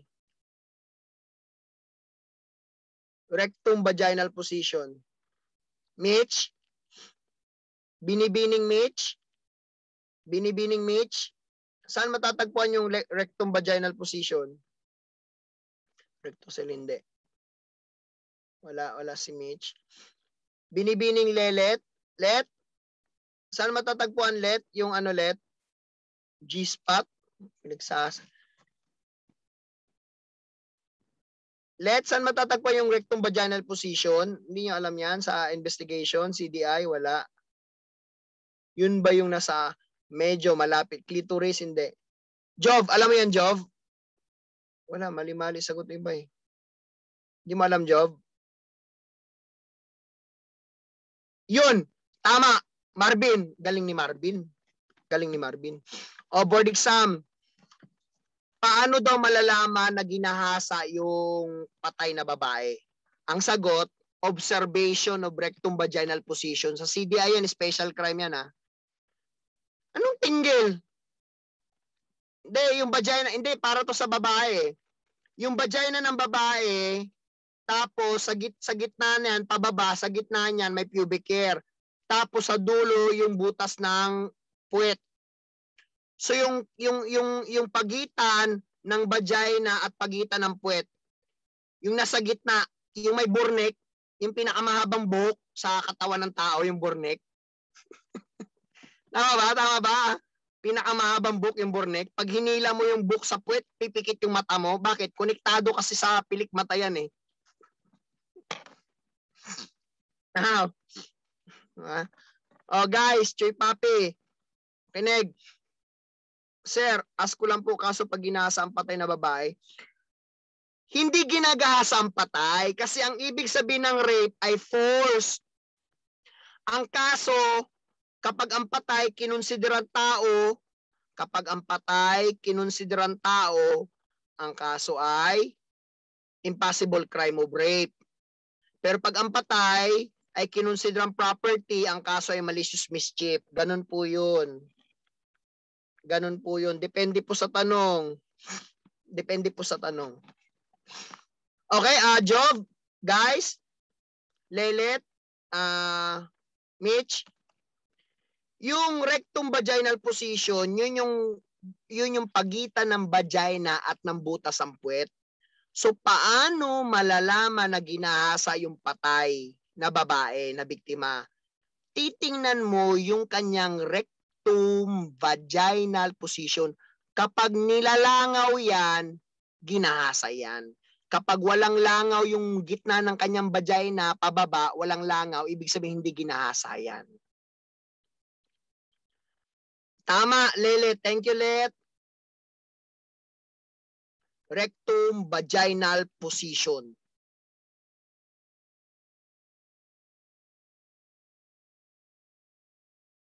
tama ka. Na-attract ang langaw sa masangsang na amoy or tawag doon, uh, malangsang amoy. Bakit sir? Ano ba ng investigador? Kasi uh, bilatan, meron tayong tinatawag na post-mortem examination and investigation. Post-mortem examination. So, uobserbahan mo, Choy Papi, yung katawan. Hindi mo pwedeng bibiyakin yon sa crime scene magalit yung kamag-anak diyan, doon mo biyakin yan sa crime lab para gamitan mo ng autopsy. 3 to 4 hours, Jomar Gutierrez. 3 to 4 hours na dadigest yung kinain mo. Okay? Okay ba, ano, uh, Otensiano? Titingnan mo yung vagina. Kung nilalangaw yan, pababa, nilalangaw pababa yung vagina papunta sa puwet kasi ano, uh, Otensiano, hindi lang si Otensiano, lahat kayo guys, kinakausap ko kayo lahat. 99% lahat ng rapist, pinuputok ang sperm sa loob ng vagina. Tandaan nyo yan. Walang abnormal na rapist na ipuputok niya sa bunganga, sa muka o sa dibdib. Rapist ka, puputok mo sa bunganga yung sperm, ipuputok mo sa dibdib o sa, sa muka, pinuputok yan sa vagina kasi rapist ka eh. Rapist ka eh. Hindi nagkukondom yan. Nakuha nyo ba? Tama ka. Take advantage yan, Brian, Anthony. Now, therefore, ladies and gentlemen, that will be the basis, Otensiano. Puputok yan. Tapos, napanood mo ba yung scandal ni Wally Bayola at ni Chito, ni, ano, ni, Neri, ni Yosh? Napanood mo ba yon? Hindi, tinutukoy ko yung topic para maintindihan nyo eh, para hindi kayo mangmang eh.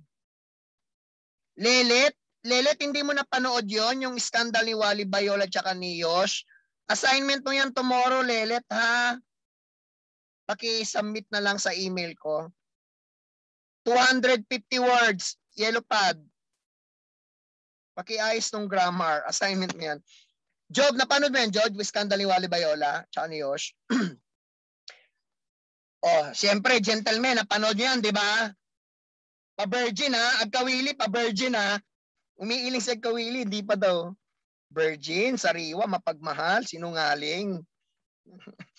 oh, guys, di ba pinutok ni Wally Bayola yung sperm niya sa loob ng vagina ni Yosh? Di ba pinutok niya, di ba? Nakita niyo yung camera, anong ginawa yung laptop na camera, anong ginawa ni Yosh? Yung laptop yung camera sa laptop, tinapat niya sa kanyang vagina. Nakita niyo yung vagina, nagmamuscle spasm, muscle control. Gumagalaw yung vagina ni Yosh. Tapos tumutulo yung sperm ni Wally Bayola. Ganun po kapag ni-rape mo yung babae, pag pinutok mo yung sperm, tutulo yan. Tapos pinatay mo yung biktima, tapos tutulo yung sperm, lalangawin yan. So yun yung basihan o tensyano. Okay, tuloy-tuloy tayo. Anong number na iho? 78 na, 78. Malapit na. It is a form of soft friable brownish white greasy substance in the soft tissue after death. Saponification, also known as adiposer. Mummification, wrong. Wrong.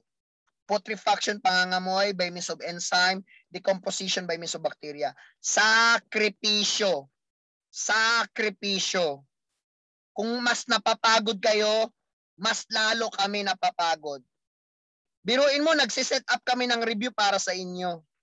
Sir, nagbayad naman kami. Walang pakialam sa bayad nyo. Ang pakialam ko may na matutunan ka sa review na to. Nakuha nyo ba? Wag na wag nyo isumbat sa amin na sir, binabayaran naman, nagbabayad naman kami. Eh ano ngayon kung nagbabayad kayo? Hindi naman rin kayo nagre-review ng maayos. Nakuha nyo ba? 48 days na lang bukas eh. Ano pang trip nyo? Di ba? 48 days, tandaan nyo yan. Yan, magseryoso tayo. Sakripisyo. Sakripisyo. Para sa magulang. Sir, yung iba sir, para sa lisensya. Para sa magulang. Ano yung mga lisensya? Andyan lang naman yan. Pero ang magulang mo tumatanda. Tandaan mo yan. Para sa magulang. 79. Average time. Ah, ito yung tanong ni ano ah. Sino nagtanong nito? Kalimutan ko. Ah, ito na yan.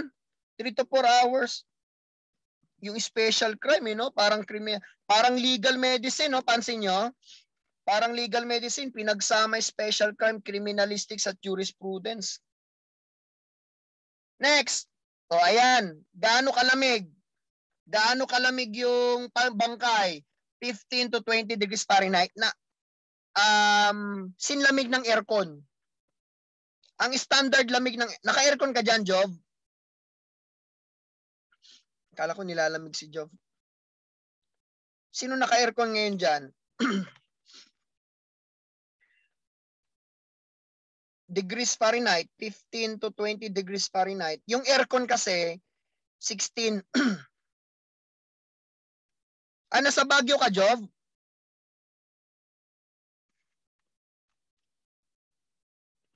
Taga Norte pala to si Job eh. Yan.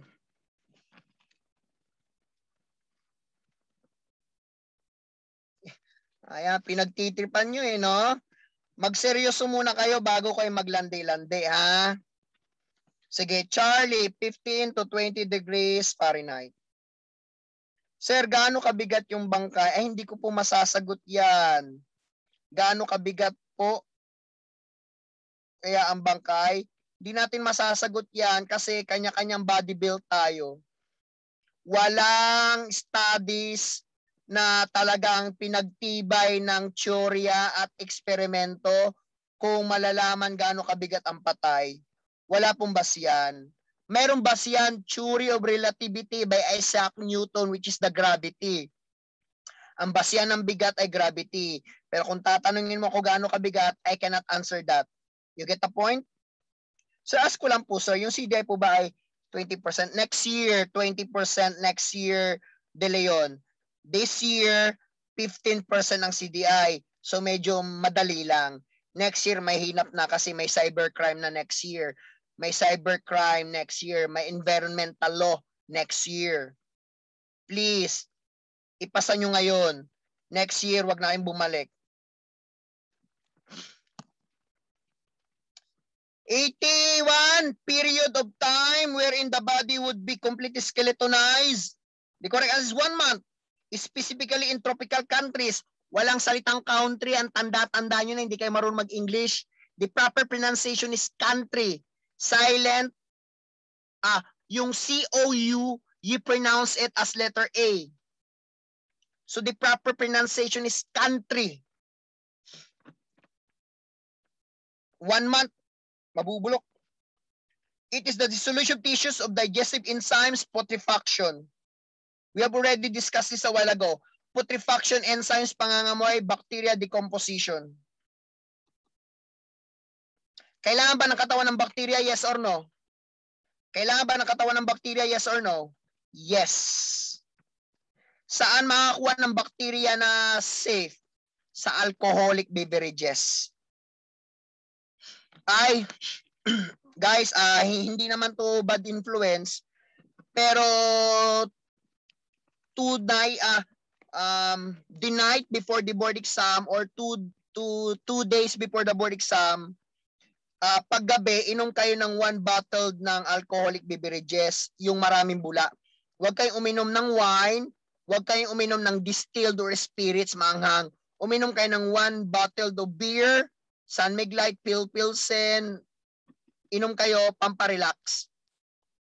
Kung ayaw mo ng alak, bawal sa inyo, sa religion, sa paniniwala, sa kultura, sa pagkatao, bawal ang alak. Uminom ka ng gatas bago matulog. Nakaka-relax ang gatas. One bottle, one bottle lang. Makinig ha, one bottle. Iba dyan, bungol eh. Bungol. Alam mo ginawa? One bucket oh. One bucket, anim na estalyon. Happy birthday, fuck you.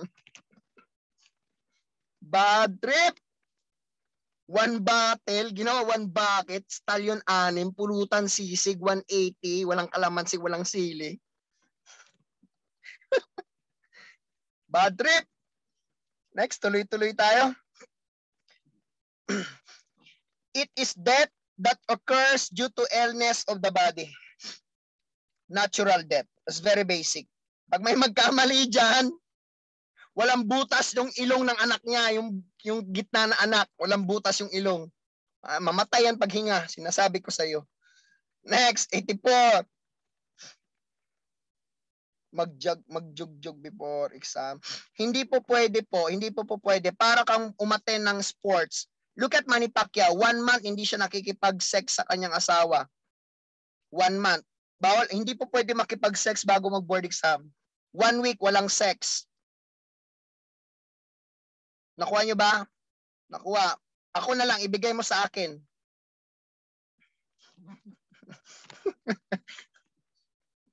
Next, tuloy-tuloy tayo. After that, the metabolic process inside the body ceases. Heat is no longer produced and the body slowly loses its temperature. Oh, wala na daw, wala na, wala na daw. Init sa katawan. Tapos algor mortis. Pagising sa umaga, para ma-relax yung utak nyo, para makapag-focus kayo, para yung mga ni-review natin, basic lang. Um, yung bottom, yung bottom, idikit mo. Ay, ay, ay, ayoko mag-open cam. No way. No way.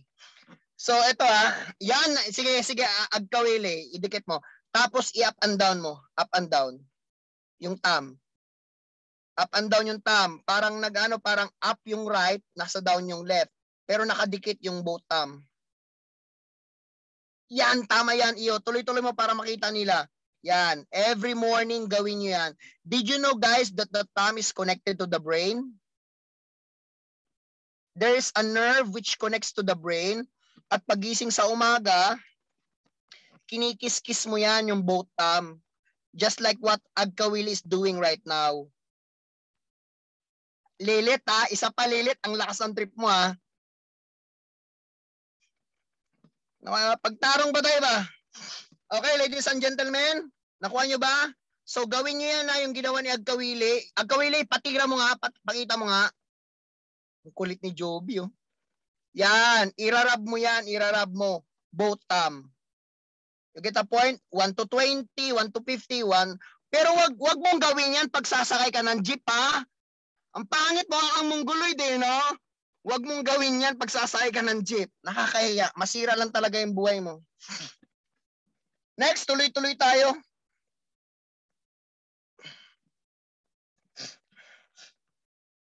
We go to uh, 85. 15 questions na lang. Tama-tama, malulubat to. Hindi na ako mag-charge.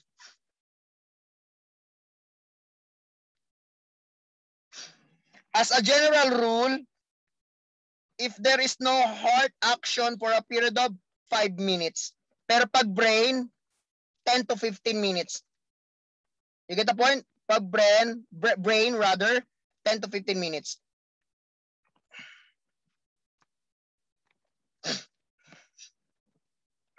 The correct answer is 5 minutes. Lelet, wag ka umamin kahit anong mangyari, Lelet. Next, 86. Ilan ang buto ng tao? Adult, 206. Saan matatagpuan ng anim na buto? Saan matatagpuan ng anim na buto? Matatagpuan ng anim na buto sa Ayun na, magko-close. Wait lang, wait lang ha. I-charge ko, nag-close na. Break muna tayo 5 minutes. Okay lang ba sa inyo? The battery is running low. So, um, 4 to 5 minutes, guys. Personal necessity tayo. You get the point? Par, andyan si Sir Incad nyo? Wala. Wala si Sir no. Um, ah, record pala yan. So, ayan. So, next, tuloy-tuloy tayo. 87. One important characteristics of a gunshot wound of exit is that the correct answer is alpha everted. Pag sinabing inverted as entrance, that the size smaller than the missile, that the shape is round or oval, it depends upon what bullet is used. Basta pag malaking exit, it means it is far target distance. Kapag malaking in entrance, it means close contact. Nakuha, nakuha. Sir, yung po additional bone na adult, saan yun? Ah, yung bones sa ear. Hindi ko nasabi board exam. Sa ear, yung anim, tatlo sa kaliwa, tatlo sa kanan tenga. So 206. Matatagpuan. Thank you, Iyo. Ear sa tenga. Next, tuloy-tuloy tayo. 88. Vital reaction is are present on the following except vital acta antemortem. From the word ante, it means before. First blow over the body. Yes, pasok yan. Trivia, ano mas smallest na buto ng tao? Sa ear, malleus incus tape. Sa tenga, smallest bone sa ear. Stapes, ang pinakamaliit sa lahat ng pinakamaliit ay stapes. Sulat ko para ano Ayan, ayan, ayan, ayan, ayan. Stapes. Ay, kay Lelet ko pa. Let, pakiresend nga sa kanila, Let. Kay Lelet ko na send. Naka-direct. Stapes. Yan. Yan. Thank you, Let. Stapes. Smallest bone. Sa gitna yan ng tenga. Okay, now next. Charlie, stab wound over the body. Yeah, that's that's vital reaction because the person is already on the state of threshold of death. It means bingit ng kamatayan in Tagalog. So when we talk about except for the purpose of examination, the technique or strategies, sana all direct message. There's none of your business, Adrian. There's none of your business. Now when we now, now now when we talk about except, when we talk about except, it means we're going to ju- choose what is negative, what is not related, what is not related to the choices matter. So except post-mortem injuries. Post-mortem is death. Death occurred. Walang salitang occur. Walang salitang occur. Diba? Occurred. Nangyari. Um, autopsy, necropsy, ginagawa sa crime lab, postmortem examination sa crime scene. Tapos pag sinabing postmortem injuries, patay na ang tao. You get the point? 89.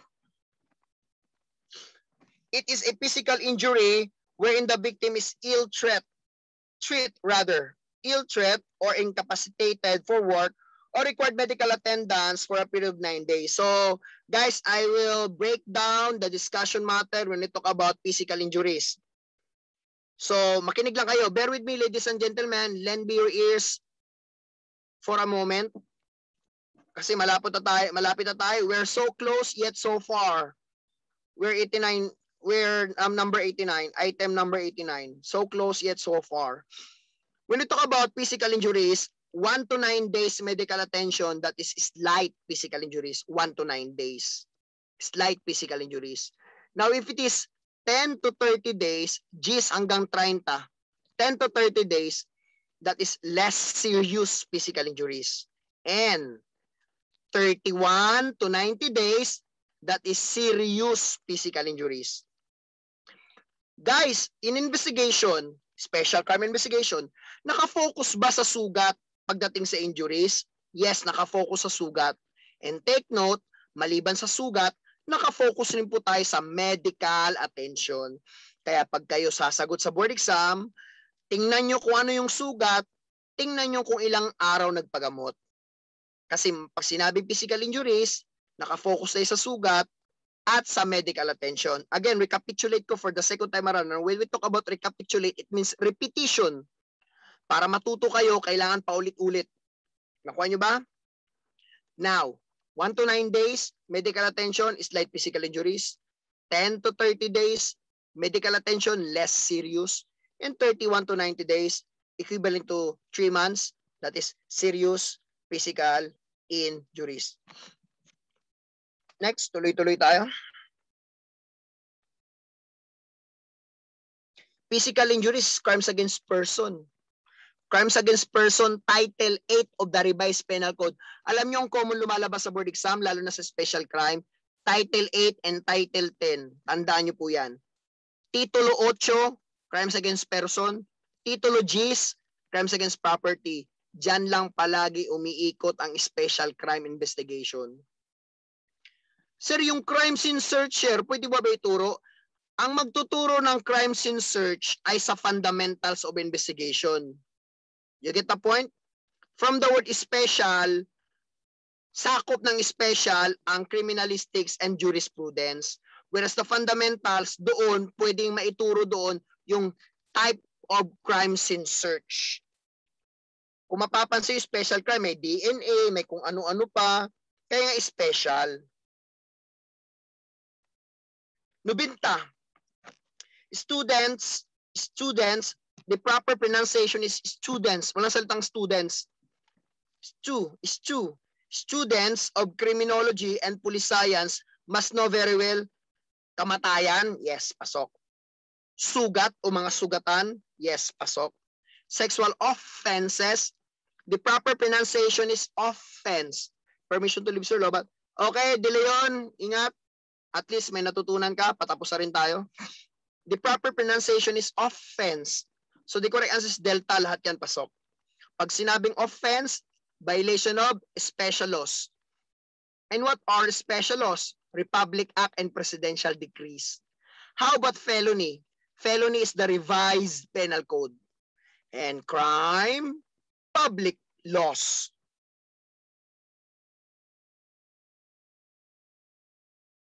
Ay nga pala, rape. Rape. Ano yung malainse?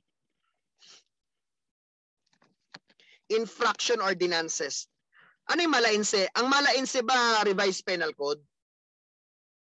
Yes or no? Am I correct? Please participate with me. Mala prohibita, mala prohibita special laws. Tama? Special laws. Yun, thank you. Eh, malatuba.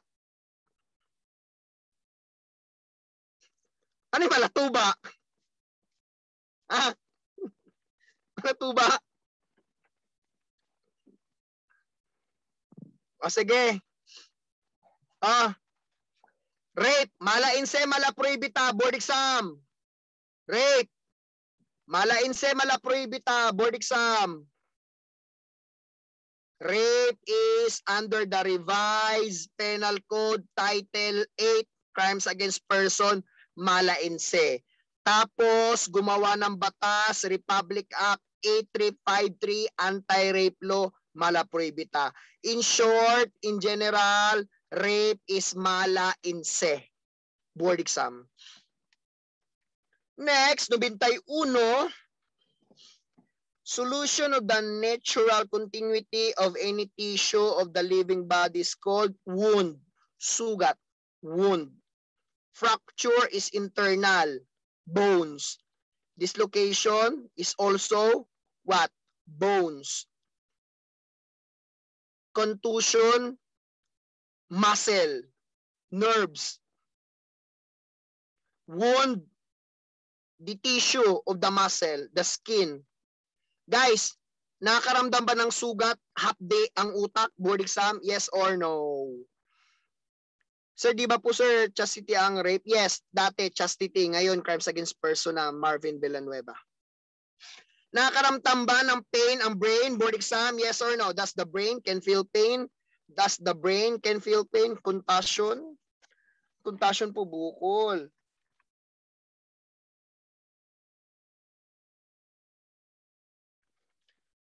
No, guys, no. No, board exam, no. Hindi po nakakaramdam ng sakit ang utak. Hindi po, no. The brain does not feel any pain. Kapag nakikita ng mata, doon nararamdaman ng utak. At ang utak magta-transmit ng mirror neurons or nerves sa buong katawan at nakita ng mata, magdidikta ang utak, uy, mahapdi yan. So, kaya mag-i-internalize ka na, mahapdi nga. But in reality, hindi po nakakaramdam ng sakit ang utak. Kaya pag iniwanan ka ng jowa mo, hindi po utak ang nakakaramdam ng sakit kapag naalala mo siya. Ang nakakaramdam ng sakit ay ang puso. Kaya wag mo nang isipin. Next. Kahit bulag, sir, ang bulag, mag internalize ang bulag. Kapag ang bulag, nasugatan, mag internalize siya, yung ibang senses ang magdidikta. Ganun po yun. Yes, puso rin nagpapump ng blood. Aorta. Now, 91, Charlie. We go to 92. The following injuries are classified as an open wound except lacerated wound, that is open wound by means of blunt or rough instrument, punctured wound by means of sharp pointed instrument, that's open wound, abrasion, mga gasgas, lalaking gasgas, pasa, may sugat, yes, open wound, simple fracture sa bones, no. The correct answer is delta. That's an internal wound. 93.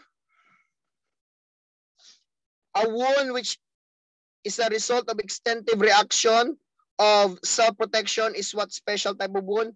It's very basic, defense wound. Defense wound. Board exam, special crime investigation, saan common nakikita ang defense wound? Common yan sa rigor mortis or cadaveric spasm. Paki na lang, pakisagot na lang. Hindi, hindi. Common sa part ng body, kamay. Pero saan talaga matatagpuan ang defense wound?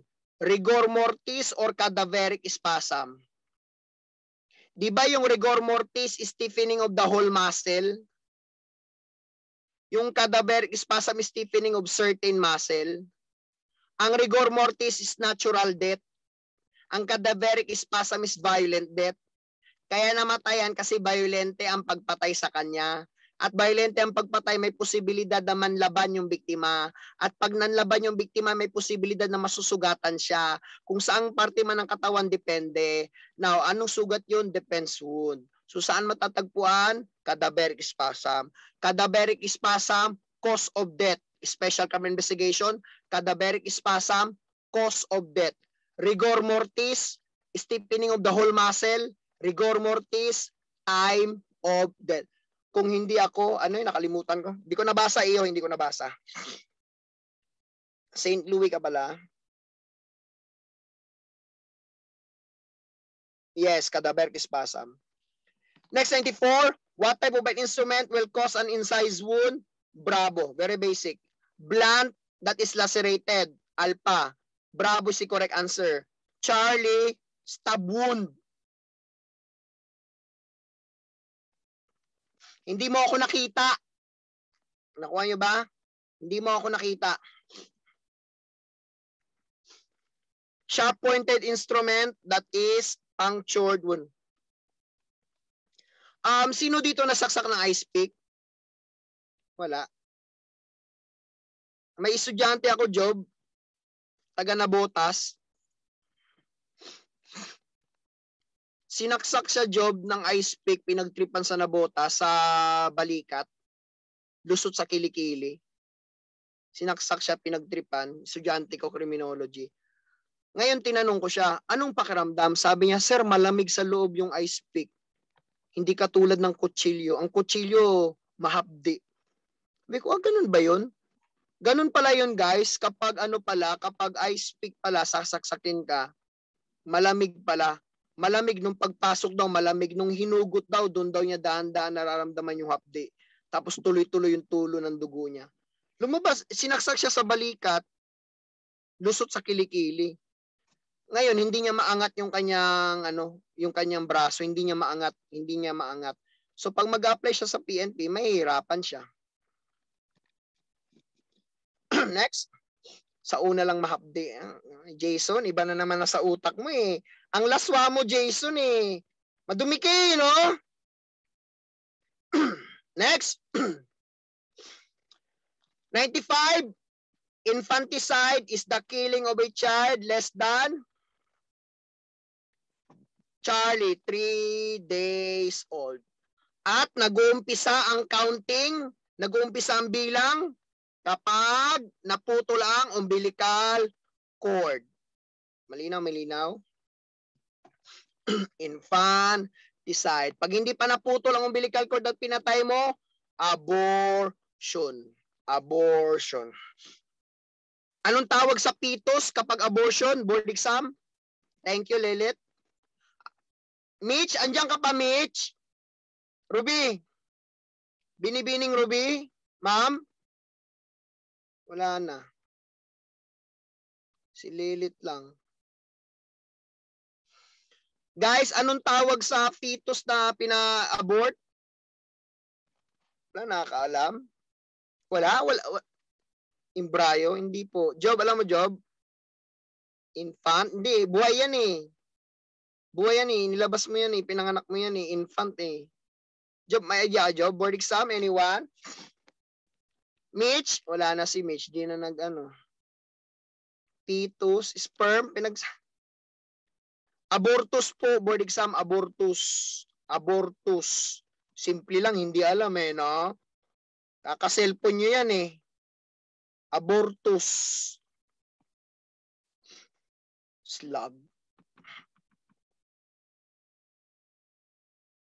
96. wound which inflicted in the body which is so serious that it will endanger one's life. That's mortal wound. That's mortal wound. It means fatal wound. Slug. Hoy, yung slug, S-L-U-G yun. Di nagre-review, panay, ano eh, lulo eh, no? Slug, S-L-U-G yun sa ballistics. Mortal. Abortus, yan yung po yung fetus na pina-abort agkawili, abortus. Yan yung pito sa pina-abort. Sa Hong Kong, kinakain nila yan. May estudyante ako sa Hong Kong, kinakain daw yan. Estudyante ko, criminology, nandun sa Hong Kong ngayon, nag, uh, ano, nag, nagtatrabaho. Criminologist na siya, may lisensya na siya. Kinakain pala sa Hong Kong yung pitos. Cannibalism na sa atin yun, di ba? Normal sa kanila yun.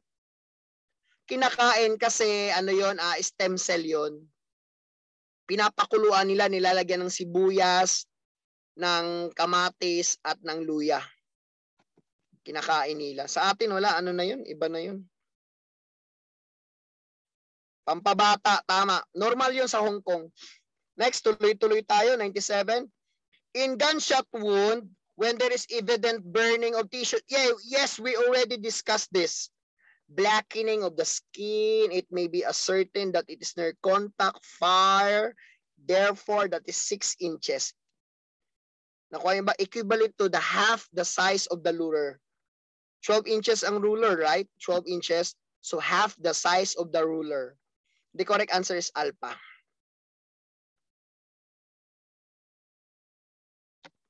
Okay ba? Alpha, 6 inches.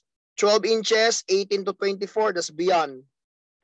So, ibig sabihin nun, mas malaki na ang point of exit. Pag 6 inches, malaki ang point of entrance.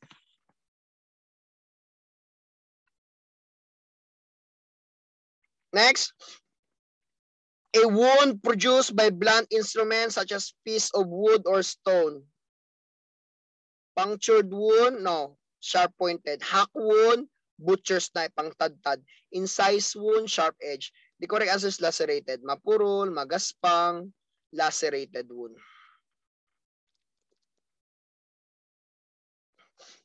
Ninety-nine, DNA is found in all nucleus cells of the body. It is regarded as the fingerprint of life, the blueprint of life. What does it stands for? Deoxyribonucleic acid. Please try to observe the proper spelling. Echo. Okay ba? Tapos, echo. Letter E mauuna. Letter E ang mauuna. Letter E. Sunod, letter I. Tingnan nyo. Yan, letter I. Deoxyribonucleic acid, DNA. The blueprint of life. DNA is is our our human body. We are DNA. Ngipin, kuko, buhok, itsura, pag-iisip, pananalita, yan ang ating structure ng DNA. Pero ang kambal, they are exempted to undergo DNA because pareho lang sila ng DNA. Okay, break muna tayo. 30 minutes. Hindi ako yon. Kulit mo, J-Sub. Wala akong Facebook. Wala akong Facebook. Okay, break muna 30 minutes. Last but absolutely not the least, refers to the identification of the dead person through dental structure. The correct answer is odontology. 32 lahat ng ngipin. 16 sa taas, 16 sa baba. As 32. Odontology. The durable board exam the durable part of the human body. Hindi po buhok. Hindi po buhok. The durable part of the body is the teeth or tooth. You get the point? Okay? So, uh, based on my understanding and belief, I deliver well the subject. Ayan. So, guys, um, sana may natutunan kayo kahit papaano. Other questions will be entertained by your other lecturer. So, Expect for the worst but always prepare for the best. Those who fails to prepare must be always prepared to fail. You get that? Kung hindi ka handang pumasa, eh, mas mainam dapat handa kang bumagsak. Pero hindi mangyayari yon kasi nagsakripisyo tayo. Okay ba? Nakikita ng Diyos ang sakripisyo natin. So, inumpisa natin sa dasal, tapusin natin sa dasal, then further instruction will be disseminated by Sir Noli Incanyo. So let us all pray. Pasalamat tayo, nakaraos tayo. 48 days to go. Let us all pray. Lord, guide us, lead us, help us take the right direction, and never leave our side all our days, all our night. Amen. Thank you, guys. See you soon.